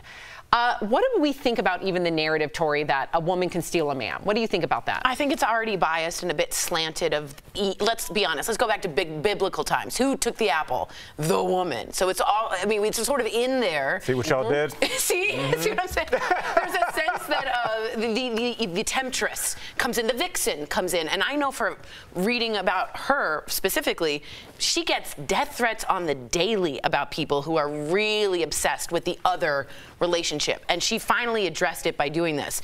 Um, I think it's a dangerous narrative to go with. I think we can move on. They've moved on. I just think it's dangerous. I don't know why people think you can steal somebody. Yes. Like Speak to him. Uh, you you cannot steal a man, a woman. Like that person was either halfway gone anyway. I know y'all gonna be mad at me, but I'm just telling you the truth. We trying to heal together, okay? um, no, you cannot come in and steal someone from someone else. And the idea that that's the narrative that is being put out there really absolves the person who was stolen from any culpability in the matter of being able to be taken. It's like it, it just it makes no sense to me and i understand the reason why people feel that way is because that's such an emotional time and situation to happen.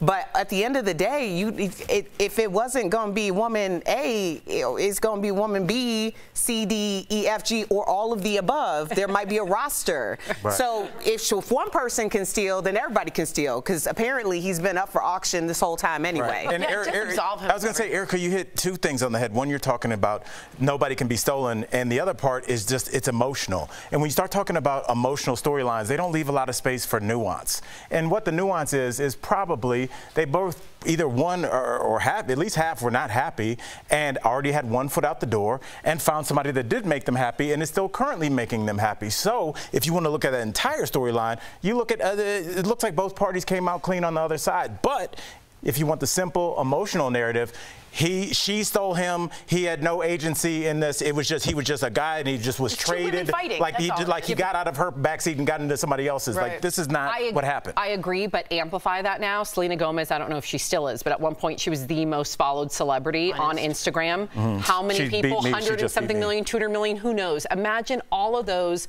core fans reaching out to you, slandering you, attacking your Instagram. Because I remember when this all started, and I'd go on Hailey Bieber's. I was working on a pop culture show at the time, and I'd go on Hailey Bieber's Instagram to see what the hate was. Her whole comment section would be flooded with Selena Gomez fans. So when does it cross that line though, where you as a celebrity would take onus to say, "Hey, you guys got to stop," like Right. almost like calling the dogs off, so to speak. I say that respectfully, but. It, it got bad. It I don't did. think people realize how bad death it threats. got. Absolutely. Yes. And that goes back to your point, excuse me, but for just for regulating stuff. Right. Regulating that and so that you're not inciting online bullying, cyberbullying, which it was. I don't know if we do. We have an example of somebody calling off their fans. Yeah, B- BeyHive has done it before. Uh, Taylor's done it before. The Swifties. It's when they just all swarm. I don't have any of that. In theory. we're like mom you gotta stop okay Mommy, not again. I'll tell my eight dummy accounts to stop. Yeah. Coming up on DBL, what was the last thing you Googled? We're playing a little game that might help you get to know us even better. Ooh, I'm excited. That's coming up next. Closed captioning provided by just a This is Daily Blast Live. We have fiery debate. That's not true. Can I finish? We tell heartfelt stories. We're so emotional over here. We talk to the stars. Turn up the notch on that. Great research. DBL is all new every day. Hello, everyone. Um, people, are, Johnny F just wrote in. I'm so tired of social media not regulating itself and stopping this stupid trolling bull.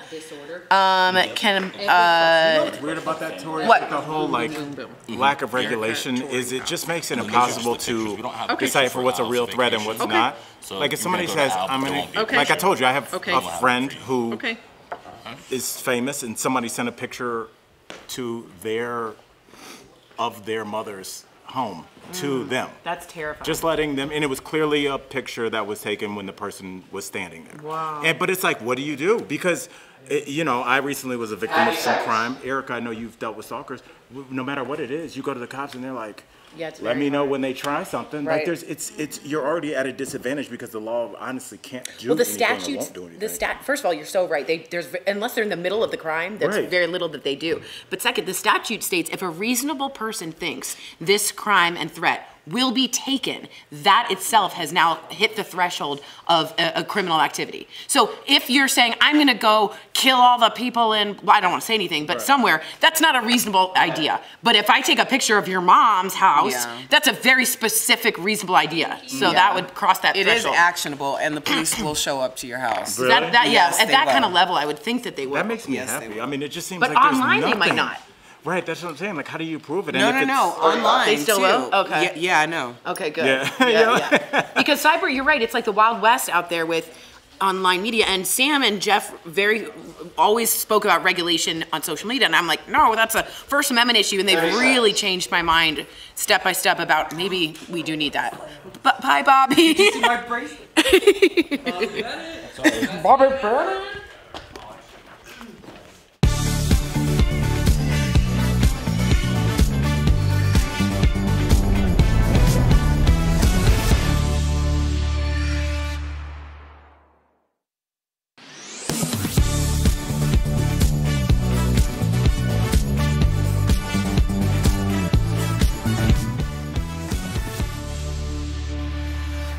Welcome back. You know we love to have some fun on the show. We enjoy any time we can get a chance for you to get a little, to, you can get to know us a little bit more. So we're going to play a little game we call the last thing. Okay, so first, what's the first, what's the last thing that you purchased online starting with Erica? A plane ticket. Oh, Oh, that's way Okay. better than mine. Uh, Tori? Dog collar bows. oh my gosh. wow. Al? Uh, I think the la- I've had to buy a lot of things. I think it was a meditation cushion and pillow. Yeah. Oh, I like that. Yeah. Uh, mine was a fountain, I believe. You What got a kind of fountain? fountain? Was that right? Was it a fountain? What are you, a mafia boss? what are you keeping that in your, What garden? An outside fountain? Outdoor Tell us about stone it. Oh, I fountain re- makes, you makes gotta loud noises. send it to me. Yeah, Send is it there, to like, me. Spouting? Huge send a picture so we I'm can put it up at the I'm in the the- fountain market right Please now. send a picture so we can put up in the I show. will send okay. a picture. It's Okay. fabulous. Who's in the fountain market? Oh, I am. getting- I'm in the fountain backyard right now. Okay. In the backyard. Shout out to It's a great thing. Okay, what about the last thing that you Googled? I know exactly what mine was. Who's who's up first? Is it anyone? Oh yeah, no, we're going in the same order. Erica. Oh, uh, oh, sexy date night restaurants. That's great. Did you actually write sexy date night? I did. I would yeah. have done that too. Because then it gives a vibe. It means it's darker. There's a DJ playing. The yeah, it's yeah, sexy date night. Yelp has a whole section. Last thing you Googled. Leaf peeping in a winter park, just to see the aspens change. I wanted to see the aspens change. We went too early last last weekend. Oh, look at Albert is sleeping. Al, the last thing you Googled. Uh, I, this is actually worse than Tori's. Uh, the the lit I, IKEA mirrors, the one that's lit, because you have to you have to put it, it's a mirror that, with a light around it, and it goes directly, it goes directly into the wall. And so I was like, "Do you need an electrician?" And you do. So Yeah. yeah. Um, I don't remember what I Googled. I'm sorry, Anthony, our producer. Something else in your garden? Probably, Something yeah, about a fountain. probably Yeah. maybe Something like a fish pond? Maybe like a an outdoor pillow. Okay. Ooh. Something. Pillow. Yes. I'm in that market Yes, too. I'll, Oh, man. I'll send you some Please, sunbrella. absolutely, ones. thank I'm in the wrong market. What is okay? it? Yeah. Okay. Okay. Next, what's the last thing you remember doing on vacation, Erica? Celebrating my little sister's birthday. Oh, Belize? Yes, Ebony. Uh, that's our parents. Um, our, our our new our new brother Scotty, who worked at the resort. We took him to. You guys just take everybody. Ebony, yeah, Ebony's acting like she's like on a yacht. Yes. Yes. That looked like your album cover where it just called All in the Family. Like that's your new LP that just dropped. That's cool. Tori, what about you? Um, watching the fireworks at the D.C. United States Capitol. Oh, Tori, that's beautiful. With my aunt and my mommy. Oh, that's really cute. Isn't that great? You have a little red, white, and blue hat on. Yeah, and we met a lot of people, and we had a lot of. We were served well. It was a good night, as you can tell. And Al, what What about you? I didn't. I don't remember. I don't think I vacation that much. Oh. You don't. You, what? No. Okay, we. I need to send fly you for a living, vacation. so staying at home is Oh, my okay, vacation. okay. Like I don't want to go anywhere. fair. So no Yeah, answer from no that. Good one. Good. Uh, Way to participate. I couldn't remember my answer. so for me, Mark and I recently went to Telluride and we did something really cool, and I'm going to look cool. cool. in this picture, but I was not good at it. What do you- mean? We went BMX biking down the mountain, Jeez, Sam. down a really steep That looks mountain. kinda gangsta. Yeah. Yeah, and I looked cool in that picture, but let me tell you, Mark was so far ahead of me, and then he'd have to stop him. And then he'd go really fast, and then I'd boop, boop, boop, boop. Yeah. It's nerve We we just slept on something. We got to take Al on vacation. We're gonna have to get a Yeah. mountain home on the weekend. I don't know take them on vacation. DBL Mountain. Okay, what's the last thing you tried for the first time, Erica? What was the last thing Thing I you tried for the first time. We're so. Oh, a chiropractor. Yay! Good job. Okay, yeah, yeah. It was a lot of crunches. A lot of crunches. Mine is fresh mackerel at a sushi restaurant. Never tried mackerel. I mackerel. love Did you enjoy mackerel. it? Mackerel is. little fishy for me, a little salty, but appreciated the gaminess. And what, Yeah. ooh, what about you? I did meditation for the first time. It was awesome. Oh. It's so. It's great. I was like, why have I not been doing It's this? wonderful. And you went got a pillow. I got a meditation, and it's, I got a whole meditation room now. Yeah, nice. so- and the more you What meditate, you? the more gray matter. Yeah, yeah, yeah. No, yeah, gray matter is what you made. don't want. You don't want gray matter. Less You synapses. synapses. matter. Yeah, gray matter. This when is gray ever associated with bright thoughts? Okay. Okay. For me, we went and spent the night at a haunted hotel. It was terrifying. really? Yeah. You didn't love it. I think I have a picture. Oh. I sent in a picture. Didn't, didn't make the cut. Maybe the ghost took it. I'll be right back. Attention military personnel. If it feels like you're hearing more and more about libraries and school boards removing certain reading material from shelves and curriculum, well, the groups that keep track of this kind of thing would tell you you're right. We looked at recent reports tracking book bans and talked to Will Creeley, legal director for the Foundation for Individual Rights and Expression, to verify how many books are getting formally pulled out of schools and libraries, where it's happening, and why. The American Library Association reports 2021 saw the largest number of attempted book bans since it began tracking that 20 years ago. There's always been some amount of book banning, right? But this is unprecedented. It is a tsunami. It is an avalanche of censorship. PEN America's extensive index of school book bans lists more than 1,600 titles challenged in the last year. Texas has the highest stack of banned books, followed by Florida and Pennsylvania. This is happening everywhere. Historically, challenged books have often centered around language or what might have been deemed mature topics, but targeted books increasingly center around characters and issues, quote, of people who are gay, trans, black, indigenous, people of color, immigrants, and refugees, according to the ALA. Five of the 10 most challenged books for the last year deal with LGBTQ issues. Creeley says it's a precedent that could impact a variety of beliefs. That axe swings both ways, right? Once you start banning books, it is a very slippery slope. The PEN America report found sometimes books are pulled in political moves from school board officials or even those high up in state government. But most of these book challenges come from local action and advocacy parent groups, typically conservative, aiming to amplify parents' voices in schools. Most of these have only been formed in the past few years. With your Verify, I'm Abby Llorico.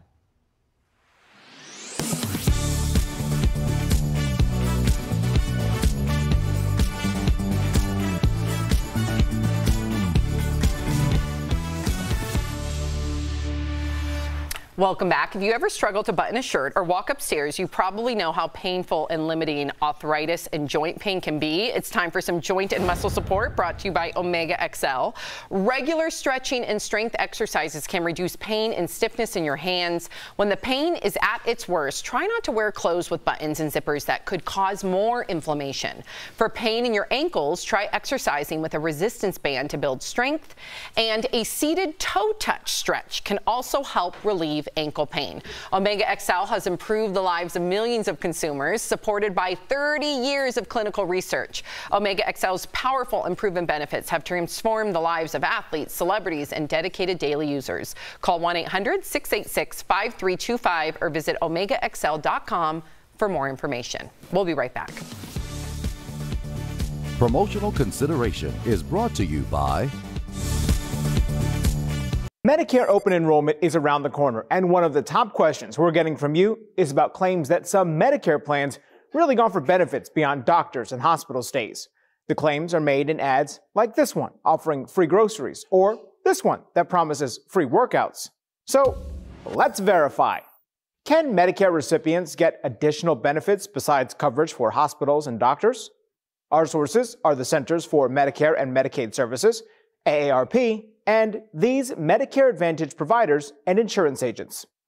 Some of the ads you may see loosely use the term Medicare. In reality, there are two types of Medicare there's Original Medicare and Medicare Advantage, and the two are very different. Original Medicare is run by the government and offers only medical insurance for hospital stays and doctor visits. Medicare Advantage is run by private companies. At a minimum, they offer medical insurance, but Advantage plans may also provide other products and services. Any ad that you see offering a non medical perk for Medicare recipients, like extra money, groceries, gym memberships, you name it, is a Medicare Advantage plan. These companies offer those perks to incentivize you to give up your original Medicare coverage and instead enroll with them. So, no, Medicare recipients cannot get additional benefits besides coverage for hospitals and doctors. Those are only for people with Medicare Advantage plans. These plans may charge differently than original Medicare and have a smaller network of doctors. There is no one size fits all approach to selecting the right plan because everyone has different needs. There's a comparison tool at Medicare.gov that can help you find a plan that's best for your needs. With your Verify, I'm Brandon Lewis. Whether you love it or hate it, pumpkin spice season is here, and people are using the flavoring in all sorts of foods and drinks. But despite its popularity, some people are still confused about what actually goes into the pumpkin spice seasoning in a pumpkin spice latte. This person on Twitter claims there isn't any pumpkin in pumpkin spice. But is that true? Let's verify. We spoke to a spice expert, a licensed dietitian and nutritionist, and spice manufacturer McCormick and Company to get to the bottom of this. There is no pumpkin in the spice, but it's a blend of different spices that historically were used with pumpkin in pumpkin pies or pumpkin puddings. The blend usually contains four to five other spices you probably have in your cabinet cinnamon, ginger, cloves, nutmeg, and allspice. Spice giant McCormick and Company first introduced a commercial pumpkin pie spice to the US in 1934. The goal was to flavor pumpkin pie all in one container, rather than bakers needing to get each individual spice. So we can verify, no. Pumpkin spice does not contain any pumpkin. But despite the lack of pumpkiny goodness in pumpkin spice, both Frisch and Andrew say it's still possible the latte drink that you order may in fact contain pumpkin these days. And as it turns out, we can verify that the PSL at Starbucks has both pumpkin spice seasoning, which does not contain pumpkin, and real pumpkin. It says so right here on the drink's ingredient list. With your Verify and my very own pumpkin spice latte, I'm Ariande Till. That's not bad.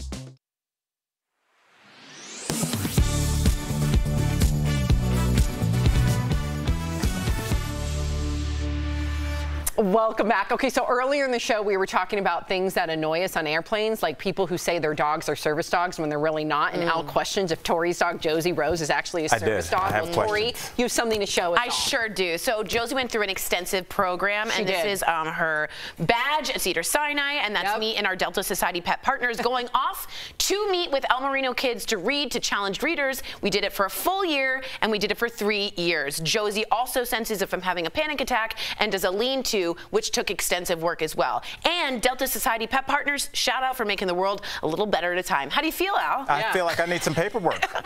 Oh, I feel like I just- Tori I just just, saw a I feel like Tori I did- just graduated. did- Your first, You can wait, fax it I'm over? sorry. Can I please? Please. Fax it Um, this woman came in with the quickness, had all of her facts, and she brought receipts. Tori wins this. Let her I have it. badge. She's Let her have it. I am.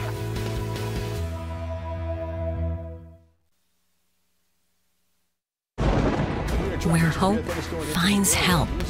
Where courage meets conviction. Where makers make fans.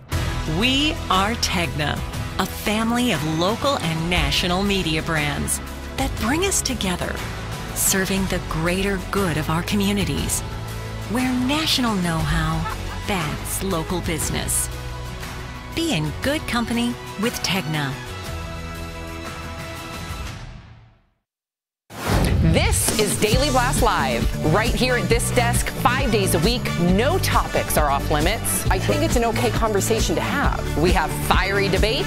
That's not true. Can I finish? You just got me all riled up. We tell heartfelt stories. We're so emotional over here. We talk to the stars. Turn up the notch on that. You on top of your game. Thank you. DBL is entertaining. I was like in shock. That's why we watch. It's time to be a part of the DBL family. DBL is all new every day.